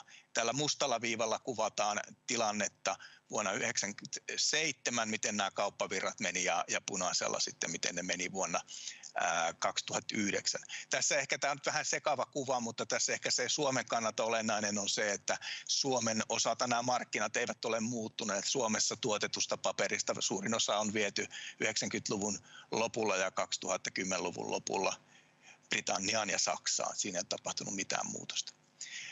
Sellun kauppavirroissa taas Yhdysvallat oli tärkein vuonna 1961 Eh, ja, ja edelleen 81 ei hirveän suurta muutosta. Sitten 2001 ja Kiina alkaa nouseen tosi nopeasti ja kun tullaan 2012, niin Kiina on ylivoimaisesti suurin sellua tuova maa, mikä kertoo siitä, että, että Kiinan oma paperiteollisuus on kasvanut todella nopeasti tässä ihan, ihan kymmenessä vuodessa 2001-2012 taas jos katsotaan tämä vientilukuja, vuonna 1961 Ruotsi oli merkittävin eh, sellunviejä näistä suurimmista maista. 81 tämä Kanada on, on noussut tämä Yhdysvaltain sellun tuotantoon, se Yhdysvaltaihin suuntautuvaan sellun viennin, viennin ansiosta. Ja, ja niin kuin näette, niin tässä kuviossa ehkä se olennaisin on tuo, tai kiinnostavimpia on esimerkiksi tuo Ruotsin ää, viennin hyvin voimakas lasku oikeastaan myös Suomen. Suomessahan oli, oli tota, yrityksillä tämmöinen strateginen tavoite metsän jalostusarvon kasvattaminen, jolloin sellun vientiä sinänsä vähennettiin ja, ja siirryttiin paperin tuotantoon ja paperin tuotannossa vielä korkeimpien jalostusasteiden tuottamiseen, mikä tarkoitti, että 60-luvulta tuonne 90-luvun loppuun rakennettiin hurjan paljon uutta paperiteollisuuskapasiteettia, mutta uusia paperikoneita ei Suomessa ole vuoden 1998 jälkeen rakennettu, mikä on, mikä on aika, aika hurja juttu, nimittäin vuoden 18, vuosina 1860 vuoteen 1998 miltei joka vuosi vähintään yksi paperikone Suomessa on rakennettu. Suomala- Suomeen, suoma- suomalaiseen tuotantoon. Toki paperikoneita täällä edelleen rakennetaan, mutta niitä viedään, viedään maailmalle. Mä en noihin kauppavirtoihin tässä sen kummemmin puutu. OECD-maissa paperiteollisuus on ollut, ollut itse asiassa aika tärkeä. Vuonna 2050 paperitehtaita oli pari tuhatta, ne työllisti 420 000 henkeä, mutta tämä iso tarina on ollut, että paperiyhtiöiden lukumäärä on vähentynyt, tuotantolaitoksia on suljettu, maat, paperiteollisuus on keskittynyt globaalisti, sata suurinta yhtiötä tuotti 70-luvun alussa kolmanneksen maailman paperin tuotannosta vuonna 1985 jo puolet ja tänä päivänä se määrä on vielä isompi. Ja eri maiden valtiot on sitten eri tavoin tukeneet paperiteollisuutta. Mulla on tuossa yksi, yksi kuva siitä, mutta mä oikeastaan hyppään tämän yli, että päästään sitten katsomaan tätä, mitenkä, mitenkä sitten tota, tämä yrityskanta on itse asiassa muuttunut äh, globaalisti. Et ensinnäkin, jos katsotaan tota, äh, metsäteollisuutta jälleen tämmöisenä pitkänä pitkällä aikaperspektiivillä tuossa muutamista tuommoista poikkileikkausvuosista vuodet, vuodet 1910, 1950, 74 ja 2000, niin täällä se iso, iso kuva tuolla yhteensä sarakkeessa on, että vuonna 1910 paperiteollisuusyhtiöitä oli 4000, yli 4000, kun vuonna 2000 niitä oli 17, 1771 ja tänä päivänä vielä vähemmän. Eli lukumäärä on puolittunut tuossa vajaassa sadassa vuodessa. Ja tämä toki tarkoittaa sitä, että tuolta on hirveän paljon pieniä toimijoita poistunut markkinoilta. Euroopassa yritysten määrästä on pudonnut, pudonnut tota, tai on jäänyt jäljelle, jäljelle vain neljännes yrityksistä, eli lähes 3700 ja Pohjois-Amerikassa 900-300 yritystä on säilynyt tuonne vuoteen 2000 asti. Ja tämä, tämä prosessi on sitten toki vain jatkunut tästä eteenpäin. Ja jos katsotaan vuoden 79 100 paperiteollisuusyhtiötä, jota me ollaan tässä viime aikoina erityisesti seurattu, niin näistä yrityksistä vain 37 on tänä päivänä elossa lainausmerkeissä siinä mielessä, että ne ovat samalla nimellä ja tuottavat paperiteollisuustuotteita. Sinänsä se, se, että näitä yrityksiä on poistunut markkinoilta ei tarkoita, että ne olisivat kokonaan kuolleet, vaan suurin osa niistä on fuusioitu tai ostettu osaksi näitä toimivia yhtiöitä ja vain pari on käytännössä ajautunut konkurssiin. Ja tämä on nyt ehkä se, niin kuin se iso kuva, mitä yritystasolla on tapahtunut. On siis valtavaa keskittymistä ja keskitekehitystä ja, ja siihen liittyvää globalisaatiota. Ja se suuri, suuri muutos on se, että Pitkällä aikavälillä paperin kulutuksen ja bruttokansantuotteen kasvun välillä on ollut selvä korrelaatio. Tässä kuviossa näkyy tämä korrelaatio selkeästi. Yhdysvaltojen osalta Yhdysvalloissa tämä korrelaatio katkesi tuolla joskus 90-luvulla ja Euroopassa se on katkenut 2000-luvulla ja Kiinassa se ei ihan vielä ole edes katkenut, mutta tulee katkeamaan. Ja tämä tarkoittaa sitä, että paperin kulutus, tulevaisuusennuste ei lupaa hyvää, hyvää tälle teollisuudelle, joka näkyy tässä, tässä alemmassa kuvassa. Euroopassa, Pohjois-Amerikassa, Etelä-Amerikassa, Afrikassa ei ole merkittävää kasvua, Aasiassa sen sijaan on. Ja tämä kulutuksen tai tämän tota, kulutuksen ennusteet perustuu väestön määrään, bruttokansantuotteen ennustuksiin ja, ja väestön ikääntymiseen liittyviin laskelmiin Suomen paperiteollisuus, jos tullaan tähän loppu, loppusanoihin, on siis kiinnittynyt 1600-luvulta asti kansainvälisiin markkinoihin. Oli se sitten tervaa tai sahatavaraa, niin kuin tuossa ylemmässä kuvassa, ja siellä nähdään, että, että sahatavara ohitti tervan Suomen tärkeimpänä vientituotteena 1830-luvulla ja säilytti tämän asemassa 1950-luvulla, jolloin sellu nousi Suomen tärkeimmäksi tuontituotteeksi noin kymmeneksi vuodeksi, jolloin se, jonka jälkeen sen ohitti paperia sitten sen jälkeen nyt on, on jälleen niin kuin sellu nousemassa käskeisemmäksi vientituotteeksi. Ja tuossa alemmassa nähdään, että 50-luvulla Suomen viennistä metsäteollisuuden osuus oli jopa yli 80 prosenttia ja sieltä ollaan tultu selkeästi alaspäin. Ja mikä tässä nyt on se suurempi murros on se, että että vaikka, vaikka vienti on ollut aina kansainvälistä, niin nyt myös tuotanto on kansainvälistä, eli suomalaiset paperiteollisuusyhtiöt toimivat globaaleilla markkinoilla, ovat osa, osa globaaleja monikansallisia yritysryppäitä. Ja tässä tota, on kysymys siitä, että kilpailuetu on muuttunut ne alueet, joilla on suuri markkinapotentiaali, väestötalouskasvu, ne, ne ovat voittajia ja häviäjät ovat sellaisia alueita, joissa kysyntä on saturoitunut eikä, eikä tehdä enää investointeja tuotantokapasiteettiin. Onko sitten Suomi tällainen alue, kysynnän kannaltahan Suome, Suomen omat markkinat ei ole sillä tavalla ollut erityisen merkittävät missään vaiheessa metsäteollisuudelle, vaan se kysyntä on ollut tässä lähialueella ja investointeja toki tuotantokapasiteetti edelleen tehdään. Ja tässä globaalissa markkinassa monikansalliset yritykset hyödyntää niitä alueellisia suhteellisia etuja, eli viedään tuotantoa sinne, missä se on edullisinta. Ja niin kauan kuin kuljetuskustannukset ovat niin alhaiset kuin ne tänä päivänä on, niin, niin kauan ää, nämä kansainväliset tuotantoketjut, ne voi toimia tehokkaasti. Kiitos.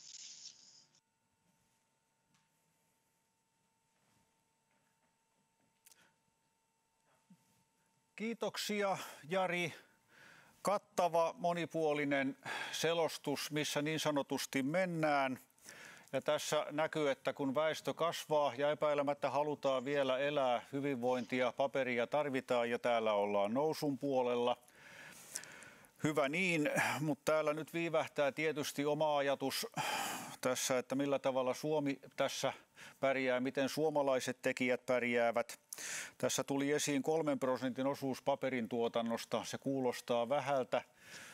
Se on noin joka kolmaskymmenes yksikkö tulee Suomesta.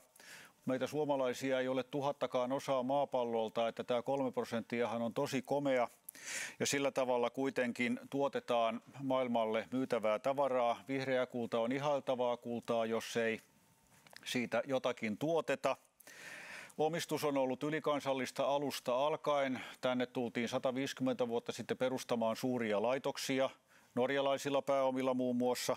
Tuotanto on tehty täällä, niin nyt totta kai Jarilta kiinnostaa kysyä, millä tavalla hän arvioi tämän kolmen prosentin osuuden tekijöiden pärjäävän jatkossa tästä eteenpäin? Tällä hetkellä mä en, en sinänsä olisi niin suomalaisesta metsäteollisuudesta huolissani sen takia, että, että nämä suomalaiset metsäfirmat on hyvin, hyvin hoidettuja ja, ja, ja ne ovat pärjänneet tosi hyvin kansainvälisessä kilpailussa, mutta se, että kuinka paljon tästä kaikesta hyvästä sitten sataa Suomeen, niin se on sitten ehkä se, ehkä se suurempi kysymys. Ja, ja toki se, mikä mua itseäni erityisesti niin kuin hämmentää, on se, että, että kun tämä pitkään, pitkään on koko ajan niin nostettu jalostusarvoa. Että toki se, että siirryttiin tervan tuotannosta sahatavaran vientiin, oli itse asiassa pieni lasku jalostuksen näkökulmasta, mutta sen jälkeen selluun ja siitä sitten paperia korkeampiin jalostusasteisiin. Mutta nyt ollaan ikään kuin palaamassa, palaamassa takaisin päin ja, ja tota, kuinka kestävää tämä on, tämä on ja on, olisiko sitten jotain muita tuotteita, jotain muuta, joka, joka sitten vielä, vielä tämän niin kuin ison bulkin massan lisäksi voisi olla sellaista, mikä olisi Suomen, Suomen metsien järkevän käytön tulevaisuus. Nämä on, nämä on niin kuin niitä isoja, isoja kysymyksiä. Näitä varmasti pohditaan myös, myös monissa muissa maissa. Ja toki sitten Suomen, Suomen eduksi on vielä sanottava se, että Suomessa tämä metsien omistus, niin kuin, niin kuin hyvin tiedetään, jakautuu laajasti eri kansalaispiireille, että tämä, tämä, se, myös se vihreä kulta jakautuu sillä tavalla hyvin, hyvinkin demokraattisesti yhteiskuntaan. Joo, kiitoksia. Ja sitten tullaan asiaan, mikä tässä on ehkä jäänyt tarkoituksella jätetty väliin, on tämä, että kuinka meillä on ikään kuin lupa käyttää metsiä, kun meidän pitäisi täällä sitoa hiiltä joka paikkaa mahdollisimman paljon ja vaikkapa nyt paperi, niin viehättävä aine kuin se onkin, niin se on kuitenkin aina pois sitten hiilen sidonnasta, niin mikä on, onko sulla arviota tähän, että onko meillä täällä näin lainausmerkeissä toistaiseksi lupa käyttää metsiä ilmastonmuutoksen takia? No, tämä, on, tämä on varmasti niin kuin iso, iso kysymys, jossa sitten tullaan siihen, että mä en, mulla ei ole tuossa nyt mahdollista näyttää, mulla on yksi, yksi kalvo, missä, missä pohdin niin tämmöisiä institutionaalisia rajoitteita ja, ja minkälaisia säätelyä, säädöksiä on, on tulossa. Ja, ja tämä, on, tämä on aivan varmasti niin kuin keskustelu, jota tullaan, tullaan käymään yhä enemmän, mutta mut samaan aikaan niin kuin ihan selvästi nähdään, että globaalisesti, globaalisti kuitenkin niin kuin monienkin paperituotteiden kysyntä on laskemassa. Tätähän on ennustettu pitkään. 80-luvun alussa jo puhuttiin paperiteollisuuden omissa kokouksissa, että ollaanko siirtymässä paperittomaan toimistoon, siis 80-luvun puolivälin tienoilla 2000-luvun alussa, että siirtyykö sanomalehdet digiin tämä kaikki on oikeastaan toteutunut vasta viimeisen 50 vuoden aikana ja ehkä korona on sitä vielä, vielä nopeuttanut, mutta sama, samaan aikaan paperilla on, on monia sellaisia ää, ominaisuuksia, jot, jotka ovat nimenomaan kestäviä verrattuna sitten vaikkapa muovituotteisiin. Et se on kuitenkin luonnontuote ja, ja sen takia mä en, en niin näe, näe, etteikö paperilla ilman muuta on tu, tulevaisuutta ja sillä on paljon vahvempi tulevaisuus kuin öljytuotteilla aivan varmasti. Kiitoksia tästä. Me siirrytään tässä seuraavaan jaksoon. Täällä on Leena Paaskoski on täällä paikalla. Hän tulee siirtyä tänne etupuolelle. Metsät ja kulttuurinen kestävyys. Ja tosiaan tämä on erikoinen tämä vihreä kulta, koska täällä tehdään sekä tuotantoa että hoidetaan ympäristöä ja samalla todetaan, että ollaan hyvin kulttuurisessa käsityksessä. Tämä on tämmöistä sekä, sekä, että, sekä että taloutta kaikin puolin, mutta nyt Leena, ole hyvä. Kiitos.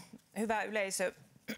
Metsät ja kulttuurinen kestävyys on mun aiheena ja, ja tulen siis tuolta Suomen metsämuseon Lustosta, missä tällä hetkellä parissakin hankkeessa käsittelemme nimenomaan kulttuurisen, kulttuuriseen kestävyyteen liittyviä asioita. Ja lisäksi viime vuonna julkaisimme yhdessä Metsähistorian seuran kanssa vuosilusto-sarjassa tämmöisen metsät ja kulttuurinen kestävyysnumeron, jonka päätoimitimme yhdessä Heikki Roikojokelan kanssa. Ja tämä mun esitys perustuu aika pitkälle nyt näihin, näihin ajatuksiin. En puhu sinällään kestävän kehityksen käsitteen muodostuksesta tai historiasta, vaan keskityn tähän kulttuuriseen kestävyyteen metsäkontekstissa ja, ja nimenomaan tämän käsitteen näkökulmasta. En myöskään puhu erityisen paljon metsähistoriasta tai edes metsäkulttuurin sisällöistä. Mutta ennen kuin mennään ää, eteenpäin siinä käsitteessä, niin kestävyys ja metsät sinällään, sinällään tota, semmoisessa isossa kuvassa ehkä täytyy nostaa esiin, että metsä elinympäristönä ja elannon lähteenä tällaisessa Suomen kaltaisessa maassa on aina ollut niin keskeinen, että tavallaan se kestävyysnäkökulma on varmasti tavalla tai toisella sisältynyt siihen metsien käyttöön aina eri tavoin, eri aikoina tietysti. Se on ollut osa tällaista resurssiviisautta, että ihan varmasti aina kun ihmiset ovat metsiä tavalla tai toisella käyttäneet, he ovat pyrkineet käyttämään niitä niin, että ne on käytettävissä vielä, vielä seuraavina vuosina tulevaisuudessakin. Se on kuitenkin ollut riippuvaista siitä ihmisen tieto- ja taitotasosta, siitä ymmärryksestä kaiken kaikkiaan, kuinka paljon sitä metsäresurssia tai sen tarjoamia raaka-aineita, niitä metsävaroja esimerkiksi on ö, saatavilla. Varhain jo toki metsien käyttöä on myös ohjattu ja rajoitettu 1500-1600-luvulta alkaen erilaisilla poliittisilla toimilla. Ja sitten erityisesti tietysti 1800-luvun kuluessa metsien loppumisen pelko perustui sit vuoriteollisuuden puun käyttöön ja nousevaan saha- ja, ja metsäteollisuuteen.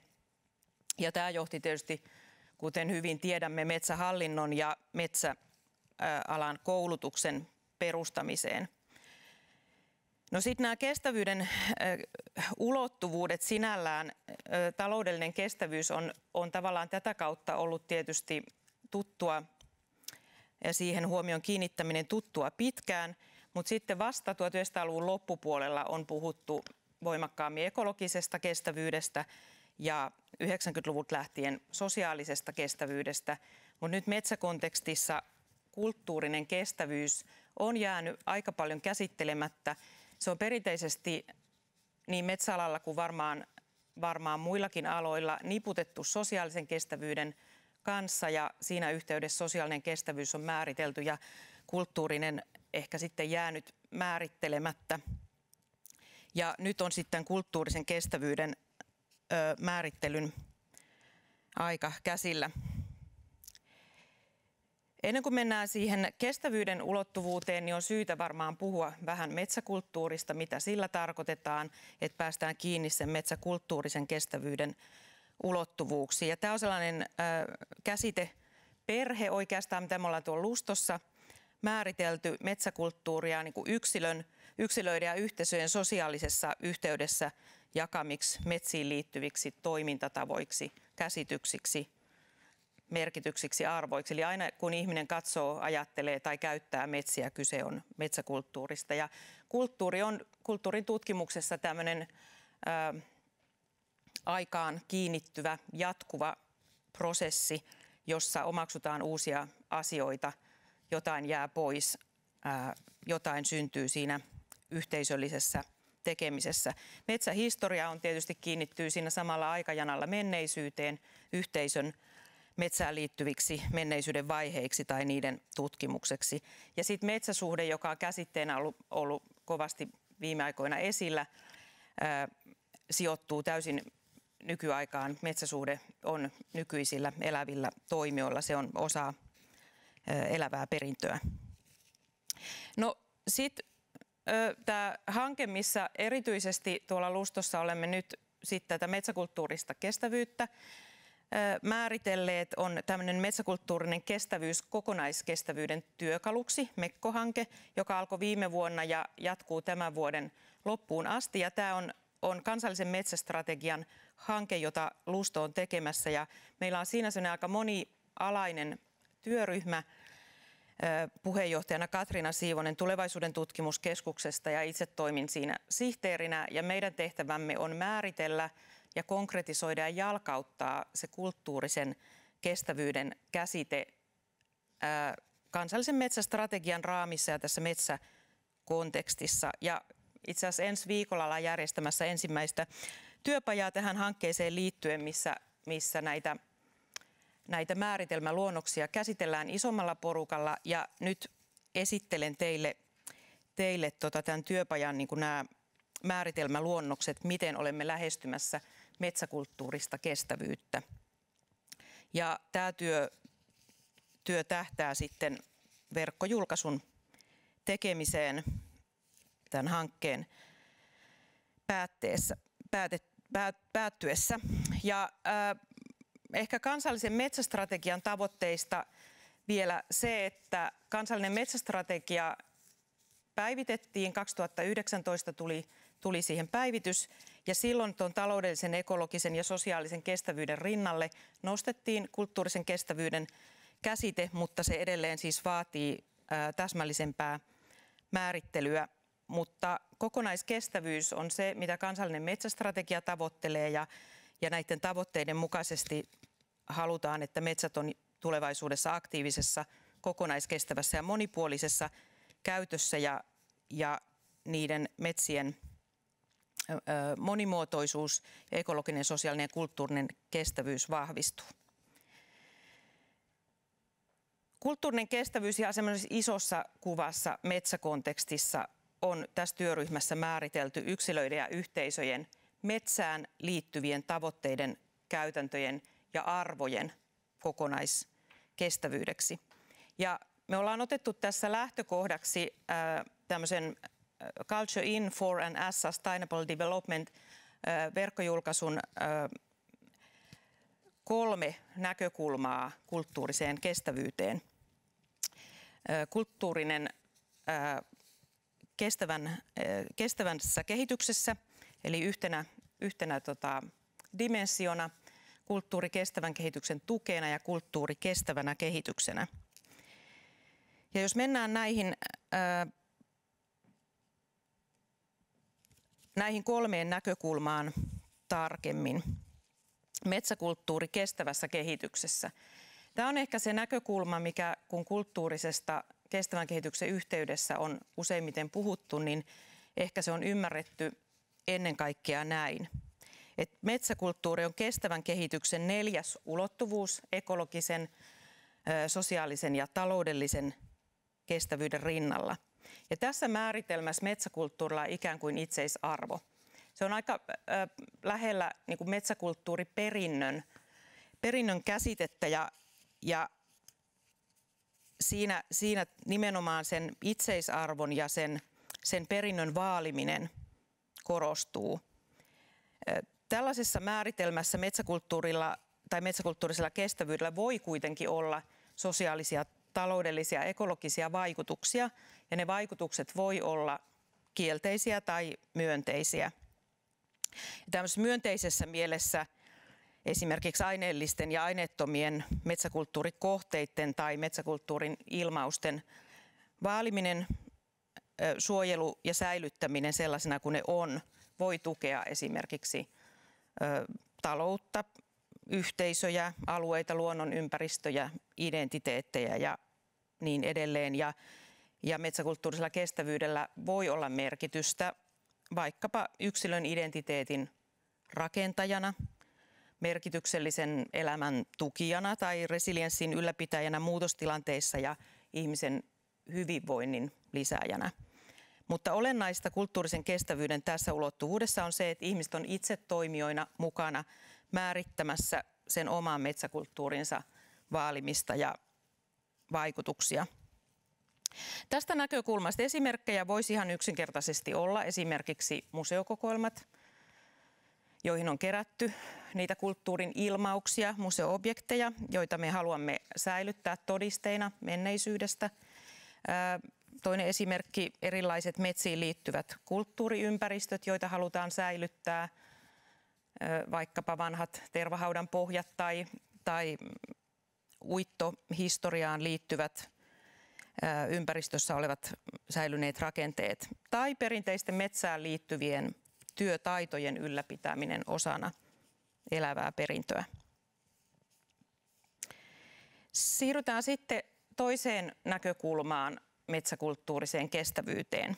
Metsäkulttuuri kestävän kehityksen tukena for sustainable development – ja tässä näkökulmassa metsäkulttuurilla on, tai metsäkulttuurisella kestävyydellä tai kulttuurisella kestävyydellä on ö, ikään kuin suurempi merkitys kuin näillä kolmella muulla ulottuvuudella sinänsä. Eli se toimii kestävän kehityksen saavuttamisen välineenä tai sitten välittäjänä taloudellisen, ekologisen ja sosiaalisen kestävyyden välillä.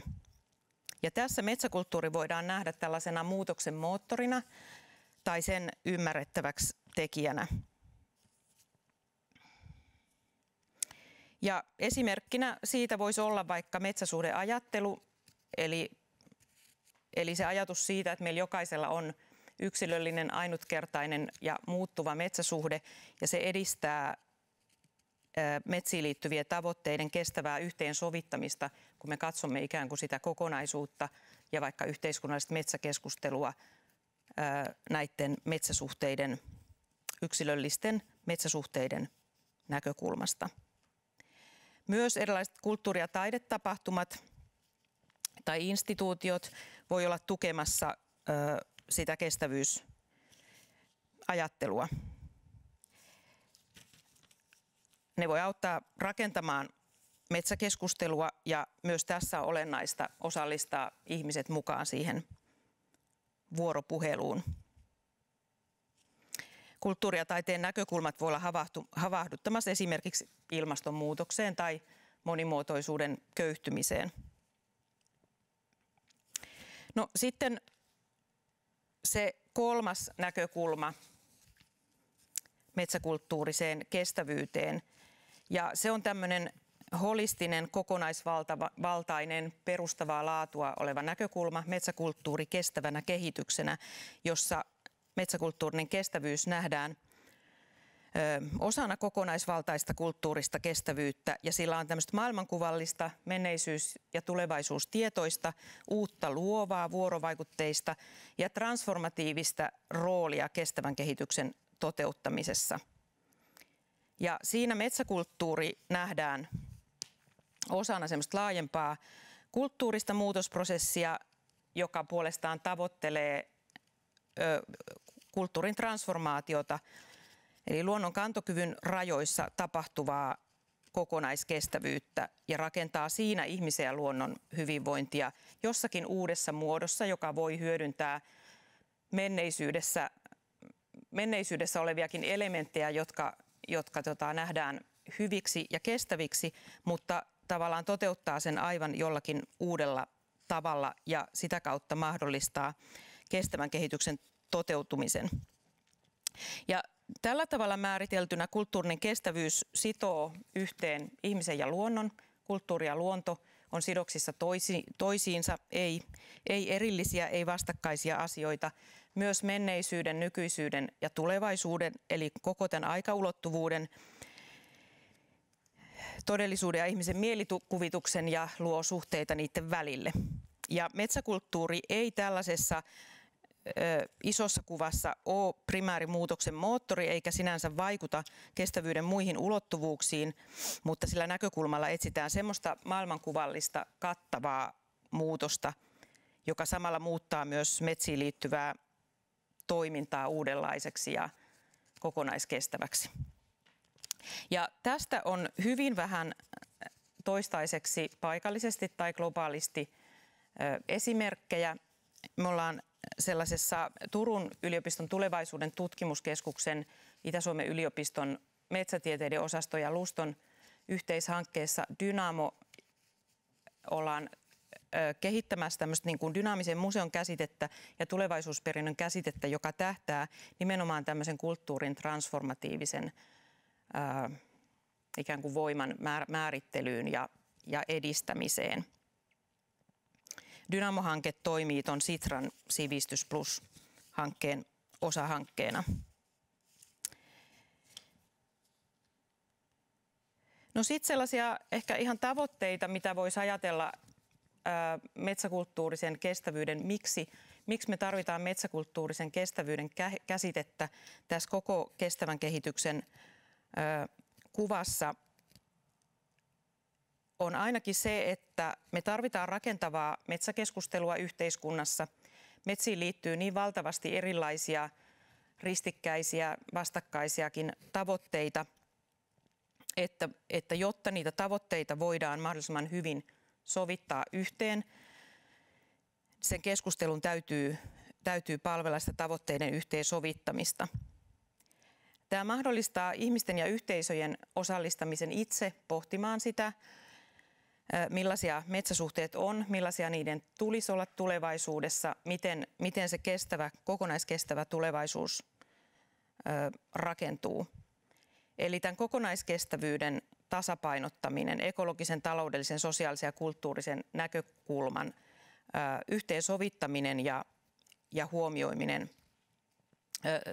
voi, ei, ei voi tapahtua ilman kulttuurisen kestävyyden käsitettä. Tämä huomioi myös paikallisen, valtakunnallisen ja globaalin, eli kulttuurinen transformaatio, erityisesti tämä, niin tämä kolmas tulkinta, transformaation näkökulma tapahtuu ainoastaan kytköksissä globaaliin. Ja mä näkisin niin kuin metsähistorian ja sen todistusaineiston, myös museotyön roolin tärkeänä nimenomaan sen ajallisen ymmärryksen tuottajana sen pitkän ajallisen ulottuvuuden hahmottamisen apuvälineenä. Ikään kuin tuomassa ymmärrystä siitä jatkuvasta kulttuurisesta prosessista, jatkuvasta muutoksesta ja myös tulevaisuuden niin kuin sen muutostarpeen, muutostarpeesta ja sen muutostarpeen havahduttamisesta ja tällä tavalla sen kulttuurisen kestävyyden tavoittamisesta kulttuurisen transformaation kautta. Ja ehkä tähän loppuun voisi ihan lisätä sen, että tällä hetkellä metsätoimijakenttää kiinnostaa nyt kovasti ihmistieteinen näkökulma metsiin ja esimerkiksi metsäsuhdetutkimukset on, on tota, nyt organisoitumassa tai jo organisoituneet verkostoksi ja niillä on, niillä on paljon kiinnostusta myös, myös näiden perinteisemmin niin kuin talouden, tekniikan ja luonnon näkökulmien rinnalla tuolla metsäkentässä. Kiitos. Joo, kiitoksia. Siirryn täältä sinne etuosaan, eli voidaan nyt sitten jatkaa tarkastelua, jos siltä tuntuu paikan päällä. Eli täällä tuli tavattoman laaja näkymä asiaa. Kiitoksia siitä. Mietiskelin tässä, että se on niin itsestään selvä tämä metsä ja kaikki tässä ympärillä, että se on ikään kuin kulttuuri ja kaikki. Ja ajattelen jatkossakin täällä hakataan, jalostetaan puita, käytellään paperia tai asutaan puutaloissa, niin mehän ollaan osa sitä kulttuuria. Siinä kaikin puolin ja mietin tätä, että me on täällä metsissä asuttu ja tavallaan kasvettu kansana kiinni tähän. Mutta onko se aika ohi, että me kaikki suomalaiset ollaan tässä osa metsiä? Tänä talvena on opittu hiihtämään ja löydetty luonto taas, josta nähdään telkkarissa uutisia vähän väliä, että nyt suomalaiset taas ovat luonnossa mukana. Mutta käykö niin, että kun tässä Suomen kansa urbanisoituu ja valitettavasti maaseutu tyhjenee, niin joutuuko kulttuuriväki opettamaan nämä urbaaneimmat suomalaiset tavallaan oivaltamaan metsänsä, että katsokaa nyt mitä teillä on ympärillänne? No ei, ei kyllä näytä siltä, että sitä tarvii opettaa. Että metsäthän on niin kuin, tavattoman kiinnostavia ja, ja tota, jos lehdistöä katsoo, niin eri näkökulmista metsistä puhutaan koko ajan. Mä luulen, että metsäkeskustelu on vilkkaampaa kuin koskaan ennen ja, ja tota, kaikilla kaikilla on siinä osansa. Et se vaan muuttuu, metsien, metsien käyttö, arvot, niin se kokonaisuus muuttuu. Se, se on jatkuvassa muutoksessa, mutta nyt ehkä se muutos on, on ollut niin kuin ennennäkemättömän suurtakin. Hmm. Jos ajattelee vaikka hyvinvointikäsitettä, sotien jälkeen hyvinvointi tarkoitti vielä taloudellista hyvinvointia. Pyylevät ihmiset olivat hyvinvoivia, koska heillä oli varaa syödä hyvin – mutta että jos tänä päivänä puhutaan metsiin liittyvästä hyvinvoinnista, niin me kaikki ajatellaan enemmän virkistyskäyttöä ja verenpaineen laskua kuin kantorahoja. Vaikka metsillä ansaitaankin tänne tuotavat autot ja telkkarit vielä ihmisten sitä huomaamatta, eikö mm. niin? Tämä menee jo vähän seuraavalle alustukselle. Eli nyt sitten tulkitsin näin, että tässä sitä ollaan osana metsällistä kulttuuria ja Suomea, mutta tässä tuli tämä suojeluvivahde ensin. On niitä tervahautoja ja sitten on taitoja tehdä metsissä, niin ne täytyy sitten erikseen ylläpitää. Ja jos tervahauta hävitetään jossakin, niin se on sitten iäksi mennyttä. Sitä ei saada koskaan takaisin, taikka työtaidot. Ne on sellaisia, jotka täytyy ikään kuin museoida talteen, niinkö? No niin, ne on näin, näin museo, museologian näkökulmasta, niin ne on niitä todisteita siitä ajallisesta muutoksesta, joka tapahtuu koko ajan. Hmm.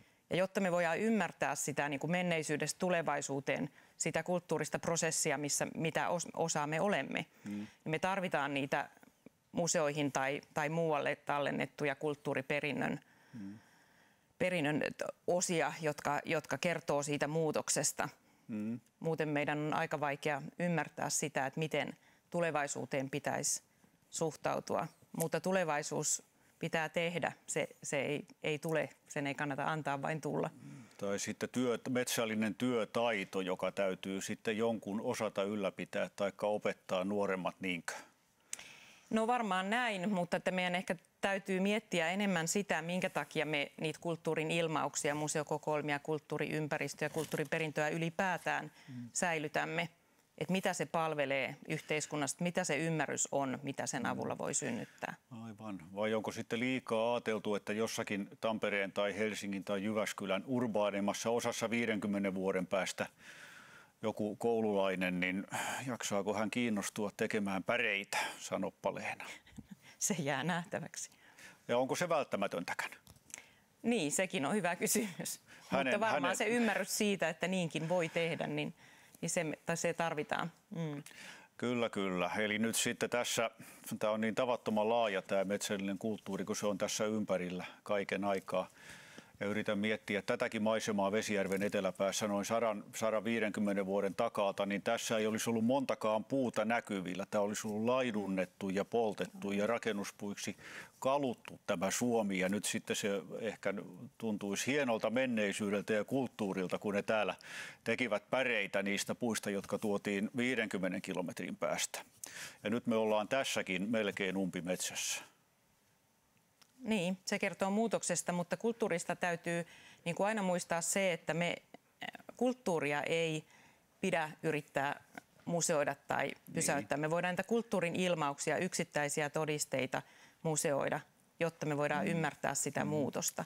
Mutta kulttuuri pysyy elossa ainoastaan muuttumalla, joten mm. sitä kulttuurin muutosvoimaa täytyy tukea ja erityisesti niin kuin ohjata sitä kestävään suuntaan tulevaisuudessa. Kyllä, ja mitä se sitten 50-100 vuoden päästä onkaan lopulta. Luultavasti vielä sakeammissa metsissä täällä ollaan. Näin, tämä nyt on tämmöinen rohkea arvaus tietenkin. Eli tässä ajassa ollaan. Ja nyt kiitoksia Leenalle ja nyt sitten siirrytään. Kiitos. Me ollaan jopa lievästi aikataulusta etuajassa ja meillä on tosiaan – Jaana Laine, joka on ainakin kuulolla ja valmiina. Ja nyt sitten tullaan, jos kulttuuri on laaja käsitys, niin kyllä tämä yhteiskunnallinen merkityskin, niin se kuulostaa isolta kokonaisuudelta. Ja onko siellä, onko siellä Jaana valmiina? Olen valmiina, joo. Että ole, olepa hyvä, muitta mutkitta. Hyvä, kiitos. Kuuluuhan ääneni hyvin sinne. Minun äh, esitelmäni käsittelee metsän yhteiskunnallista merkitystä. Ja vaikka emme Jarin ja Leenan kanssa valmistelleetkaan esityksiä yhteistyössä, niin jotenkin koen, että tämä oma esitykseni solahtaa tuohon Jarin ja Leenan esitysten väliin. Metsän yhteiskunnallista merkitystä voi tarkastella eri näkökulmista, esimerkiksi yhteiskunnan eri tasojen, koko yhteiskunnan yhteisöjen tai yksittäisten kansalaisten näkökulmista.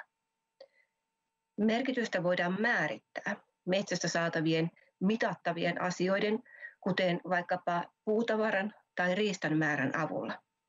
Toisaalta metsän merkitykseen liitetään arvoja, kokemuksia tai terveysvaikutuksia, joiden mittaaminen on vaikeaa ja jopa mahdotonta. Tässä esityksessä tarkastelen metsän kulttuurisia, sosiaalisia ja taloudellisia merkityksiä, jotka lomittuvat toisiinsa ja ovat jatkuvassa muutoksessa. Koska metsä on Suomessa läsnä lähes kaikkialla, metsän yhteiskunnalliset vaikutukset ja merkitykset, ne on sisään rakennettuina tässä yhteiskunnassa, rakenteissa, instituutioissa, arvoissa. Ihmiset ovat muuttaneet ja muuttavat metsää omien tarpeidensa ja toiveidensa mukaisesti. Kuitenkaan yhteiskunnan ja metsän vuorovaikutus ei ole yksisuuntainen, sillä metsä on vastavuoroisesti muovannut suomalaista yhteiskuntaa. Ennen kuin tarkastelen metsän kulttuurisia, sosiaalisia, taloudellisia merkityksiä, sanon muutaman sanan suomalaisesta metsästä. Suomalainen metsä on osa boreaalista eli pohjoista havumetsävyöhykettä, minkä käytännössä havaitsee parhaiten metsien puustossa ja kasveissa. Havupuista mänty ja kuusi, lehtipuista koivu ovat vallitsevat puulajit. Usein sanalla metsä viitataankin vain puihin, mutta metsä on paljon muutakin. Metsä on ekologinen kokonaisuus, jonka muodostavat kasvien, siis myös puiden lisäksi esimerkiksi eläimet ja maaperä. Metsän yhteiskunnallisella merkityksellä tulisikin tarkoittaa metsää kokonaisuudessaan, ei vain metsän tiettyä osaa, kuten vaikkapa puustoa. Metsälle on tunnusomaista jatkuva ja hidas muutos. Metsä uudistuu ja kasvaa. Metsän kehitystä ei voi pysäyttää. Metsää selittävää tietoa on koottu erityisesti valtakunnan metsien inventoinneissa. Näissä aineistoissa korostuvat puustoon liittyvät tiedot. Puuston kehityksen tarkastelu on yksi mahdollisuus ymmärtää, millainen suomalainen metsä meillä on ollut viimeisen sadan vuoden aikana. Metsästä voi todeta, että puuston määrä on kasvanut, puusto on nuorempaa ja metsät ovat havupuvaltaisempia. Metsän yhteiskunnallista merkitystä pohdittaessa on oleellista se, miten puuston ja puulajien muutos suhteutuu yhteiskunnan kehitykseen. Esimerkiksi yksi tekijä havupuiden suosimiseen oli näiden puulajien merkitys esimerkiksi hiokkeen ja sellun tuotannossa ennen kuin teknologinen kehitys mahdollisti myös koivun käytön sellun raaka-aineena. Eli miten metsän kokonaisuus, ei vain puusto, miten metsän kokonaisuuden muutos on yhteydessä metsän kulttuuriseen, sosiaaliseen, taloudelliseen merkitykseen tässä yhteiskunnassa. Entä millaisella ajanjaksolla metsän yhteiskunnallista merkitystä tulisi tarkastella? Ihmissukupolven, talousmetsän vai luonnontilaisen metsän? Talousmetsän iän tiedämme, mutta se on eri asia kuin metsän ikä. Metsän ja yhteiskunnan aika minun mielestäni lähenevät toisiaan. Molemmat kehittyvät ylisukupolvisesti vuosisadasta toiseen. Entä tulevaisuus? Millaiseksi arvioimme metsän yhteiskunnallisen merkityksen tulevaisuudessa? Metsän hitauden vuoksi nykyiset teot vaikuttavat vasta vuosikymmenten päästä, määrittävät tulevaisuuden metsän olemusta ja siten tulevaisuuden yhteiskunnan mahdollisuuksia metsän erilaisiin käyttömuotoihin. Tarkastelen tässä esityksessä metsän yhteiskunnallista kulttuurista merkitystä identiteetin ja elämäntavan näkökulmista. Metsä on osa kansallista identiteettiä, mutta monelle myös osa yksilöllistä identiteettiä. Tarkoitan tässä esityksessä identiteetillä yksinkertaisesti käsitystä siitä, mitä me olemme, mitkä asiat ovat meille tärkeitä ja yhdistävät meitä toisiin. Olemalla ja kasvamalla osana suomalaista yhteiskuntaa me omaksumme ja kannamme mukanamme perheen, suvun, yhteisön ja yhteiskunnan metsään liittymiä, liittymiä kulttuurisia arvoja ja merkityksiä. Nämä voivat olla tiedostettuja, kuten esimerkiksi metsänomistajaperheissä metsän talouskäytön omaksuminen, tai tiedostamattomia, kuten vaikkapa oman metsäsuhteen määrittelemättömyys. Kulttuurisille merkityksille on tunnusomaista pysyvyys ja muutoksen hitaus. Esimerkiksi metsämarjojen ja sienien poimiminen on edelleen arvostettu ja tärkeä osa elämän tapaamme, vaikka ravinnon hankintamme ei sitä välttämättä edellyttäisi. Yhteiskunnan ja ruokataloutemme muutos ei ole pyyhkinyt pois metsämarjojen ja sienien poimimisen kulttuurista merkitystä. Hitaasti muuttuvat ja pitkäkestoiset kulttuuriset merkitykset ovat kestoltaan lähellä metsän aikaa. Metsä on osa kansallista identiteettiämme. Kansallisvaltiota, kansallista identiteettiämme luotiin 1800-luvun lopussa muun muassa näillä maalauksilla, joissa keskiössä ovat metsä ja ihmisen arkinen elämä. Yksi metsän kulttuurisen merkityksen ilmentymä on se, millaisia valtasuhteita metsän ja ihmisten välille muodostetaan tai muodostuu. Metsän peitossa valtasuhteella tarkoitan metsän kunnioittamista voimallisena paikkana. Siinä metsä voi olla ihmisille hyödyllinen, mutta myös elämää vaikeuttava ja uhkaava tekijä. Metsän peitossahan ihmiset ja kotieläimet joutuivat metsän valtaan, eksyksiin, ja heillä oli vaikeuksia löytää takaisin kotiin. Metsän taloudellisessa hyödyntämisessä, talouskäytössä, valta näyttäytyy olevan ihmisen hallinnassa. Tähän ajattelutapaan viittaa esimerkiksi Sakari Topelius Maamme-kirjassa, jossa nuori koulupoika ilmoittaa haluavansa olla luonnon herra, joka muuttaa erämaan huvitarhaksi. Metsän itseisarvolla tarkoitan metsän arvostamista kokonaisuutena. Arvo ei siten perustu yksinomaan ihmisen tai yhteiskunnan metsästä saataviin hyödykkeisiin tai hyötyihin. Metsän kulttuurinen merkitys tarkoittaa siis sitä, miten metsään suhtaudumme ja millainen rooli metsällä on yhteiskunnassa tai yksittäisen kansalaisen elämässä. Arjen mahdollistajana tarkoitan sitä, että metsä on työpaikka, taloudellinen taloudellisen toimeentulon mahdollistaja, ruoka-aineiden ja kotitalouden tarveaineiden lähde, ja tämä määrittää metsän yhteiskunnallista merkitystä. Metsä mahdollistaa elämisen. Metsästä saadaan konkreettisia asioita. Ja tässä on tapahtunut merkittävä kulttuurinen muutos. Yhä harvemmalle metsä on enää työpaikka tai välttämättömän ravinnon hankinnan paikka. Metsällä vapaan kulkemisen ja olemisen paikkana on keskeinen kulttuurinen merkitys. Metsässä saa kulkea riippumatta siitä, kuka metsän omistaa. Jokainen voi nauttia ja hyödyntää metsää miehen oikeuden määritelmän mukaisesti. Virkistäytyminen ei välttämättä edellytä mitään konkreettista, pelkkä metsässä oleminen riittää. Metsä mahdollistaa virkistäytymisen olemassaolollaan. Metsän kulttuurinen merkitys lohdun, ilon, turvan paikkana on säilynyt, kuten korona-aikana olemme havainneet. Metsän kulttuurista merkitystä osoittaa metsän psykologinen omistajuus. Tällä tarkoitetaan metsän kokemista omaksi, riippumatta todellisista omistussuhteista.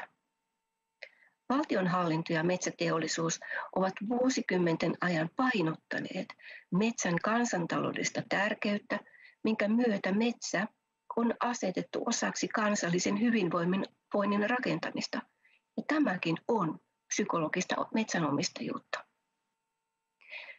Metsä on myös saanut uusia kulttuurisia merkityksiä muun muassa luonnonsuojelun ja ilmastonmuutoksen myötä.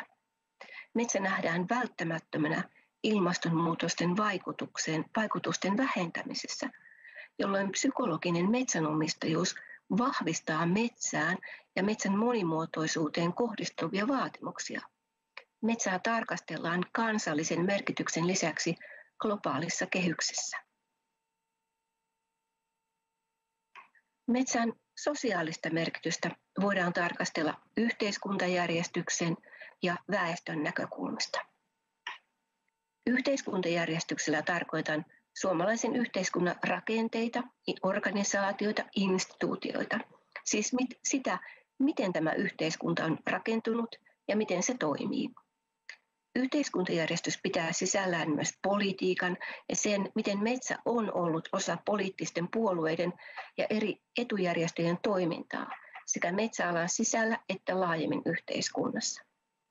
Väestöllä tarkoitan sitä, mikä on ollut metsän merkitys vaikkapa asuin- ja elinolojen, koulutuksen ja ammattien muotoutumisessa. Nykyisen metsänomistusrakenteen taustalla on Suomen maatalousvaltainen yhteiskuntarakenne, joka muuttui vasta toisen maailmansodan jälkeisinä vuosikymmeninä. Väestö eli ja asui maaseudulla ja maataloudesta. Metsät olivat maatilojen taloudellinen turva, metsätulojen avulla kehitettiin maataloutta, kohotettiin elitasoa ja koulutettiin seuraavat sukupolvet. Yksityismetsän omistuksen suosimisen taustalla oli ainakin seuraavat kaksi tavoitetta. Ensinnäkin 1900-luvun alkupuolella lähtökohtaisesti arveltiin, että yksityisessä omistuksessa olevia metsiä hoidettaisiin paremmin ja käytettäisiin säästeliäämmin kuin yhteisessä omistuksessa olevia metsiä. Toiseksi, yhteiskunnan yhteis- yhteiskunnan näkökulmasta maatalous ja metsä edistivät yhteiskuntarauhaa. Väestö sidottiin maahan, mikä kovalla työllä mahdollisti elämisen erityisesti kriisiaikojen jälkeen. Yksityismetsän omistusta vahvistettiin sisällissodan jälkeen torpparivapautuksen ja toisen maailmansodan jälkeen asutustilojen muodossa. Lisäksi metsäomaisuuden pysyminen yksityisten kansalaisten hallinnassa turvattiin rajoittamalla yhtiöiden metsänomistusta lainsäädännöllä Lex Pulkkinen 1925. Näiden poliittisten päätösten vaikutukset näkyvät edelleen Suomen metsänomistusrakenteessa.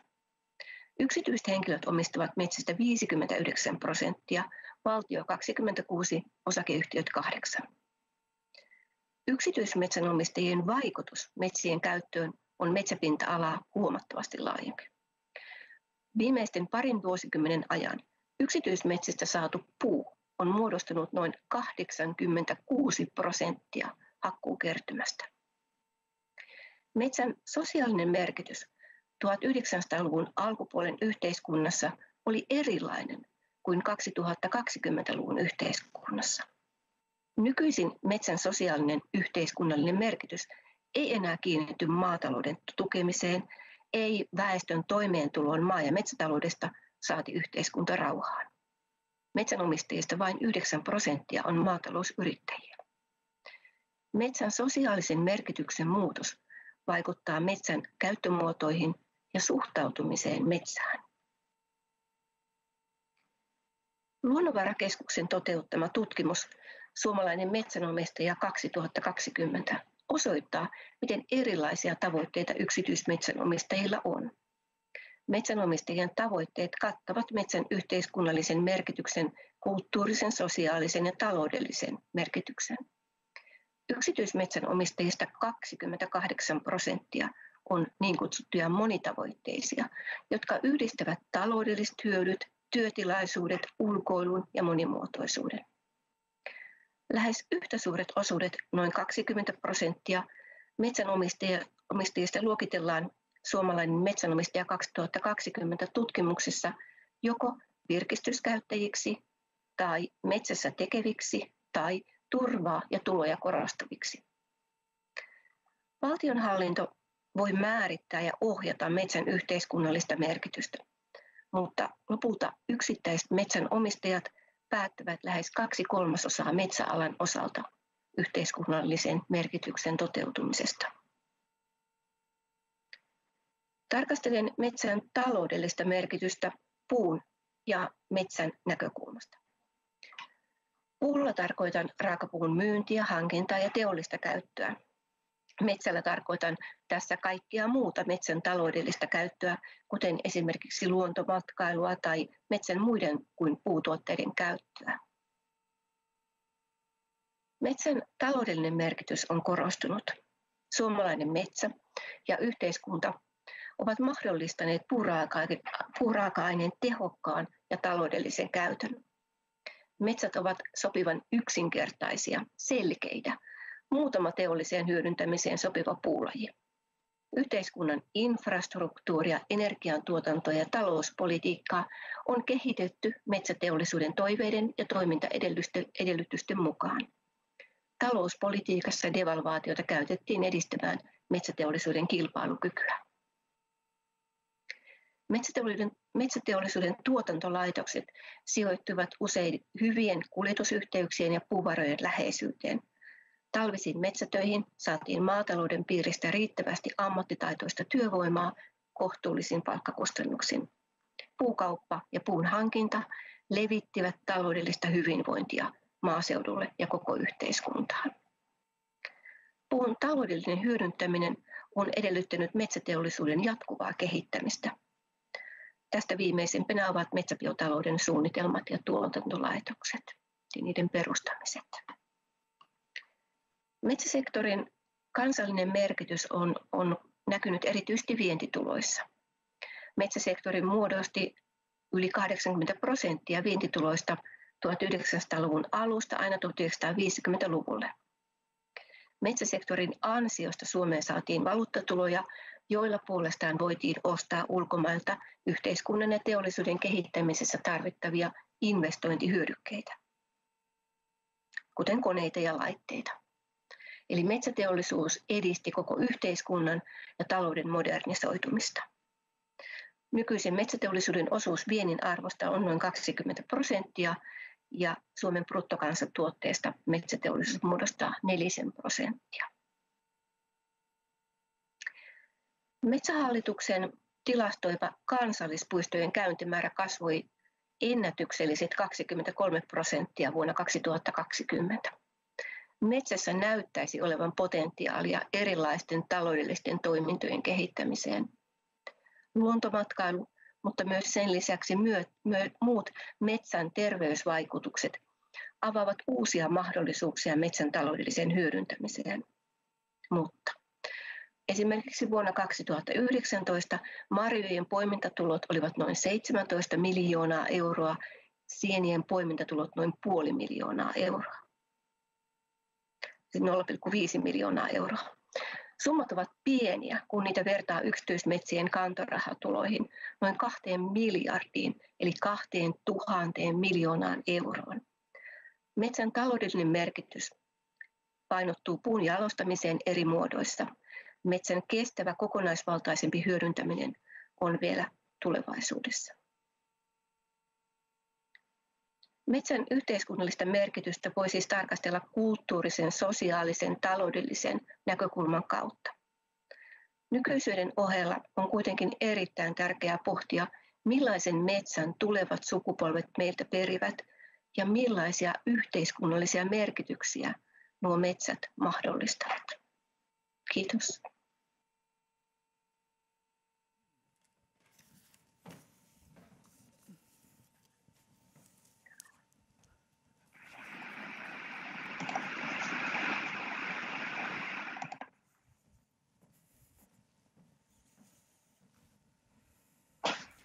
Joo, kiitoksia.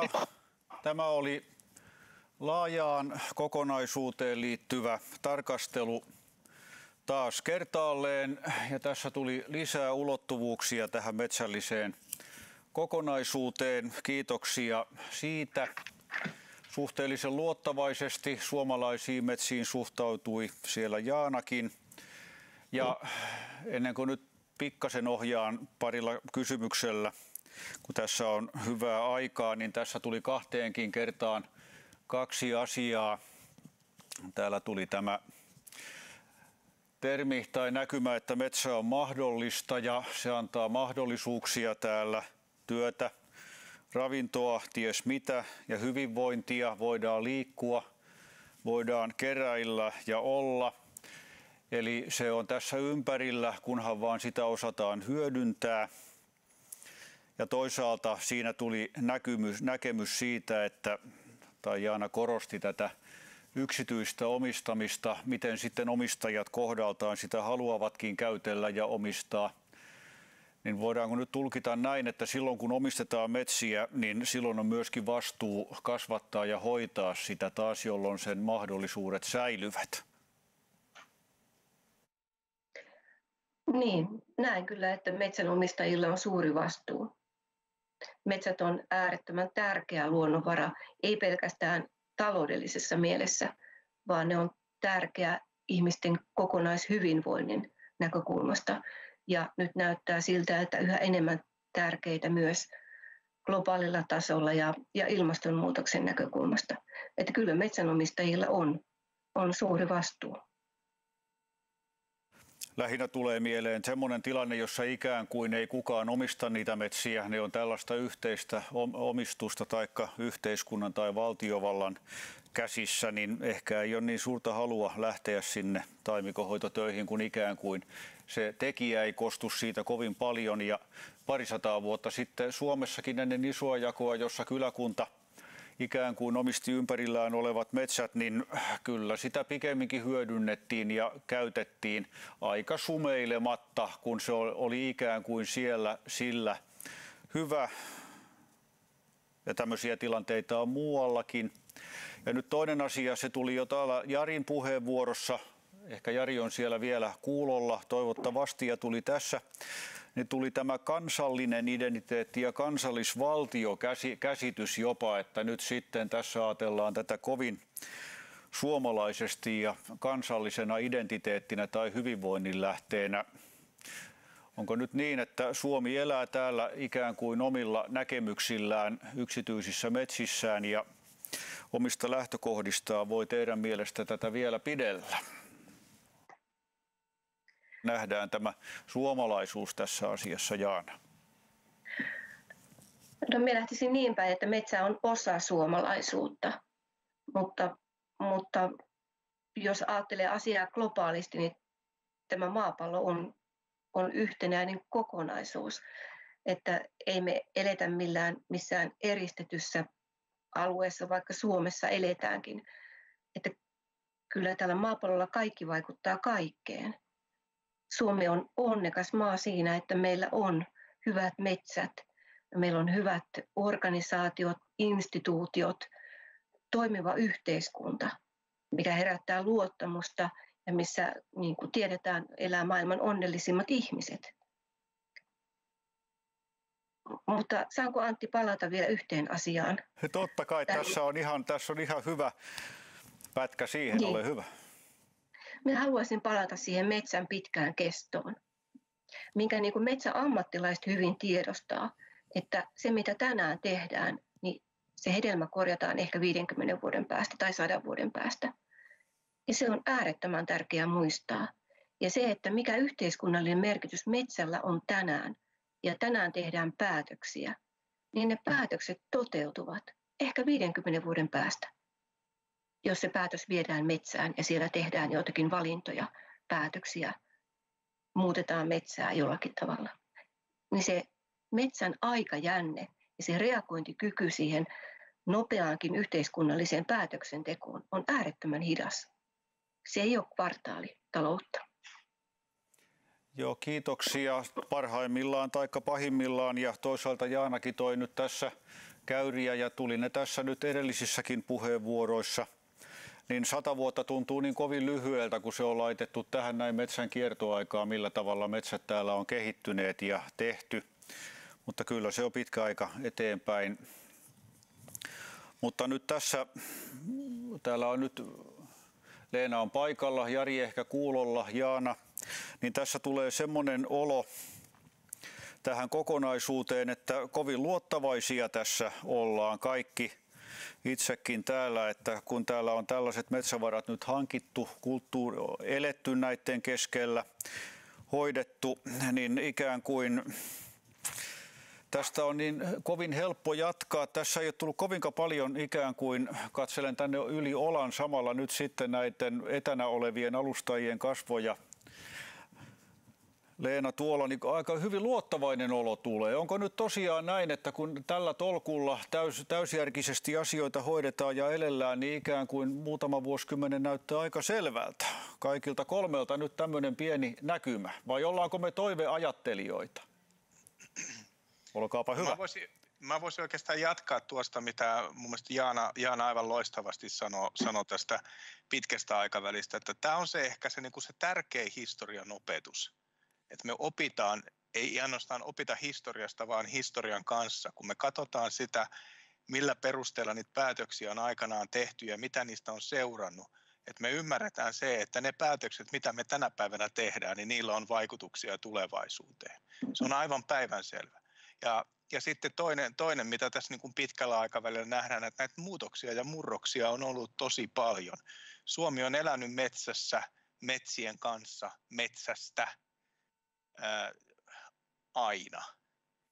Mutta onko näin tulevaisuudessa, niin se on sitten eri asia. Mun mielestä tuossa Jaanan, Jaanan esityksessä niin hyvin, hyvin niin kuin näkyy se, että se omistajuuden ja omistajienkin käsitys siitä, että mikä se metsän merkitys on, niin se on, se on aika isossa murroksessa tällä hetkellä. Ja tilanne voi olla 50 vuoden päästä ihan, ihan toinen, mutta, mutta joka tapauksessa ne metsät on täällä, me ollaan täällä. Ei niistä kukaan muukaan huolta pidä, jos emme me niistä huolta pidä. Ei niitä kukaan muu hyödynnä, jos emme me niitä hyödynnä. Ja fiksusti me voidaan niitä varmasti hyödyntää jatkossakin eri tavoin. Onko se se sama tapa, mikä oli 1600-luvulla tai 1700-luvulla. En mä jaksa uskoa, että meillä tervanpolttoa ja puulaivoja täällä ruvetaan enää rakentamaan. Mutta monia muita varmasti on.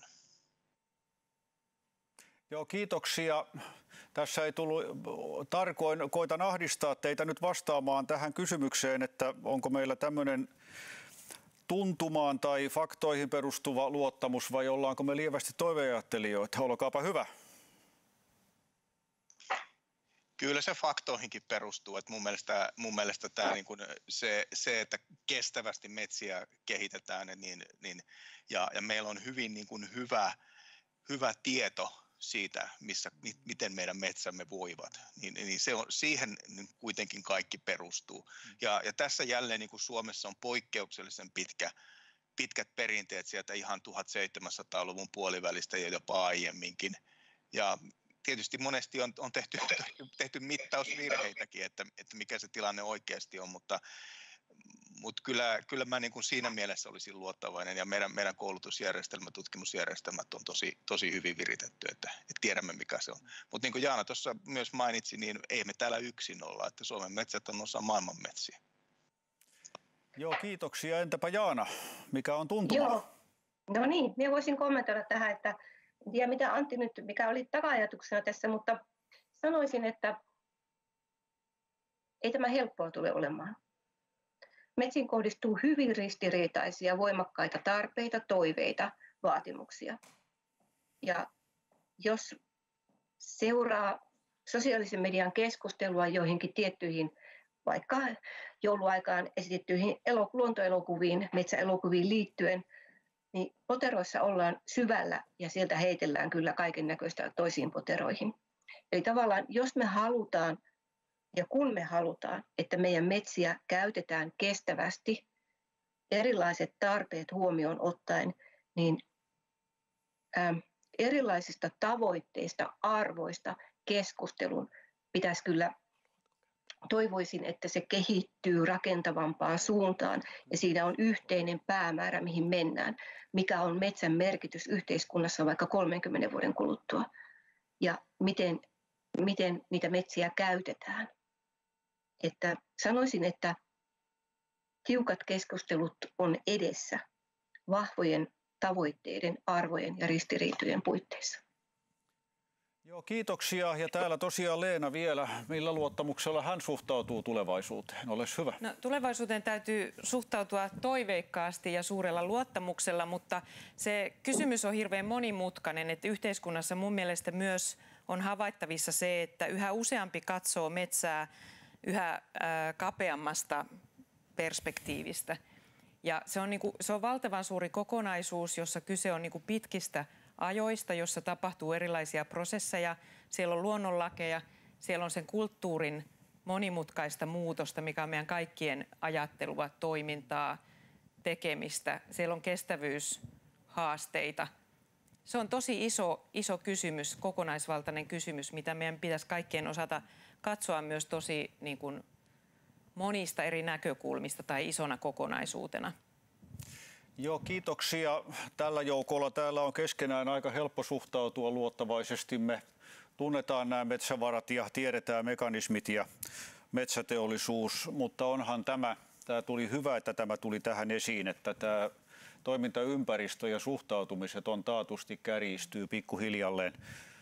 Me eletään täällä osa sitä aikaa, muistellaan 780-lukua, kun tuli, puhuttiin luonnon suojelusta ja tuli vähän vihreyttä ja puhuttiin, mitä hän tarkoitettiinkaan, ne viherpiipertäjät teki vähän kiusaa tälle meidän hyvälle metsätaloudellemme ja silloin ajateltiin, että kyllä tässä nyt sitten tulee järkeiltävää ja selitettävää, kun ikään kuin tuli vastavoimia tai dialogi tuli, keskustelu tuli sisään. Me on nyt totuteltu keskustelemaan ja näkemään tämä moniarvoisesti täälläkin, mutta tämähän kärjistyy vaan.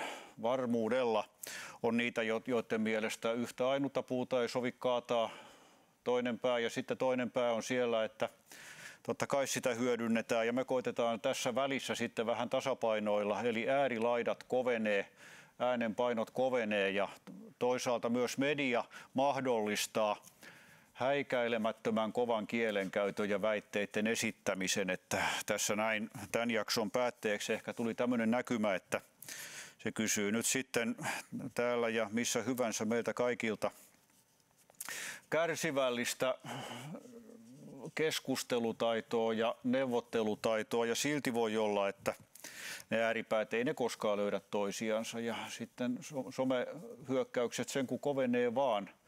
Että ehkä tämä näkymä on tämmöinen, siitä olisi mukava käyttää termiä, tämä on kiintoisa ja mielenkiintoinen, mutta se tekee myöskin toiminnan joskus hyvinkin repivässä ympäristössä toimimiseksi. Mutta nyt tosiaan tämän jakson päätteeksi kiitoksia teille kolmikolle. Tässä mennään nyt ja voidaan luottaa, että tämä hyvällä, hyvällä järjellä toimien tästä vielä mennään eteenpäin. 50 vuotta ei ole pitkäkään aika kuitenkaan tästä eteenpäin, mutta kiitoksia tästä jaksosta ja nyt täällä 22. historiapäivä täällä julistettaneen täältä tämmöinen pieni tekninen tauko ja aikataulun mukaan jatketaan. Hyvää jatkoa alustajille ja kaikille täältä. Kiitos.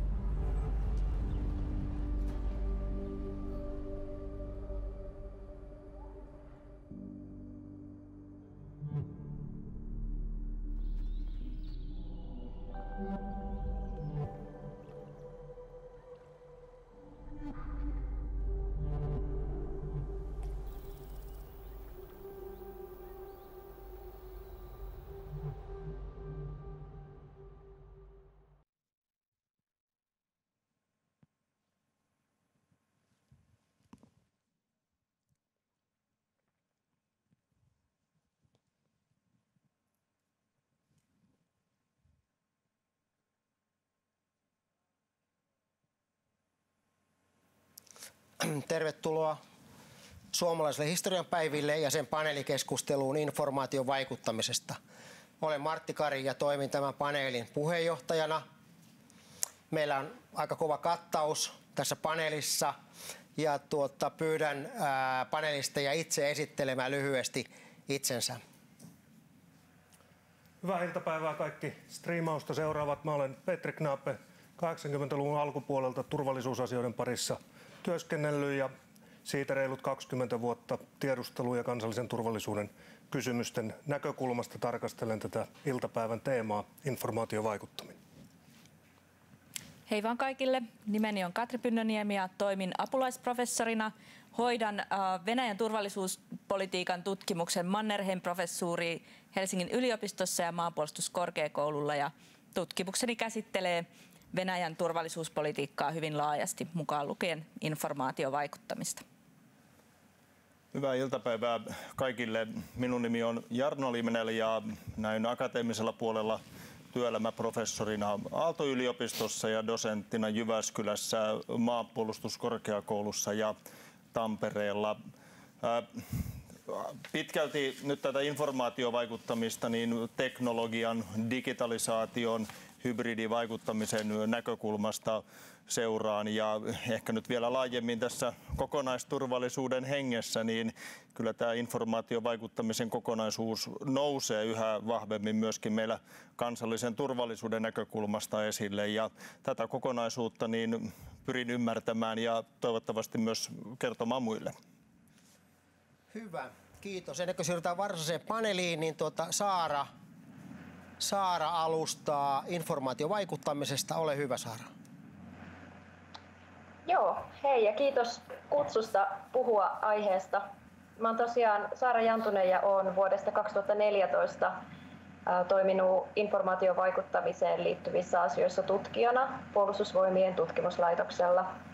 Ja olen käytännössä koko virkaurani Puolustusvoimissa tutkinut näitä samoja teemoja. Joten ähm, jaan teille, täältä nyt esitykseni, jossa käsittelen tänään erityisesti polarisaatiota. Jaha.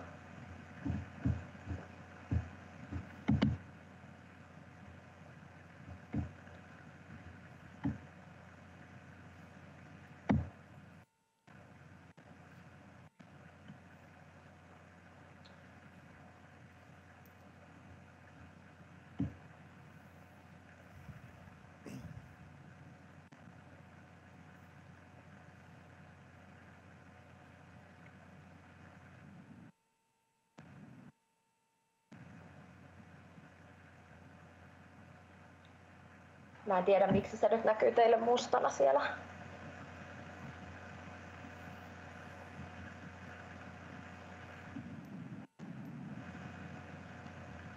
Kokeillaan uudelleen. No niin.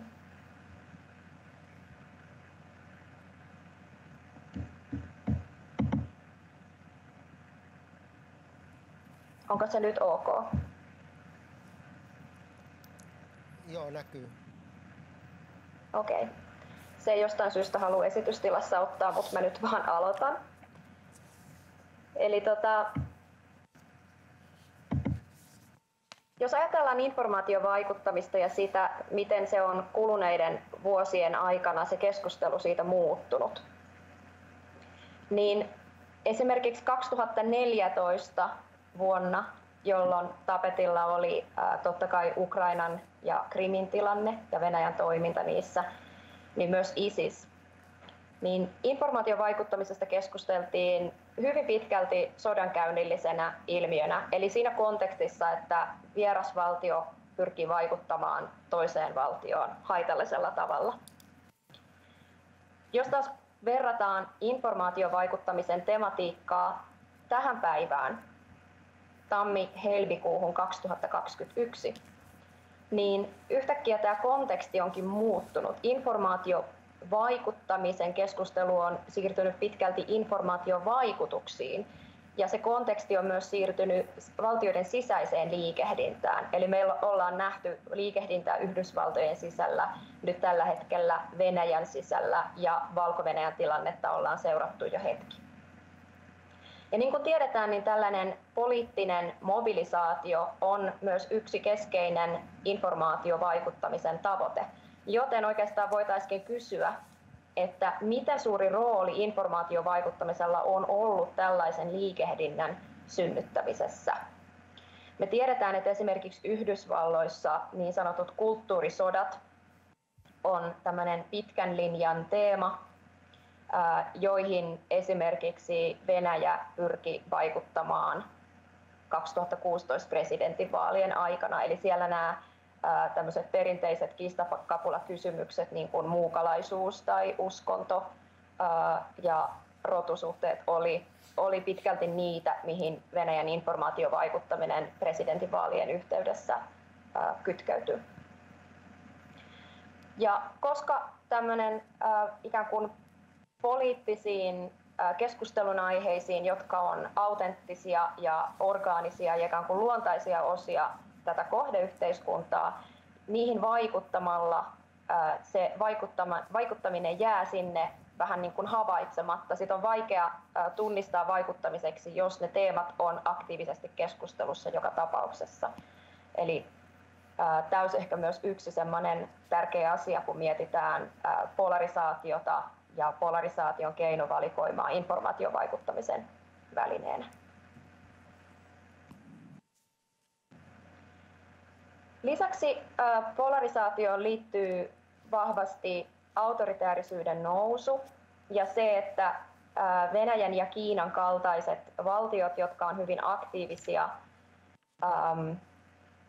tämmöisessä niin kuin, autoritääristen arvojen lanseeraamisessa – de, vaihtoehdoksi demokratialle, niin, niin äm, tulee ehkä keskustella siitä, että millainen kohdeyleisö ää, Suomi, Suomi tai, tai länsimaat tai Yhdysvallat on tällaiselle vaikuttamiselle. Eli sen lisäksi, että autoritaariset valtiot pyrkii argumentoimaan moninapaisen maailman puolesta ja tämmöistä niin kuin länsimaista tai Yhdysvaltojen hegemoniaa vastaan, valtion ehdotonta suverin, suvereniteettia, eli esimerkkinä juurikin vaikka Kiinan uikuuripolitiikka, joka on ehdottomasti valtion sisäinen asia heidän mielestään, mutta ei tietenkään estä sitten Kiinaa tai Venäjää puuttumasta muiden valtioiden sisäisiin asioihin. Ja, ja sitten siellä on pohjalla nämä perinteiset arvot ja perinteinen nationalismi, jotka mun nähdäkseni on se teema, joka on informaatiovaikuttamisen erilaisten operaatioiden pohjalla ja perustana. Eli voisi sanoa, että perinteiset arvot on semmoinen vastanormi, jota Venäjä pyrkii tällä hetkellä voimakkaasti operationalisoimaan informaatiovaikuttamisessa. Esimerkkinä siinä on ehkä helpoin käyttää taas tätä Yhdysvaltojen presidentinvaalia vuonna 2016. Kuten sanoin, niin siellä oli nämä rotusuhteet, poliisiväkivalta, vähemmistöasiat, tasa-arvo ja moni muu teema, muun muassa maahanmuutto keskeisinä niissä materiaaleissa, mitä nämä Venäjän operatiivit vaalien aikaan ja hyvissä ajoin ennen niitä levitti muun muassa sosiaalisessa mediassa. Eli voisi sanoa, että ymmärrys informaatiovaikuttamisessa, ymmärrys kohdeyleisöstä on kenties kaikkein keskeisintä. Ja jotta voidaan luoda polarisaatiota, niin täytyy tietää, että mitkä ne on ne teemat, jotka siinä kohdeyhteiskunnassa sitä polarisaatiota ajaa eteenpäin. Ja selvästi oli tiedossa, että mitä ne on Yhdysvalloissa.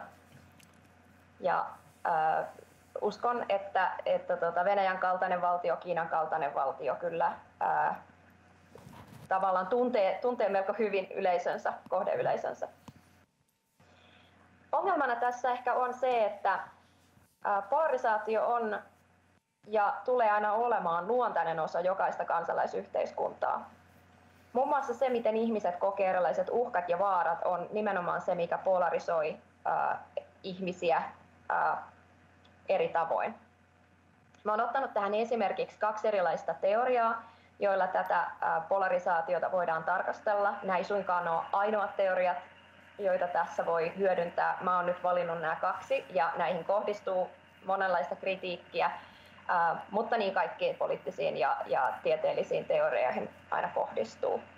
Ensimmäisenä mä ottaisin esille Jonathan Haidin Moral Foundations-teorian, jonka mukaan ihmis, ihmisiä jakaa tai heitä yhdistää viisi tämmöistä ikään kuin perusperiaatetta, joita he arvostaa ja joiden muka, joka ikään kuin ohjaa heidän moraaliaan ja heidän arvopohjaansa.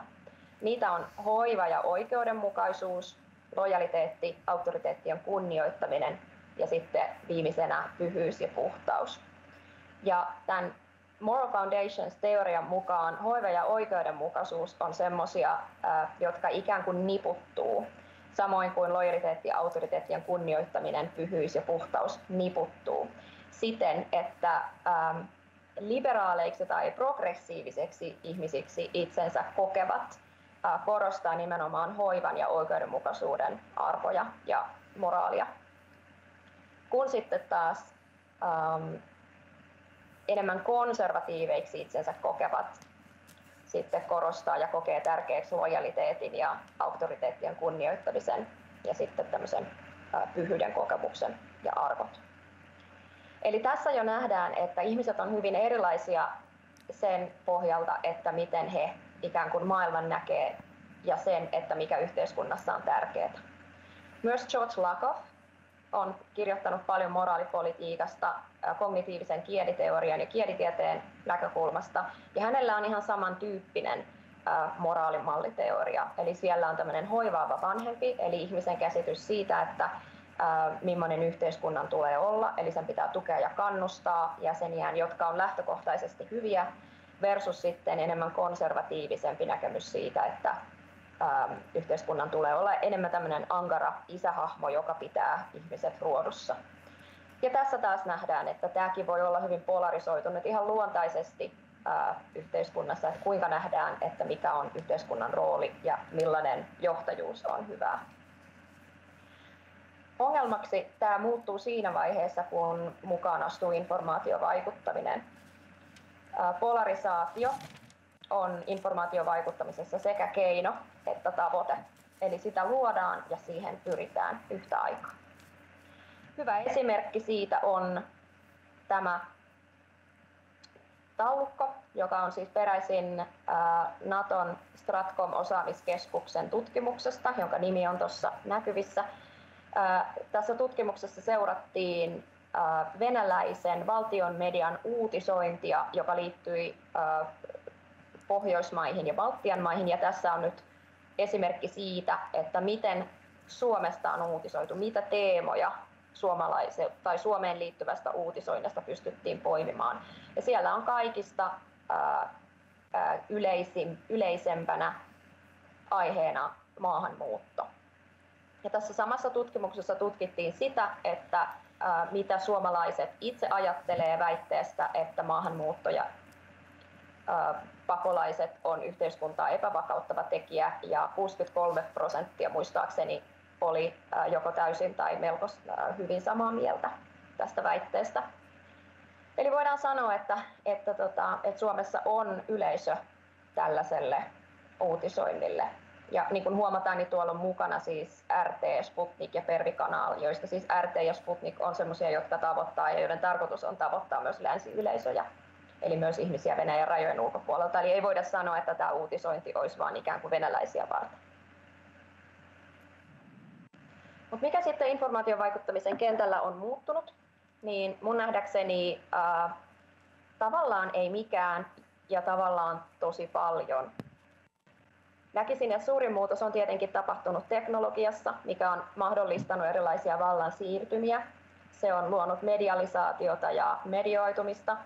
Eli voidaan sanoa, että tietyllä tapaa media ja sosiaalinen media korvaa sosiaalisia toimintamuotoja ja vaikuttaa tällä hetkellä kaikkiin tapoihin ja strategioihin, joilla pyritään tavoittamaan suuria yleisöjä.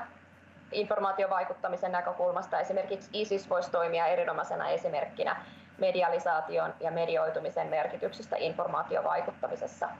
Eli äh, tämmöinen yleisön tavoittaminen äh, performanssien avulla sosiaalista mediaa ja perinteistä mediaa hyödyntämällä niin on täysin keskeistä heidän toiminnalle. Yhtä lailla teknologia, tai voisi puhua viestintäteknologiasta, niin se mahdollistaa uudenlaisen rajat ylittävän poliittisen liikehdinnän. Ja jos ajatellaan tällä hetkellä informaatiovaikuttamista, niin kaikki keskeiset liikehdinnät, esimerkiksi nyt vaikka QAnon, niin on nimenomaan tämmöinen rajat ylittävä. Eli se on valtavirtaistunut länsimaissakin hämmästyttävää vauhtia tosi nopeasti. Ja mun mielestä viimeaikoin, viimeaikainen ää, ja mielenkiintoinen ilmiö on se, että tämmöinen lokalisaatio ja kopioiminen näkyy tällä hetkellä erittäin voimakkaasti informaatiovaikuttamisessa ja se on nähdäkseni ihan puhtaasti sosiaalisen median aikaansaamaa.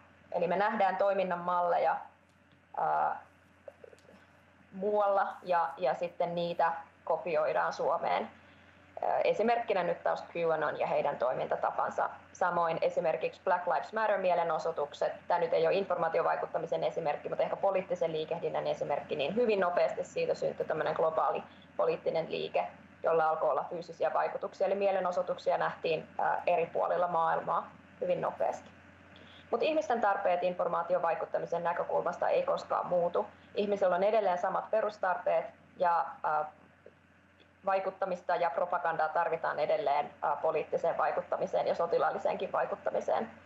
Että, et, et, sitä, mitä teknologia sallii, niin sitä tehdään. Ja jos, jos kysytään ennustuksia tulevaisuudesta, niin, niin äh, mun nähdäkseni äh, se, on, se tulevaisuus on teknologian sanelemaa. Ja se on se, mitä meidän tulee seurata, jos me halutaan nähdä se, että mihin mihin informaatiovaikuttaminen tulevaisuudessa on menossa. Päästään johtopäätöksiin tai oikeastaan mun nostoihin tätä keskustelua silmällä pitäen. Informaatiovaikuttamisessa eletään tällä hetkellä mobilisoitumisen vaihetta. Yhdysvalloissa esimerkkejä tästä, valko esimerkkejä tästä ja Venäjällä on tästä kovin paljonkin esimerkkejä. Informaatiovaikuttaminen ja autenttinen poliittinen liikehdintä on sekoittumassa entistä tiiviimmin. Eli informaatiovaikuttamisen tunnistaminen ja attribuutio vaikeutuu.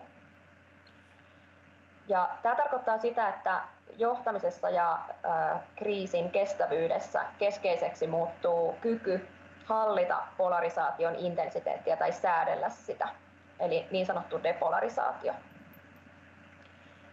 Ja kolmantena nostona se, että informaatiovaikuttamista ei voida torjua. Se ei ole kineettistä tai perinteistä vaikuttamista tai sodankäyntiä. Sitä pitää vaan sietää ja siitä pitää pystyä toipumaan. Ja äh, tämä polarisaatiokysymys on varmaan hyvä esimerkki siitä. Eli me tiedetään, että polarisaatiota on ja tulee aina olemaan meidän yhteiskunnassa ja se on luontainen heikkous äh, liberaalidemokratiassa, että ihmiset saa ilmasta ähm, mielipiteitään ja, ja, ja heillä on laajat yksilön oikeudet. Tai kau, kauhea sanoa, että se on heikkous. Eihän se ole heikkous, mutta se on sellainen asia, mitä on helppo hyväksi käyttää. Joten on hyvä totutella sellaiseen ajatukseen, että nämä ilmiöt ja, ja nämä kaikki, tämä, kaikki nämä rumat asiat, mitä informaatiovaikuttaminen ja polarisaatio on tuottanut, niin on sellaisia ilmiöitä, joiden kanssa meidän täytyy elää vielä tosi pitkään ja ne ei ole menossa mihinkään. Joten oikeastaan nyt olisi keskeistä luoda sellaista kulttuuria ja ymmärrystä, jonka kanssa me selvitään yhteiskuntana näistä haasteista.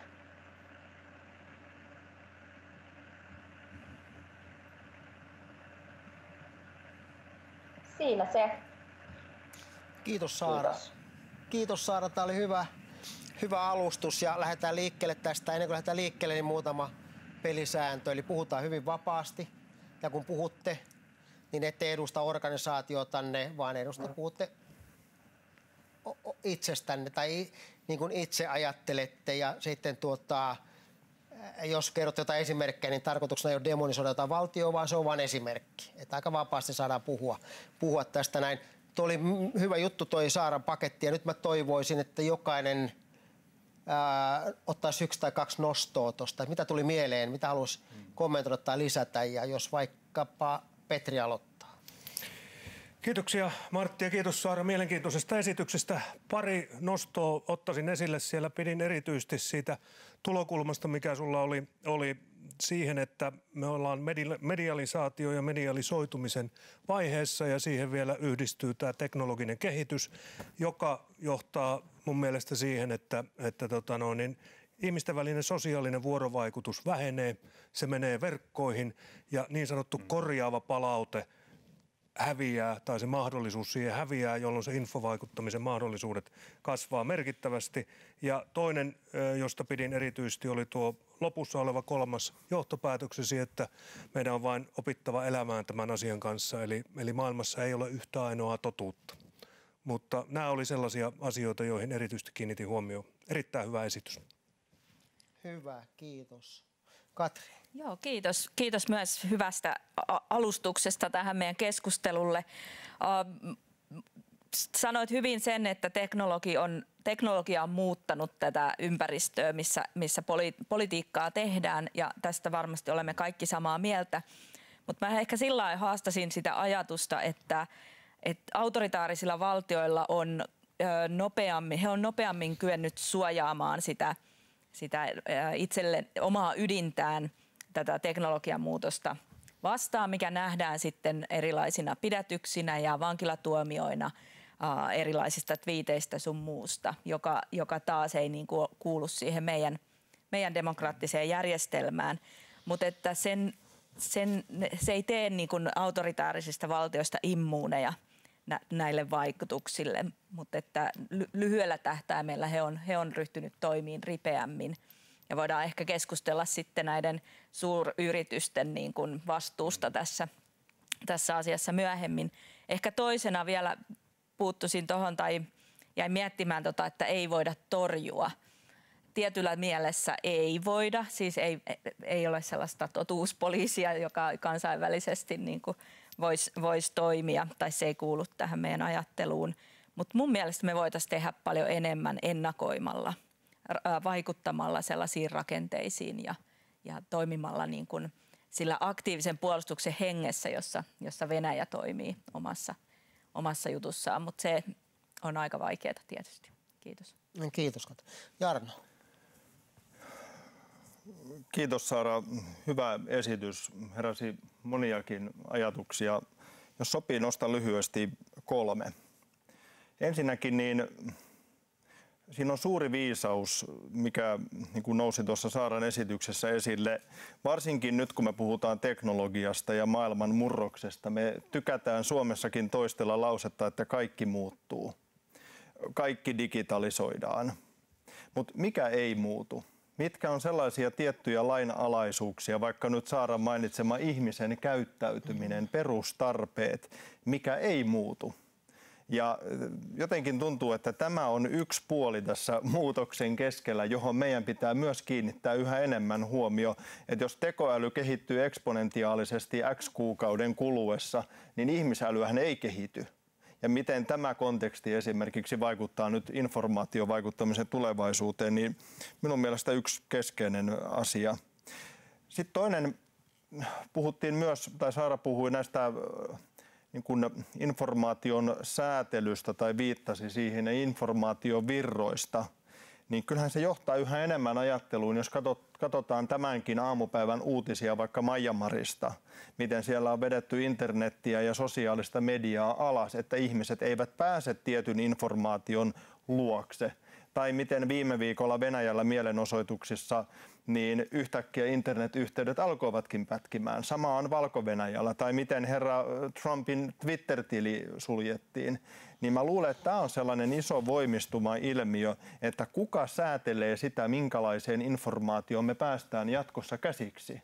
Koska silloin tietysti vaikutuksensa siihen, että minkälaista mielikuvaa sitten syntyy. Ja kolmas asia, äh, erittäin hyvä, että nousi esille. Tämä oli asia, mitä ajattelin, että tänään mielellään täällä teidän kanssa keskustelisin, mutta Saara sen jo avasi, avasi arkun heti alussa. Ää, nyt voi oikeastaan sanoa, että ainakin minun tällaisissa kansainvälisissä yhteistyöverkostoissa, niin vuodesta 2016 president, Yhdysvaltojen presidentinvaaleista alkaen niin on pohdittu sitä, että minkälaista vaalivaikuttamista tulee Yhdysvalloissa olemaan marraskuussa 2020. Välissä oli Brexit ja välissä teknologia kehittyi, maailma muuttui. Yhdysvalloissa tuli vakavaa viestiä vaalivaikuttamisesta etukäteen Kiinan, Venäjän, Iranin osalta. Mutta lopputulos ainakin tämän hetken tiedon mukaan on se, että kaikkein eniten vaalivaikuttamista, yhteiskunnan epävakauttamista, eri puran luomista, uskoa politiikan toimivuuteen, niin tuli yhteiskunnan sisältä. Ihan itse tuotettuna. Ja nyt jos ulkopuolinen informaatiovaikuttaja varmasti onkin katsonut monessa paikassa tätä Yhdysvaltojen president, mennyttä presidentinvaalia, niin luultavasti siellä ovat kovin tyytyväisiä, koska itse ei tarvinnut tehdä juuri mitään. Ja nyt kun katsoo tätä tämän päivän meidän suomalaista yhteiskuntaa, niin kyllä mä sanoisin, että tärkeimpiä asioita on se, että tällä informaation yhä enemmän täyttämällä aikakaudella me suomalaiset emme saa kääntyä toisiamme vastaan. Ja silloin me puhutaan tästä vastakkainasettelusta ja polarisaatiosta, mikä ei tarkoita yksimielisyyttä Pohjois-Korean tapaa, että kaikkien pitää taputtaa ja iloita, kun suuri johtaja jotain puhuu, vaan tarkoittaa sitä, että pitää kunnioittaa toisia, pitää kuunnella, pitää olla kuitenkin sellainen yhteiskunnallinen ajattelumalli, että ei nyt tietoisesti lähdetä vastakkainasetteluja tässä maassa lisäämään. Me nähdään itsekin historiasta, mihin se pahimmillaan johtaa. Hyvä, kiitos. Tämä oikeastaan johdattaakin seuraavaan kysymykseen. Jarno puhuu tuosta kansallisesta yhtenäisyydestä ja Saara puhuu polarisaatiosta ja depolarisaatiosta. Niin mä kysyisin teiltä, että jos, jos sen vastustajan tärkein kohde on meidän kansallinen tarina, kansallinen narratiivi, että sitä pyritään murtamaan, murtamaan, niin mikä on suomalainen kansallinen narratiivi. Ja Saara saa tulla mukaan tähän keskusteluun nyt sieltä linjoilta sitten, mutta aloitetaan nyt Jarnosta. Mä luulen, että moni muistaa tämän Koiviston tote, Mauno Koiviston toteamuksen, kun häneltä kysyttiin aikana, että kun hän kirjoitti tästä Venäjän ideasta, että mikä on Suomen idea, niin hän tiivisti sen vastaamisen, että selviytyminen.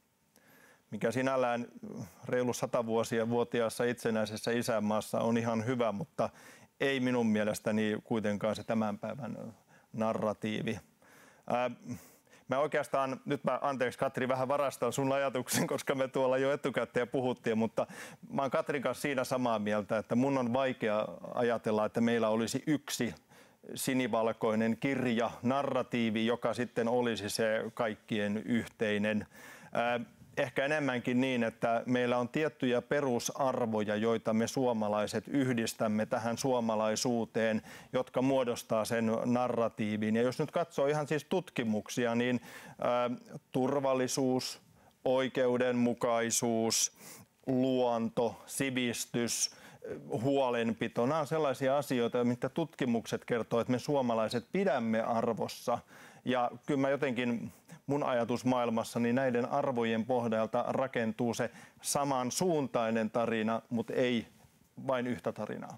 Kiitos. Saara, miten sä Saara näet, mikä on suomalainen kansallinen narratiivi? Mikä meidän narratiivi on? Mikä meidän tarina on?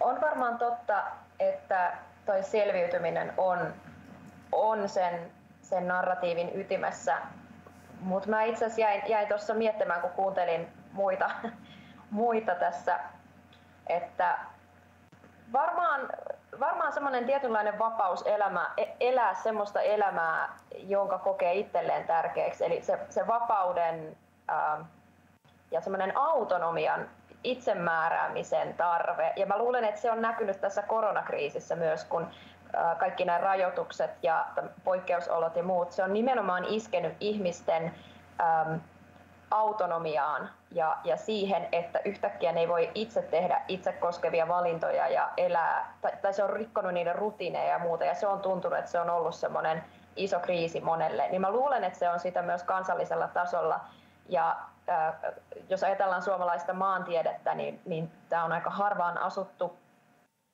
asuttu maa ja, ja täällä on perinteisesti pitänyt pärjätä itse ja sitä on myös aina pidetty arvossa ja tämä liittyy siihen selviytymiseen.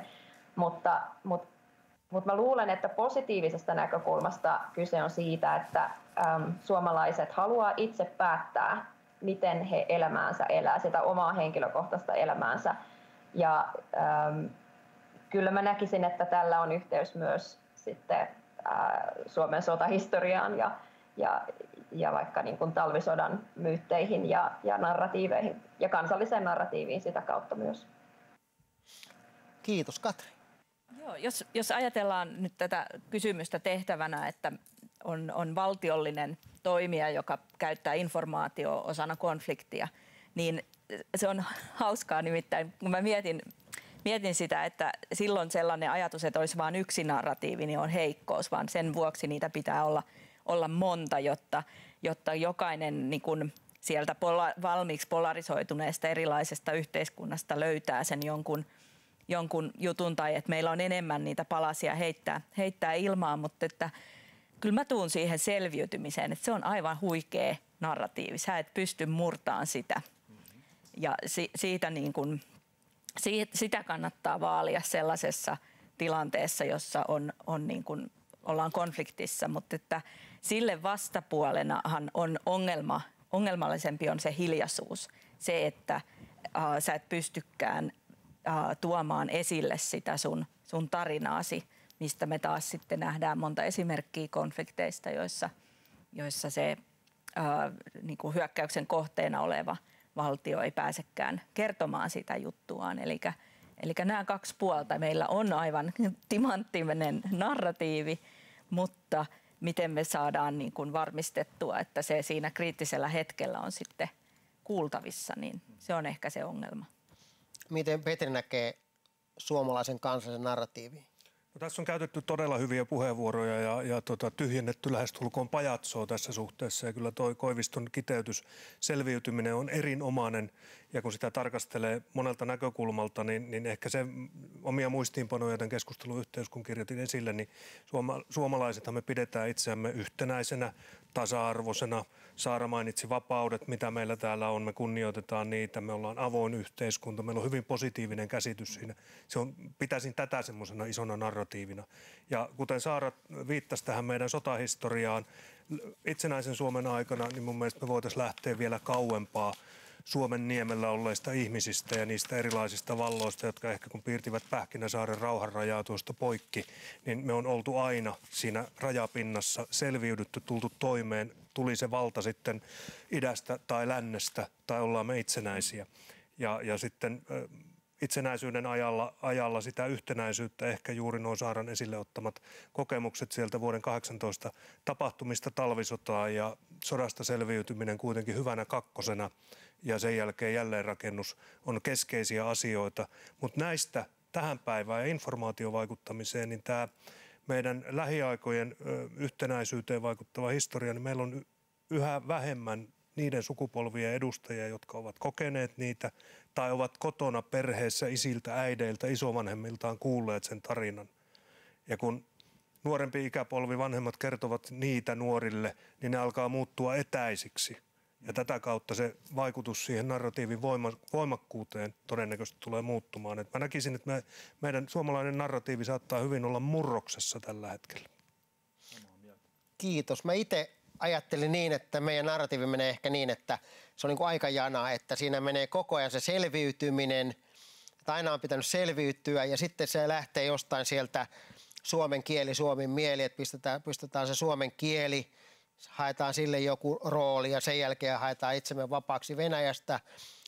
Sitten selviydytään sodat, jälleen rakennetaan tämä maa, sitten rakennetaan hyvinvointivaltio, sitten tulee tämä Nokia-Suomi ja nyt ihan niin kuin Petri sanoi, että nyt me ei oikein sitten tiedetäkään, että mikä se on se kansallinen narratiivi ja siihen se Saaran kertoma polarisaatio tai polarisointi iskee mun mielestä äärimmäisen hyvin.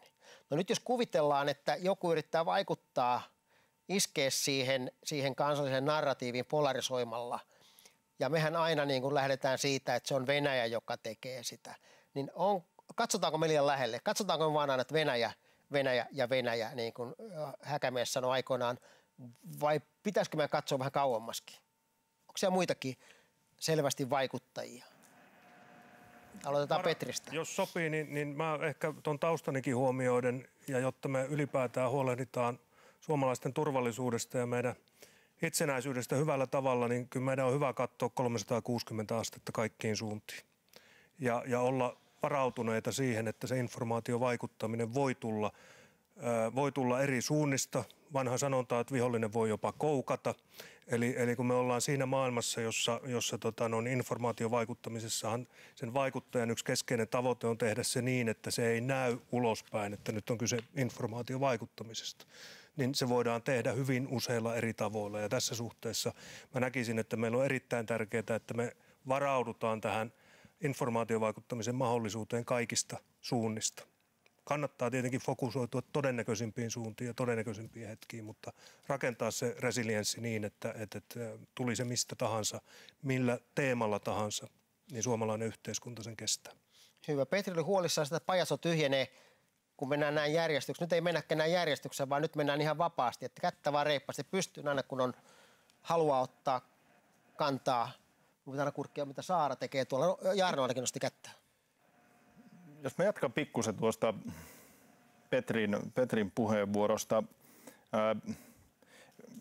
Mehän eletään oikeastaan niin kuin kahdessa maailmassa. Meillä on tämä fyysinen maailma, jossa me ollaan totuttu elämään vuosituhansia. Ja nythän me ollaan yhä enemmän elämässä täällä digitaalisessa maailmassa, jossa sitten tällaiset maantieteelliset laika, lainalaisuudet, vaikka aikatekijät, ää, menee ihan toisarvoisiksi. Ja silloin jopa tämmöinen ajattelu, että mistä suunnasta joku asia tulee, niin sekin menettää niin kuin merkityksensä. Ää, toki on ihan niin kuin fyysisen maailman puolella on erilaisia toimijoita, valtiollisia ja ei-valtiollisia, joilla on erilaisia motiiveja. Ja samat toimijat erilaisissa motiiveilla toimii täällä digimaailmassa ja täällä yhä enemmän erilaisin keinoin. Mutta oikeastaan niin kuin minun näkökulmasta, niin ää, jos nyt ajattelen vähän niin kuin myös tutki, tutkijamaailman tai tutkimusmaailmasta, niin nyt kun me ajatellaan tätä informaatioympäristöä, jossa meidän nyt pitäisi vaikka ulko- ja turvallisuuspolitiikan selonteon sanoin rakentaa sitä omaa informaatiopuolustusta, niin tässä informaatioympäristössä on mielestäni kaksi semmoista keskeistä asiaa, mihin me joudutaan nyt kiinnittää yhä enemmän huomiota. Toinen on, vaikuttaa se, ja tämä on nyt vähän yleisesti sanottuna, mutta viitaten noihin Sitrankin hyviin raportteihin, niin hämmennyksen tuottaminen tuntuu olevan yhä vahvempaa vallankäyttöä jolloin voi tietyllä tavalla sanoa, että kuka ikinä tätä disinformaatiota ja misinformaatiota ja hämmennystä tuottaa, niin se sataa ikään kuin samaan laariin. Ja mitä enemmän me siirrytään siihen, että ihmiset kysyy, mihin voi luottaa, minkälaisessa informaatiomaailmassa on, mikä, mikä on enää totta, niin mä näen, että tämä on semmoinen tietyllä tavalla huolestuttava kyllä niin kuin kehityssuunta. Ja tämä on, viittaan tuohon, mitä Katri sanoi aikaisemmin, että tässä me ei voida vain todeta, että yritetään sopeutua, vaan kyllä meidän täytyy olla itse aktiivisia. Ja sitten toinen asia on tämä, mikä voi sanoa tutkimusmaailmassa korostuu yhä enemmän, niin puhutaan niin kuin mielikuvaturvallisuudesta. Eli meillä on niin kuin kaksi maailmaa tässäkin. On tämä objektiivinen todellisuus, niin kuin asiat oikeasti on. Niin kuin tuolla oikeasti tällä hetkellä on kaunis talvinen talvipäivä täällä Lahden Sibelius-talon ulkopuolella.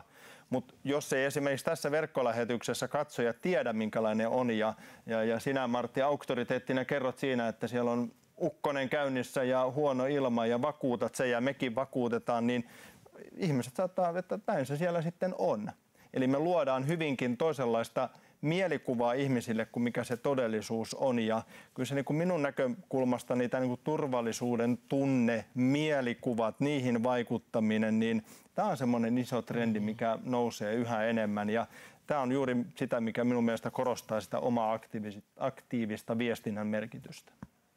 No, ehkä tähän, tähän jatkona, että vähän e, tietysti mielessä e, e, tietysti jaan ajatuksen siitä, että pitää joka suuntaan katsoa ja ei aina tunnisteta, että mikä onkaan taustalla sit sen, siinä vaikuttamisessa, mutta että yhtä hyvin meillä on, on toimijoita tässä meidän naapurustossa, Venäjä nyt ensimmäisenä, jolla on niin pysyviä intressejä, jolloin me voidaan olla aika varmoja, että sieltä niin kuin voidaan luottaa siihen, että sieltä, sieltä tulee aina tietyn tyyppistä ää, niin kuin niin kuin vaikuttamista. Ja, ja se, mikä jos katsotaan venä, venäläisten toimintaa, niin mikä on iso ero sitten vaikka monien niin kuin läntisten, läntisten niin kuin toimijoiden suhteen mun mielestä on se, että heillä on aika pysyviä tällaisia narratiiveja tai tarinoita, joita, joita niin kuin systemaattisesti viedään, viedään läpi koko ajan. Ja, ja siihen on taas vaikeampi uh,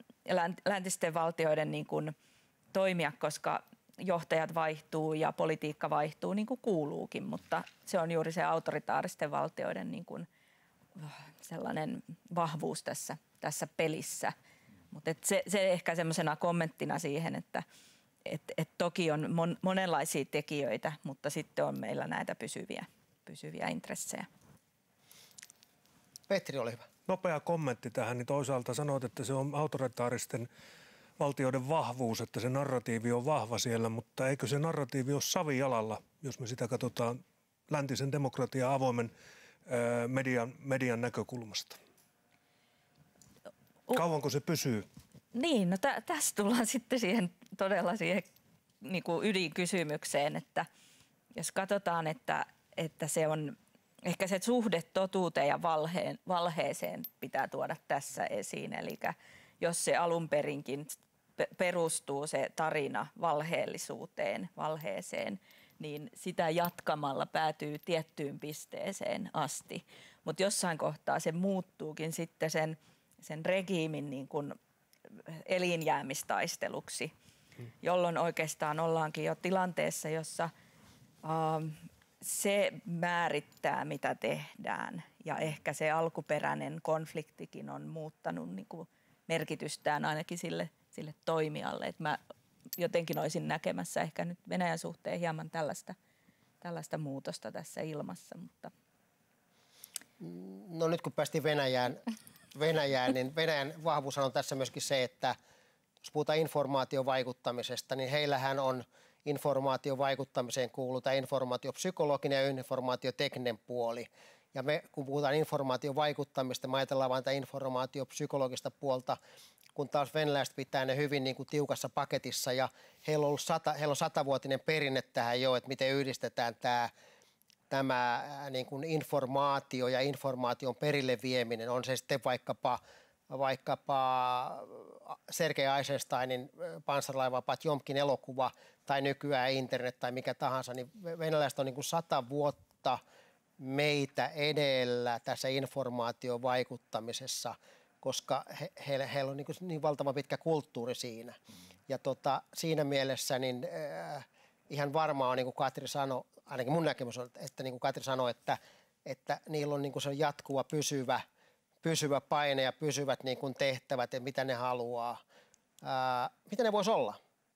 Mitä ne voisi olla? Mitä, mitä, jos saisit henkilö, joka, ää, joka johtaa Suomeen suuntautuvaa informaation vaikuttamista, niin minkälaisia tehtäviä sä arvioit saavasi? Mitä sun esimies käskee sun tehdä? Kaksi tai kolme tehtävää.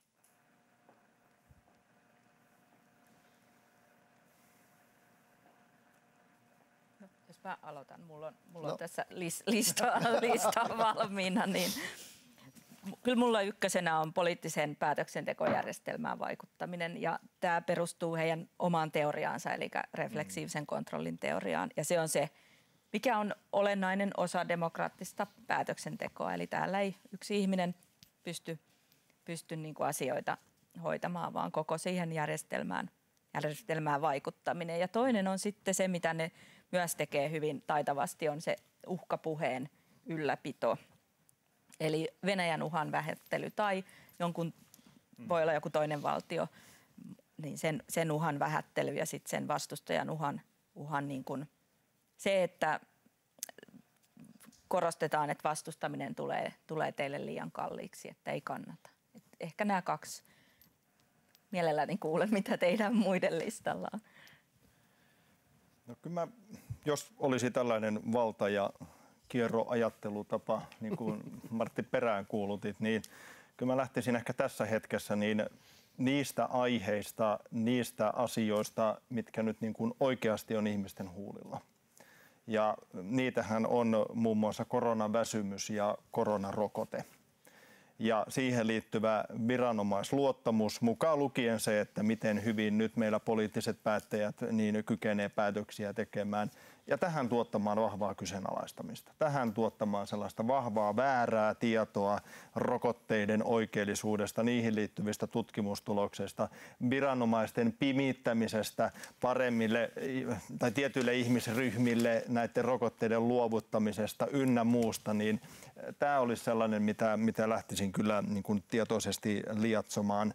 Ja toisena kokonaisuutena niin ää, jotenkin tuntuu, että, ja nyt tämä on nyt enemmän tuntuu ajattelu, että sellaiset aihepiirit ja asiat, jotka niin kuin menee ihmisten ihon alle ja tunteisiin, josta meillä on jo tällä hetkellä vahvaa erimielisyyttä tässä yhteiskunnissa, niin sitä kuoppaa vaan siihen keskelle kaivamaan entistä syvemmäksi. Ja, ja, ja maahanmuuttoasia on varmasti nyt kunnallisvaalien alla, siihen on vajaa pari kuukautta, tai reilu pari kuukautta aikaa mikä nousee keskusteluissa esille, yhteiskunnan turvallisuus, eriarvoisuus, tämän tyyppiset asiat, niin kyllä mä nämä, näillä jatkaisin Katrin listaa eteenpäin.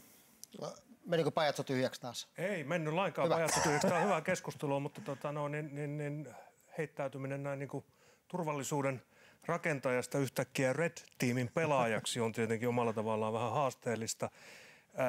Sanotaan, että Suomea pidetään hyvin vahvasti resilienttinä yhteiskuntana informaatiovaikuttamisen kannalta ja tämä ei ole pelkästään suomalaisten itsensä näkemys. Eli näin ollen niin, niin hyökkääjällä tai, tai informaatiovaikuttajalla ei takuu varmasti ole helppo tehtävä saada tänne sitä railoa aikaiseksi tässä suhteessa. Ja, ja tota no, niin näin, ollen, näin ollen mä varmaan pyrkisin keskittymään, jos joutuisin sen tämmöisen operaation tekemään, niin siihen, että se informaation vaikuttaminen olisi mahdollisimman uskottavaa. Tai että se olisi saatu tehtyä niin, ettei ne jäljet johda heti sylttytehtaalle.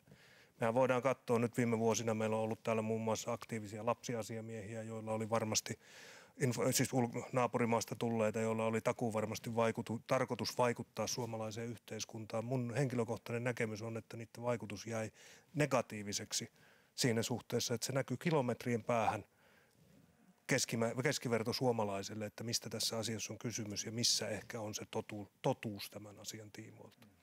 Eli, eli sen, sen operaation uskottavuus olisi mun ensimmäinen fokus tässä suhteessa ja miten se tehdään.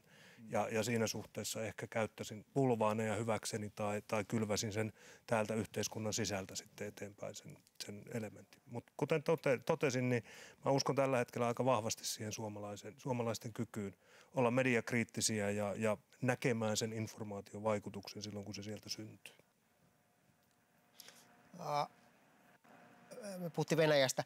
Ajatellaan, okei, okay, entäs, entäs Kiina? Onko, onko Kiinalla samanlaisia tavoitteita, eri tavoitteita – onko siellä syvemmät tavoitteet, matalammat tavoitteet, niin kuin armeijassa sanotaan? Mitä mieltä olette? Et katsotaanko me, katsotaanko me vain niin kuin tavallaan liikaa Venäjää ja sitten unohdetaan, että se Kiinakin on siellä. Tai siellä on joku muu. Siellä on vielä joku muu. Vai katsotaanko me liian kauas? Saara? Joo, tota, tässä on oikeastaan niin kuin useampikin tai niin kuin vois, voisin kommentoida oikeastaan näitä viimeisempiä kysymyksiä nyt niin kuin kokonaisuutena. Uh, kyllä, niin kuin, kyllä Suomen kohdistuu muualtakin tulevaa informaatiovaikuttamista kuin, kuin Venäjältä tulevaa. Ja oikeastaan kyse on siitä, että onko vaikuttaminen suoraa vai epäsuoraa. Uh, sehän ei välttämättä tee niistä vaikutuksista yhtään heikompia tai, tai vähempiä, jos se vaikuttaminen tulee tänne epäsuorasti jotain kautta. Ja kyllä mä, niin kun, kyllä mä näen, että se asetelma ei ole Suomi-Venäjä tai Suomi-Kiina, vaan ää, demokratia versus ää, autoritäärinen valta.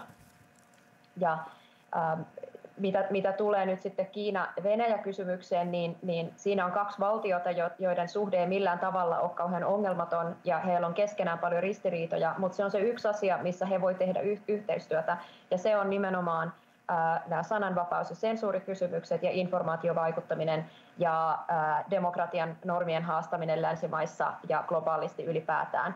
Eli, eli kaikki, kaikki nämä on sellaisia teemoja, mitkä liittyy informaatiovaikuttamiseen. Ja juuri informaatiovaikuttamisessa nämä kaksi valtiota voi tehdä sujuvaa yhteistyötä ja tekeekin.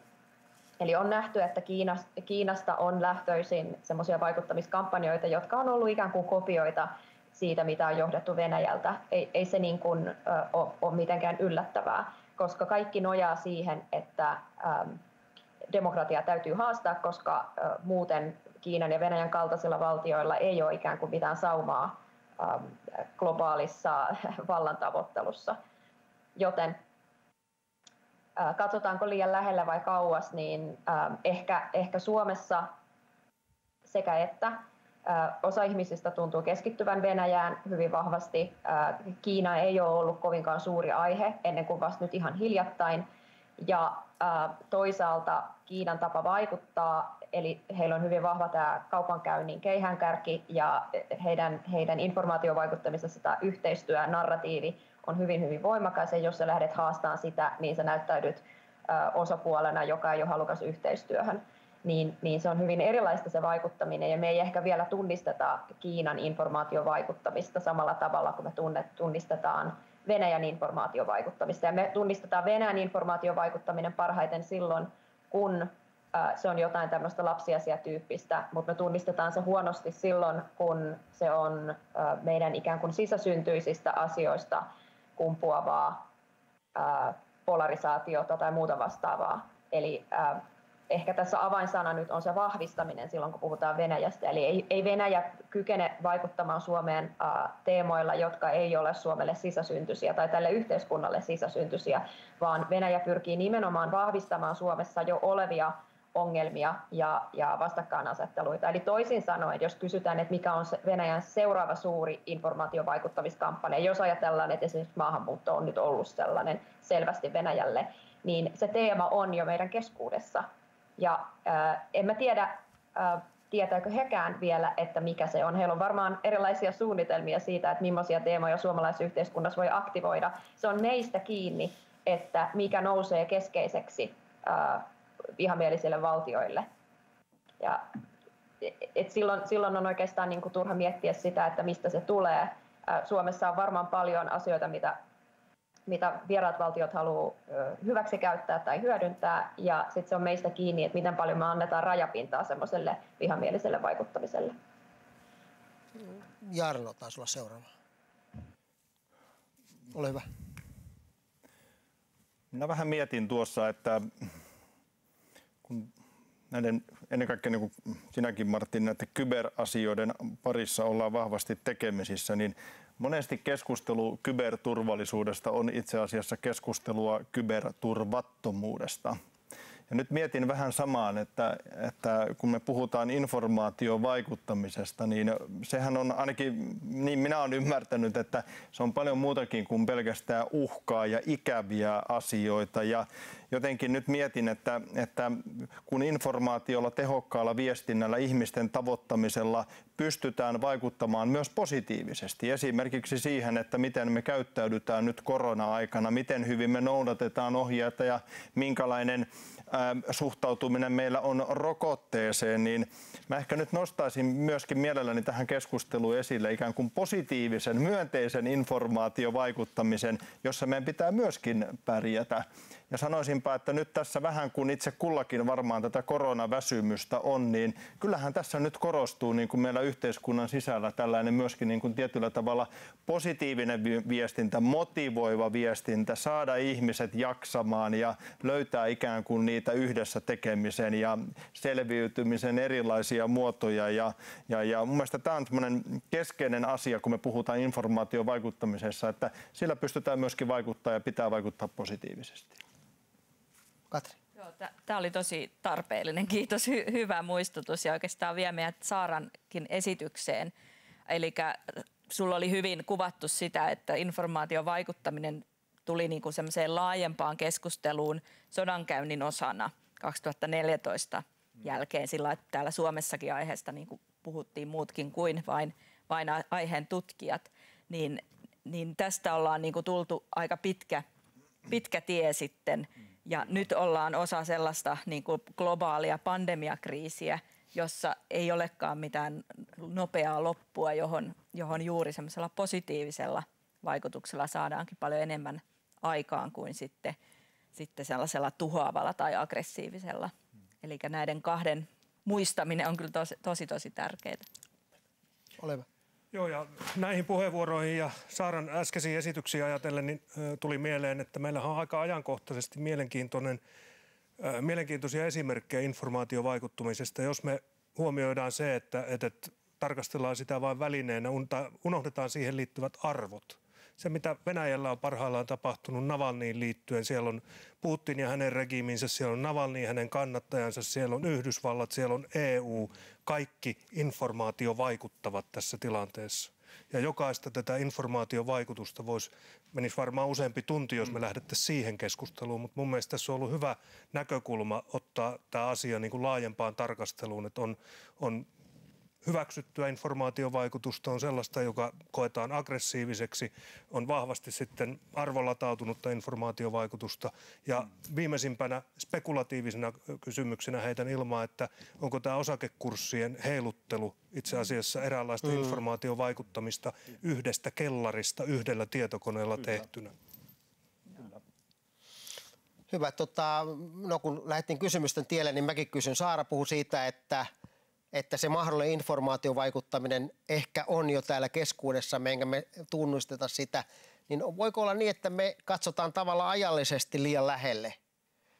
Mm, mä oon syntynyt 60-luvulla ja mä kävin koulut 70-luvulla, joka oli sitä synkintä, synkintä YYA-aikaa ja sitten elettiin sitä postkekkoslaista aikaa, niin onko niin, että me ollaan tavallaan ihan niin kuin se sammakko, joka laitetaan kylmään veteen ja sitten laitetaan se vesi pikkuhiljaa lämpenemään, niin me ei huomatakaan sitä, että se vesi kiehuu. Niin onko meillä käynyt samalla tavalla, että me ollaan totuttu siihen, että se tavallaan se vaikuttaminen on täällä meidän ympärillä, eikä me ymmärretäkään sitä enää. Voisiko, voisiko tässä olla tämmöinen tilanne? Me selviydyttiin niistä vuosikymmenistä. Niin, se on totta. Me selviydyttiin, joo. Se on totta, mutta tavallaan, että onko se niin kuin, onko se, nyt taas mennään sinne Venäjään, mutta onko se venäläinen informaatiovaikuttaminen, mikä täällä meillä on, niin onko se niin kuin ilma, että me ei enää huomata sitä, vaan se vaan on täällä? Mä en ehkä nä- näkisi asiaa noin, että et, et, et, et, tota, mietin tuota historia-ajatusta, että nyt oikeastaan meillä on aika paljon hyvää tutkimusta, jossa mm. Osoitetaan näitä historiallisia keissejä, joissa, joissa niin kuin on onnistuttu tai epäonnistuttu jossain operaatiossa. Ja ne on tosi tarpeellisia ja tärkeitä, että sitä, sitä niin kuin se historia tulee eläväksi ja, ja osataan niin kuin erottaa, että mitä nyt tapahtuu ja mitä silloin tapahtuu ja mitä yhtäläisyyksiä ja mitä eroja on. Se on sinänsä tärkeää, mutta että – mä jotenkin yhdistän sen, niin kuin, jos puhutaan nyt Venäjän vaikuttamista, niin vaikuttamisella, informaatiolla vaikuttamisella konfliktissa, että et sellainen rauhanajan jatkuva piirre, niin mä en ole ihan varma, että sitä, sitä tapahtuu Suomen suuntaan, että et enemmän ehkä muihin ilmansuuntiin. Mielestäni tuossa ollaan nyt ihan hyvin keskeisessä semmoisessa taas isommassa muutoskysymyksessä. Kyllä mä havaitsen edelleen Suomessa, että meillä aika paljon ajatellaan näitä asioita vähän niin kuin näiden dikotomioiden kautta, että joko on se rauhantila tai sitten on se sotatila ja sitten iskee kaikki mutta kun ajatellaan tämän päivän teknologista kehitystä, informaatioympäristöä, erilaisia kyber, paha tahtoisia kyberaktiviteetteja, niin kuin hyvin Martti tiedät, mitä tapahtuu päivittäin, niin eihän se ole kumpaakaan. Ja nyt miten me ikään kuin yhteiskuntana päivittäisessä toiminnassa lähtien meidän toimivaltuuksista, vastatoimista, ihmisistä, ihmisien sivistyksestä kyetään elämään ja toimimaan tässä niin sanotusti välitilassa, joka muuttuu ja se ihminen välttämättä ei kuitenkaan aina muutu, niin se on iso keskeinen kysymys. Ja mikä on meidän valmius myöskin niin kuin siinä toimia?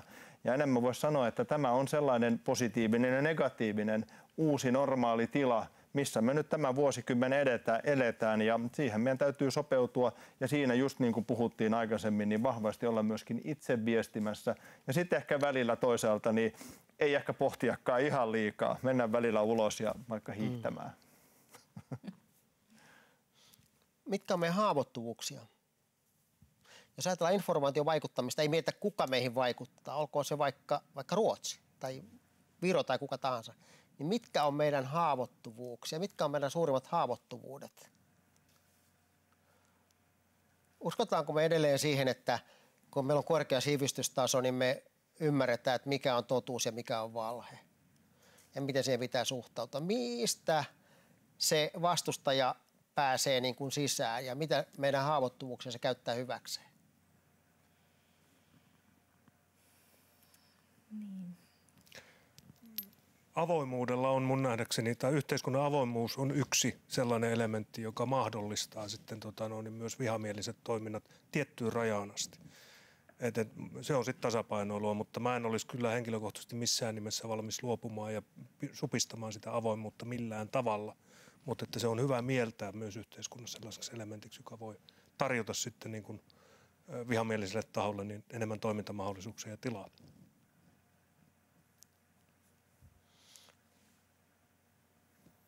Mä oon itse miettinyt sitä niin, että äh, kun mä oon Twitterissä ja mä huomaan, että Twitterissä ihmiset polarisoituu aika nopeasti. Sitten mä aina niin kuin mietin, että tämä on hirveätä, kun ihmiset menee heti niihin omiin kupliinsa ja niin edelleen, mutta sitten, että kun kaikki suomalaiset eivät siellä Twitterissä ole, vaan siellä on vain pieni pieni osa. Että, että onko meillä niin kuin väärä kuva siitä polarisaation luonteesta, vahvuudesta ja nopeudesta – vai ei? Että, että, mä en tiedä, Saara varmaan osaa vastata, että polarisoituuko tämä yhteiskunta nopeammin, siis yhteiskunta, ei Twitteri, vaan yhteiskunta nopeammin kuin vaikka 30-luvun AKS, IKL yhteiskunta tai 60-luvun ää, ää, jenkit pois Vietnamista yhteiskunta, vai tuntuuko se vaan siltä? Yhteiskunta voi polarisoitua tosi nopeastikin ja ähm, oikeastaan polarisaation tämmöiset voimakkaat haitalliset vaikutukset ei vaadi sitä, että koko yhteiskunta on polarisoitunut, vaan se vaatii sen, että täällä on tarpeeksi suuri joukko ihmisiä, jotka on napit vastakkain ja rupeaa käyttämään sellaisia keinoja, jotka on oikeasti yhteiskunnalle haitallisia. Ja kyllä mä niin kuin näkisin, että jos, jos tällä hetkellä jo aika moni ää, politiikkaan mukaan haluava kertoo, että he ei uskalla lähteä politiikkaan mukaan, koska he pelkää niitä seuraamuksia itselleen ja perheelleen, niin, niin tämä voisi olla yksi esimerkki semmoisesta, että ei, ei Suomi nytkään ole erityisen polarisoitunut. Meillä on polarisaatiota, koska se on globaali trendi, jossa Suomi on ikään kuin osallisena ja mukana ja, ja saa siitä osansa, mutta sekin vähäinen määrä polarisaatiota voi aikaan saada tosi merkittäviä haitallisia vaikutuksia tässä yhteiskunnassa. Ja, ja oikeastaan niin kuin se, mitä mä ehkä tarkkailisin, on tämmöisten niin kuin poliittisten ääriliikkeiden toiminta tässä yhteiskunnassa. Ähm, et, et ei se, se voi olla nopeata, koska kysehän on vain siitä, että mikä aihe saadaan keskusteluun äh, ja, ja mille laajuudelle, koska tiedetään, että Suomessa keskustellaan vain yhdestä aiheesta kerrallaan, että nyt jos katsoo, katsoo tuolla, että mitä porukka jakaa, jakaa somekuplissa, niin siellä on aika vahvasti tämän kevään vaalit ainakin omassa kuplassani esillä. Ja jos miettii, että mitä kaikkea maailmalla tapahtuu, niin, niin, niin tuntuu, että sitä huomioon ei aina riitä, riitä kaikille, kaikille ilmiöille yhtä aikaa. Ja polarisaatio hyödyntää tämmöistä niin kuin yhteen suuntaan katsomisen tarvetta, mikä Suomessa nyt on ihan tyypillistä. Meidän mediatila on aika pieni. Hyvä. Kiitos tähän Saaran viisaisiin sanoihin. On hyvä lopettaa. Mä kiitän panelisteja. Tästä olisi mennyt toinenkin tunti vielä ihan rattosasti, mutta tota, kiitos. Hyviä kommentteja, äärimmäisen hyviä kommentteja. Me päästiin yksi kolmasa kysymyksistä. Jatketaan ehkä sitten jossain toisissa, toisilla tiimoilla, mutta tota, hyvää viikonloppua, koronavapaata kevättä ja muistakaa äänestää, muistakaa hiihtää. Kiitos. Kiitos. Kiitos.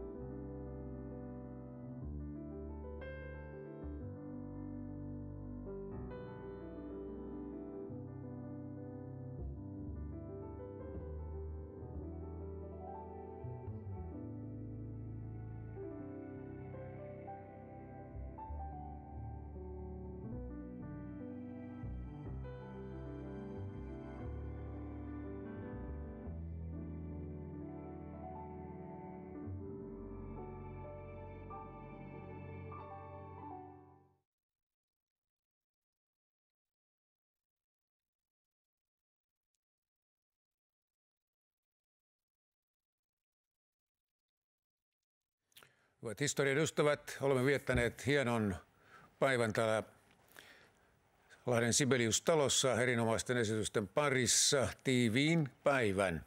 Ja mä uskon ja toivon, että se on ollut teille antoisa, että se olette saaneet omaan elämäänne vähän sisältöä ja olette kiinnostuneet näistä asioista. Niin kuin alussa totesin, niin tämä on ollut tämän koronapandemian johdosta meillä etätapahtuma ilman yleisöä joka tapauksessa kuitenkin toteutimme sen 22 kerran ja siinä vakaassa halussa ja uskossa, että ensi vuonna helmikuun alussa samoihin aikoihin pidämme kaksipäiväisen seminaarin. Ja näillä kokemuksilla, mitä me näistä etäyhteyksistä nyt saamme, niin näitä me tulemme kyllä nyt miettimään, koska onhan se hienoa olla näissä merkeissä, historia-asioissa ja yhteiskunnallisissa ongelmissa miettimässä asioita ihan valtakunnan, merkkei, valtakunnan verkossa ja nämä hän on katsottavissa ihan ympäri maailmaa, niin kuin tässä viimeisimmässäkin osiossa tavallaan esille tuli. Ja yhdyn her, äsken herra Everstin mainitsemiin sanoihin, pysytään terveinä, hiihtäkää ja käykää äänestämässä. Hyvää kevättä kaikille.